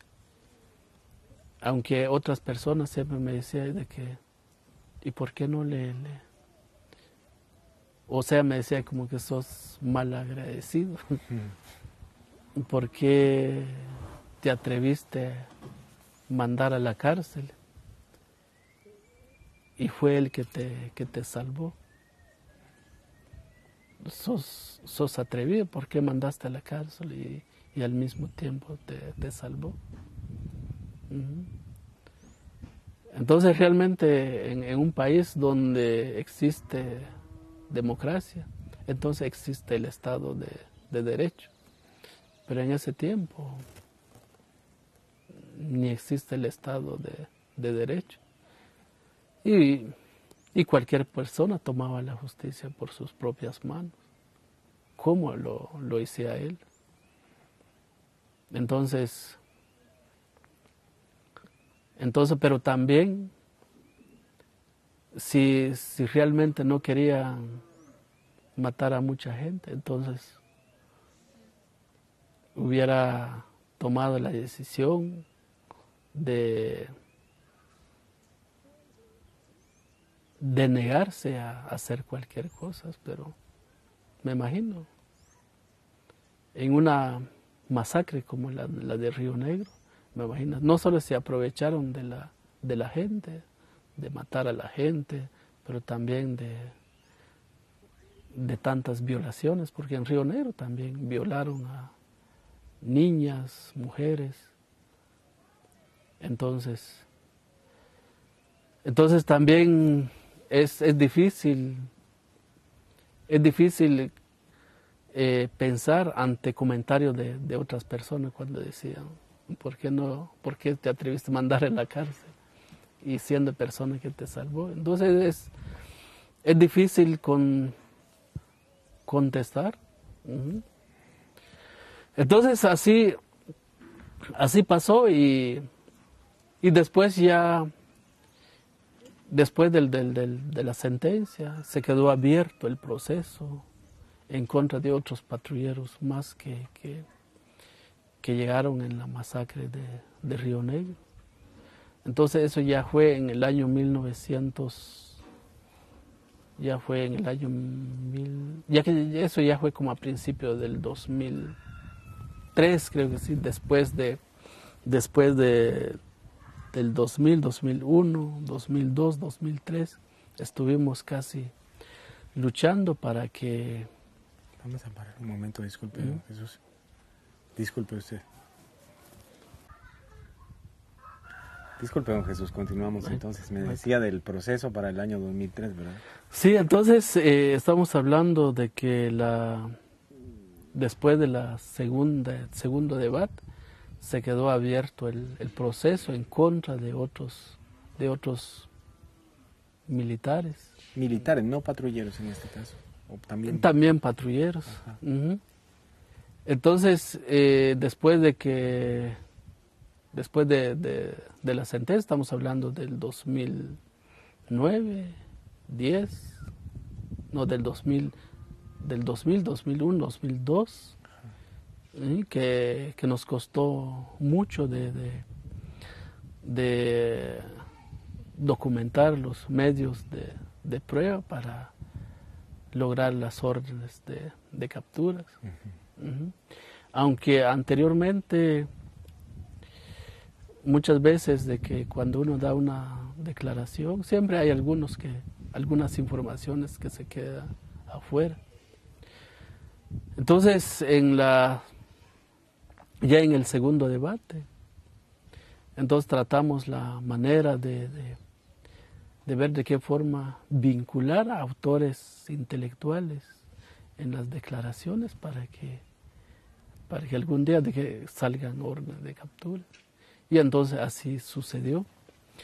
Entonces desde, desde que se quedó abierto el proceso, después de que se, se dictó la, la, sentencia en el, a finales de, de 1998, del 2009, no, del de 1999, 2000, 2001 y 2002, casi cuatro años que duró la, la, investigación. El juez de primera instancia penal de Salamá giró órdenes de captura en contra de otros nueve patrulleros. Y, y el capitán Solares, que, que en ese tiempo era el comandante del destacamento en Rabinal. ¿Capitán Solares? Era el comandante del destacamento. ¿El militar. nombre cuál es de él completo? Es José Antonio González Solares. Uh -huh. Uh -huh. Entonces, pero por un lado, la, la justicia avanza que cuando se tratan de, de autores materiales, cuando se visten de sombreros, de, de caites, un ejemplo. Ahora si se tratan de que, de que se visten de uniformes, entonces muchas veces la justicia no, no avanza. Porque en el año 2003 solo se logró capturar a seis patrulleros y otros seis, siete, ocho, nueve, trece eh, patrulleros se se escondieron. Y, y, el capitán Solares. También desapareció. Desapareció. Ahora con el capitán Solares es otra, es otra historia, porque con los otros tres patrulleros sabemos dónde están, pero ya no, ya no seguimos el proceso en contra de, ellos, porque nos dimos cuenta de que, de que a ellos es fácil de juzgar y es fácil de capturar y juzgarlos que al capitán Solares. Muchas veces la misma policía, las mismas autoridades los, los protege. Y les decía eso porque actualmente hay orden de capturas vigente en contra de, ese militar. Y aún el Estado todavía deposita su pensión en su cuenta. Y no saben dónde está. Y, el Ministerio Público dice que no sabemos dónde está. Pero por otro lado, la, a través de los actos administrativos, depositan su cheque en su cuenta bancaria.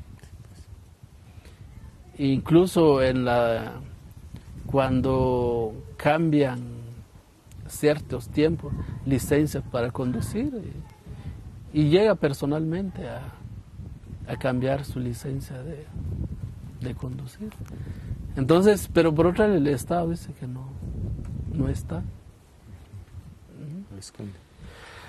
Entonces, y por eso le decía, les, le, contaba hace rato de que a los tres patrulleros están en su casa, pero ya no se siguió con el proceso, por lo mismo de que las mismas autoridades los castigan, si es posible, los mandan a, matar, cuando son autores materiales. Entonces así sucedió dentro del caso de, de, Río Negro. Don Jesús, digamos que desde el año 90 y 98, que se había dado la primera sentencia hasta el 2003, y desde que había iniciado el proceso en contra de estas personas, se siguieron haciendo también exhumaciones aquí en la región, es decir, Río Negro había sido la primera, pero se hicieron muchas otras. ¿Me puede usted decir en dónde se realizaron estas otras? Entonces, la, desde un principio en Rabinal, creo que fue a principios del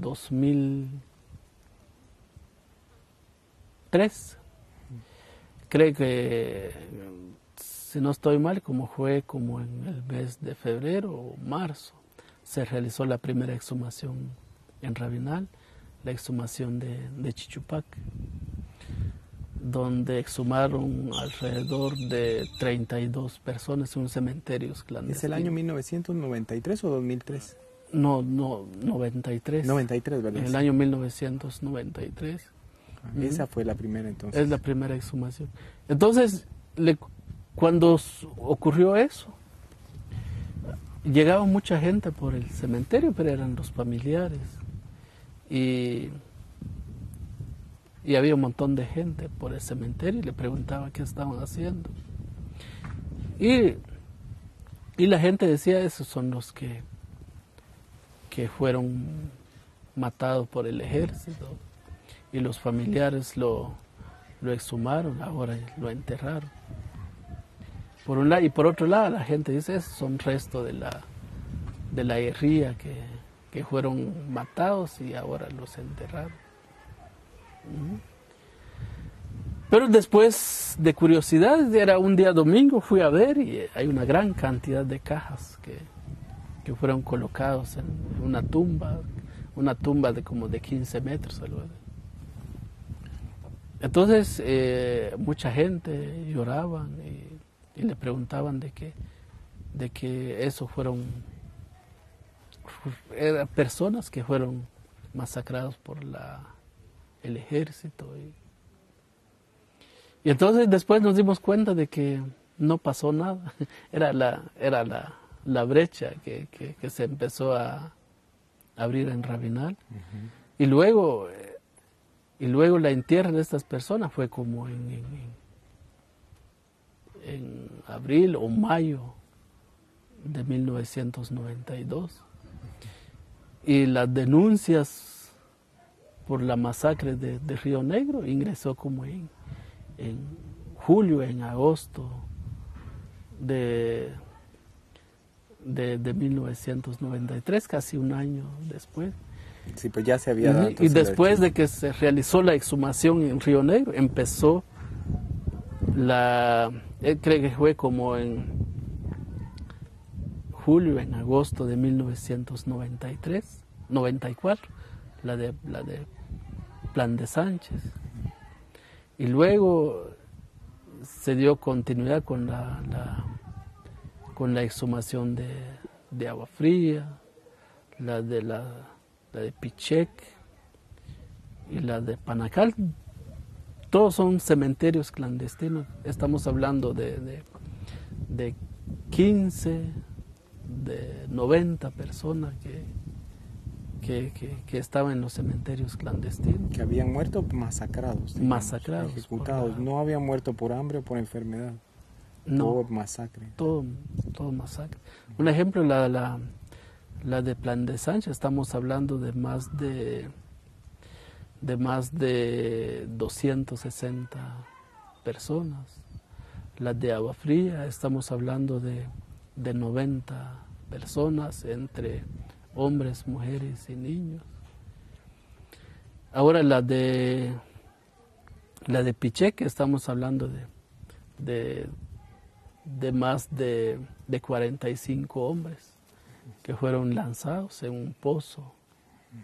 Y la de Panacal, igual, estamos hablando de, de 70 personas. Estamos hablando de jóvenes y adultos. Entonces, entonces todos fueron masacrados por la por el ejército. ¿Ninguno de estos casos se incorporó al, al proceso de Río Negro o alguno de ellos generó otro juicio o solamente el de Río Negro se ha logrado ese alcance, digamos? Solo la, la, la de Río Negro se, se empezó a, a, a, más que todo, a, donde se dio avances importantes. En la, en la de Plan de Sánchez, pues hasta, hasta hace dos años, pues, el caso llegó a, debate. También se logró se logró condenas, también se dio condenas. Ahora la de, de Agua Frío, la de Pichec, la de Panacal, hay, hay iniciativa también de los mismos sobrevivientes, pero igual el, el Ministerio Público eh, buscan, pero solo autores materiales. Y mientras que a los autores intelectuales casi nadie se atreven a, investigar y, y a juzgarlos. Pero también el Ministerio Público muchas veces cuando se les dan seguimiento con un caso, muchas veces argumenta de que, de que preguntan a los familiares qué más quieren. Ya se realizó la exhumación, ya enterraron sus seres queridos y ahora qué busca, qué más quiere. Es como que el Ministerio Público después de que entregó, se entregaron los cuerpos a los familiares, pues ahí se terminó su responsabilidad. Y no, cuando se presenta una denuncia hay sospechas de un hecho delictivo y cuando aparecen cuerpos generan más preguntas. Y es- esas preguntas no lo hacen el Ministerio Público, no contesta el Ministerio Público más que todo. Entonces así han pasado también en los, en muchos casos de Rabinal. Estamos hablando como unos, como unos 60 Casos hechos, no digo exhumaciones realizadas aquí. re- exhumaciones realizadas. Y sin mayor, sin mayor investigación. Entonces, eso es lo que, que, que ha, que ha pasado. Entonces, pero en el año 2000, 2001, en el año 2000 y 2001, bueno, no solo en Rabinal, sino también en otras partes de Guatemala donde se cometieron masacres. Eh, presentamos denuncias por genocidios contra contra Lucas, contra los altos mandos del gobierno de, Lucas.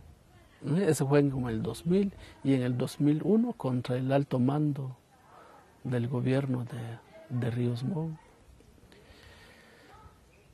Desde un principio el Ministerio Público empezaron a investigar, a tomar declaraciones. Y llegó un momento donde decía de que, igual como en el caso de Río Negro, quieren capturar a, patrulleros, a responsables materiales. Y mientras los autores intelectuales casi ni siquiera lo investigan. Entonces ya después estos casos, los casos que se presentó, se dividió en varias partes, porque no, bueno, en la denuncia también se presentó, eh, casi eh, tomó en cuenta varios hechos, cientos de hechos a nivel nacional. Entonces, el caso, el caso y, Chile es un, caso que salió del genocidio. Esto ya en una a nivel nacional, digamos, con otras organizaciones. que está siguiendo otras organizaciones, que está que está poniendo prioridad a un, a un hechos nada más cometidos en contra de un pueblo. Igual en, en Rabinal, desde, desde el 2010 empezamos a, hablar y a exigir al Ministerio Público que, que arme un caso de, de genocidio allí y que hasta ahora pues seguimos con la documentación de los medios de, pruebas. Pero igual en el con la fiscal anterior, los fiscales nos hablaban de, de, que antes que se vaya la fiscal general, vamos a imputar, vamos a imputar hechos que, relacionados a, a los autores intelectuales. Pero igual cuando nos falta un mes para que se vaya la fiscal general, como que los fiscales encargados de la investigación ya no querían hacer nada. Esperando también de que en qué momento ellos pueden sacarlos de la fiscalía. Y, y, ahora de nuevamente como que empezaron a retomar de nuevamente la, la investigación. Y no sabemos en qué momento vamos a, a tener justicia. ¿A nivel internacional se han llevado estos casos en algún momento? Sí, se ha presentado a la, a la Audiencia Nacional Española y también a la Corte Interamericana de Derechos Humanos. Por el caso de genocidio allí, digamos, o por... Algunos casos del genocidio. O algunos casos. No, no en su totalidad. Entonces, a nivel del caso de genocidio allí no sabemos cuándo va a llegar a la, a la justicia y en qué momento la, la justicia va a tener vergüenza, digo yo, para, para juzgar estos, estos hechos. Ahora a nivel internacional, el caso de Chichupac, la masacre de Chichupac y, masacres y, hechos individuales cometidos en otras comunidades. Eso lo, se, lo presentó la Asociación Bufete Jurídico Popular a finales del 2007 a la, a la Comisión Interamericana de Derechos Humanos. Es ahí donde también usted, es el bufete del que me habla. Pero también está auxiliando dos, dos peticiones a la, a la Comisión Interamericana de Derechos Humanos. Ahora la de Chichupac ya está en la Corte Interamericana de Derechos Humanos, pero hay un caso todavía que, que engloban a varias comunidades o a varios hechos. Estamos hablando como, como de ocho comunidades donde se cometieron masacres masivos en contra de, las comunidades. Y por la falta de acceso de justicia en el país, se presentó a la, a la Comisión Interamericana de Derechos Humanos a principios del 2009. Y ahora por y ahora el caso está, está a punto de, de ser atendido por la, por la comisión. Entonces, así está la, la, la, lucha por la justicia. ¿Qué otro trabajo realiza el bufete además de, de, de estos procesos que me menciona? Bueno, aparte del, del caso de, de, genocidio allí que está, que está documentando con, con peritajes, también con pruebas testimoniales, documentales. Eh, está trabajando un componente, un componente del caso de genocidio, que es los casos de violaciones sexuales, que igual está en la fase de, de, investigación, que este caso sí empezó a principios del 2011, que es, bueno, es un caso, es un caso reciente. Pero igual ya llevamos casi cuatro años de estar investigando, aportando con, con todos los medios de prueba, como aparte de que somos creyentes, pero también somos familiares también de los de las víctimas, aportamos todo lo necesario, medios de pruebas testimonial, para que nuestro caso avance, pero sin embargo está paralizado en el, igual como el caso de, genocidio. Cuando se buscan a autores materiales, entonces, o intelectuales, el caso no, no, avanza. Así está, entonces esa es la es una lucha que se ha desde un principio que se empezó como a nivel personal, pero ya después ya se convirtió como a nivel institucional. Por un lado, la fundación empezó a trabajar con becas, con educación a, los nietos y de, la, de las víctimas, por un lado, y por otro lado, pues se creó la Asociación Bufete Jurídico Popular a principios de, de 1999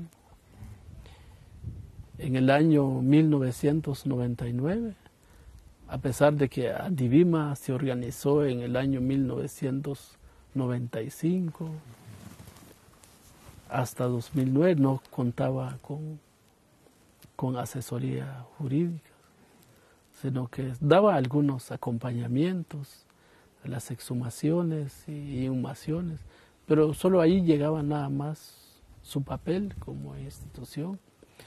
Entonces luego se pensó de que es importante, eh, aparte del acompañamiento de las exhumaciones, eh, brindar un acompañamiento más fuerte, más integral a los sobrevivientes. Entonces se creó la, Asociación Bufete Jurídico Popular. Y desde un principio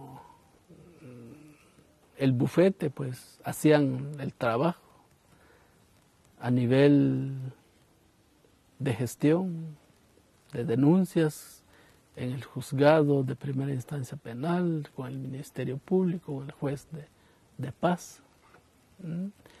Y por un lado, pues Adivimo, pues se encargan de la, de la actividad puramente logística con los familiares, la ubicación del, del terreno donde está el cementerio clandestino. Pero después el bufete, cuando ya se constituyó como una asociación, entonces ya se empezó a, a trabajar ya directamente casos, como los casos que, que contaba Serrat, que está ya, otros que está en la Corte Interamericana de Derechos Humanos y otros que está en la Comisión Interamericana de Derechos Humanos. Pero también a nivel nacional tenemos el caso de genocidio y también el caso de violaciones sexuales, que es un componente del caso de, de genocidio. Incluso también llegó un momento de que llevamos testigos a la Audiencia Nacional Española. Cuando Rigoberta Menchú presentó la, presentó el caso a la, a la Audiencia Nacional Española por la por las masacres que se cometió en la embajada de España en Guatemala. Pero también se amplió la investigación en otros casos que se cometió a nivel nacional. Entonces ahí se, se incluyó otros hechos que se cometió en el Quiché, en Chimaltenango, en Huevetenango y, en Rabinal. Eso fue como a, a principios del 2009. Llevamos alrededor de 10 testigos a la Audiencia Nacional Española. Fuimos a testificar ante, ante el juez Pedraza, creo que sí. Y igual con esas declaraciones salió órdenes de capturas también en contra de varios militares. Pero igual las autoridades de nuestro país desconocieron la, la competencia de la, de la audiencia española, con el argumento de que, de que nuestro país, como un país, dice que un país civilizado, existe un ministerio público, un, un organismo judicial que se encarga de juzgar estos casos. Pero después de 1999 hasta ahora, ni se saben dónde está el proceso.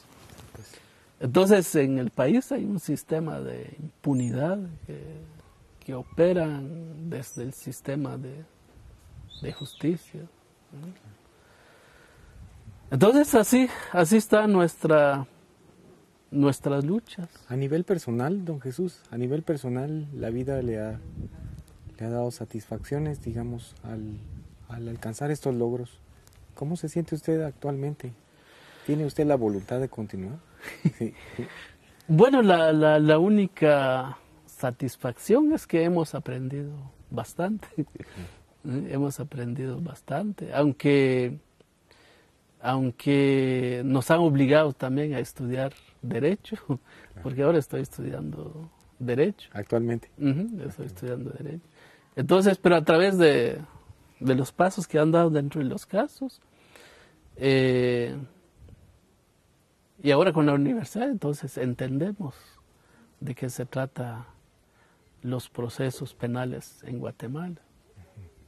Y en un país donde realmente funciona la justicia. Nuestro caso, ¿de qué tiempo hubieran llegado a la justicia? Porque se cumpliría con los plazos pero en, nuestro país no, no se cumple con los pasos. Muchas veces los, los amparos eh, utilizan los abogados defensores como, como medios de impunidad para retrasar eh, los procesos. Entonces, veo yo de que esa es la, a nivel personal, pues es lo que he aprendido. Incluso no solo a nivel nacional, sino que también estamos conociendo como casos en la Corte, los casos que están en la, en la Comisión Interamericana. Entonces, entendemos bien los, los procesos de, de, estas peticiones que están en la que están en los órganos a nivel internacional. Pues creo que son los únicos que hemos alcanzado. alcanzado. Y su aporte ha sido grande para tanto para Rabinal como para, para los jóvenes que estudian como en este instituto y las personas que, sí, que asisten al bufete. ¿Qué mensaje les dejaría usted a ellos, a los jóvenes de, de Rabinal y de muchos lugares que están en una situación difícil hacia adelante, una perspectiva?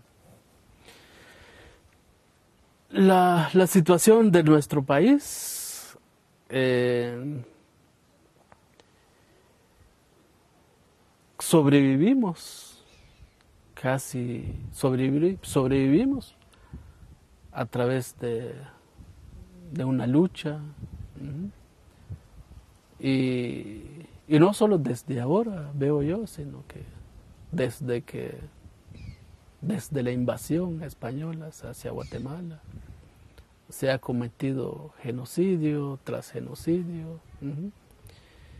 y, y, hasta ahora, pues, estamos intentando de exigir, exigiendo que, que, se haga justicia por el genocidio que se cometió durante el conflicto armado.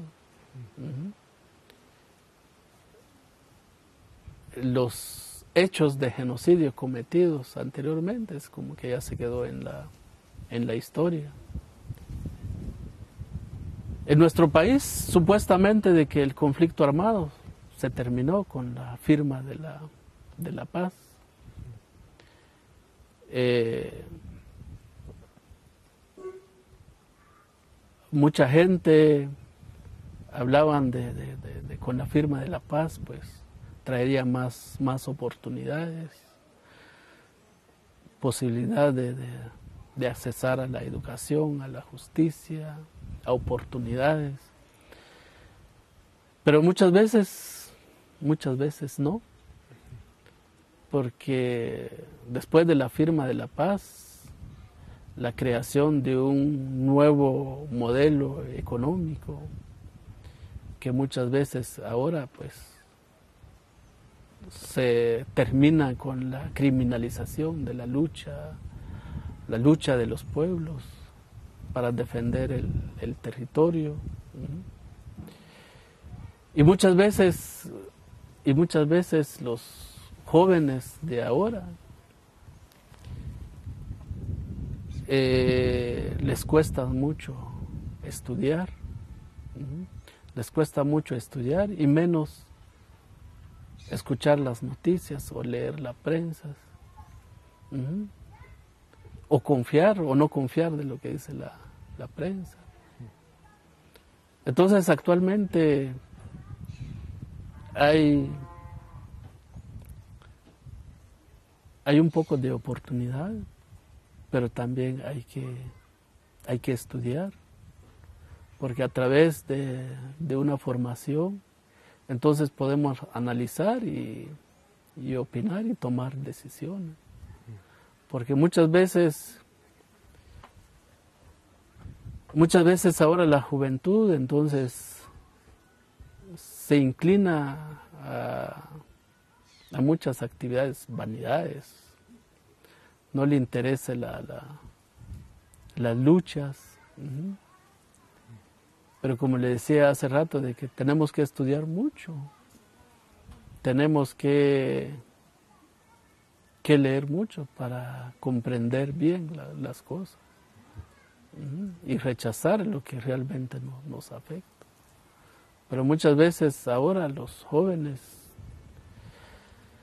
eh, sin pensar muchas veces van al ejército, van a la, a la policía, pero también al escuchar de que en nuestro país pues van a venir empresas, solo escuchar a, que en nuestro país van a venir empresas, pues va a, haber trabajo. No es así, sino que muchas veces eh, empiezan a sacar los recursos naturales y, sin importar si son, si son territorios indígenas, sino que ahí entran y todos los, recursos. Entonces, eh,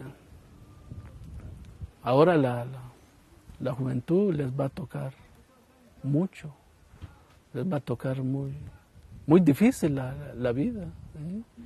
Y la única forma es que hay que, hay que estudiar y, educarlos de acuerdo a la, a la realidad. Porque así como están ahora la- las cosas, eh, no nos terminaron, no nos terminaron durante el conflicto armado, pero ahora creo que poco a poco nos van a terminar. Entonces a la juventud hay que estudiar, hay que estudiar mucho. Entonces, es eso. Muy bien, don Jesús. Entonces yo creo que si usted tiene algo más que agregar, eh, Ya no. Yo creo que ya no. finalizamos de esta manera entonces. Yo le agradezco mucho y le felicito de verdad. Muchas No hay- gracias. No hay pena. Muy amable.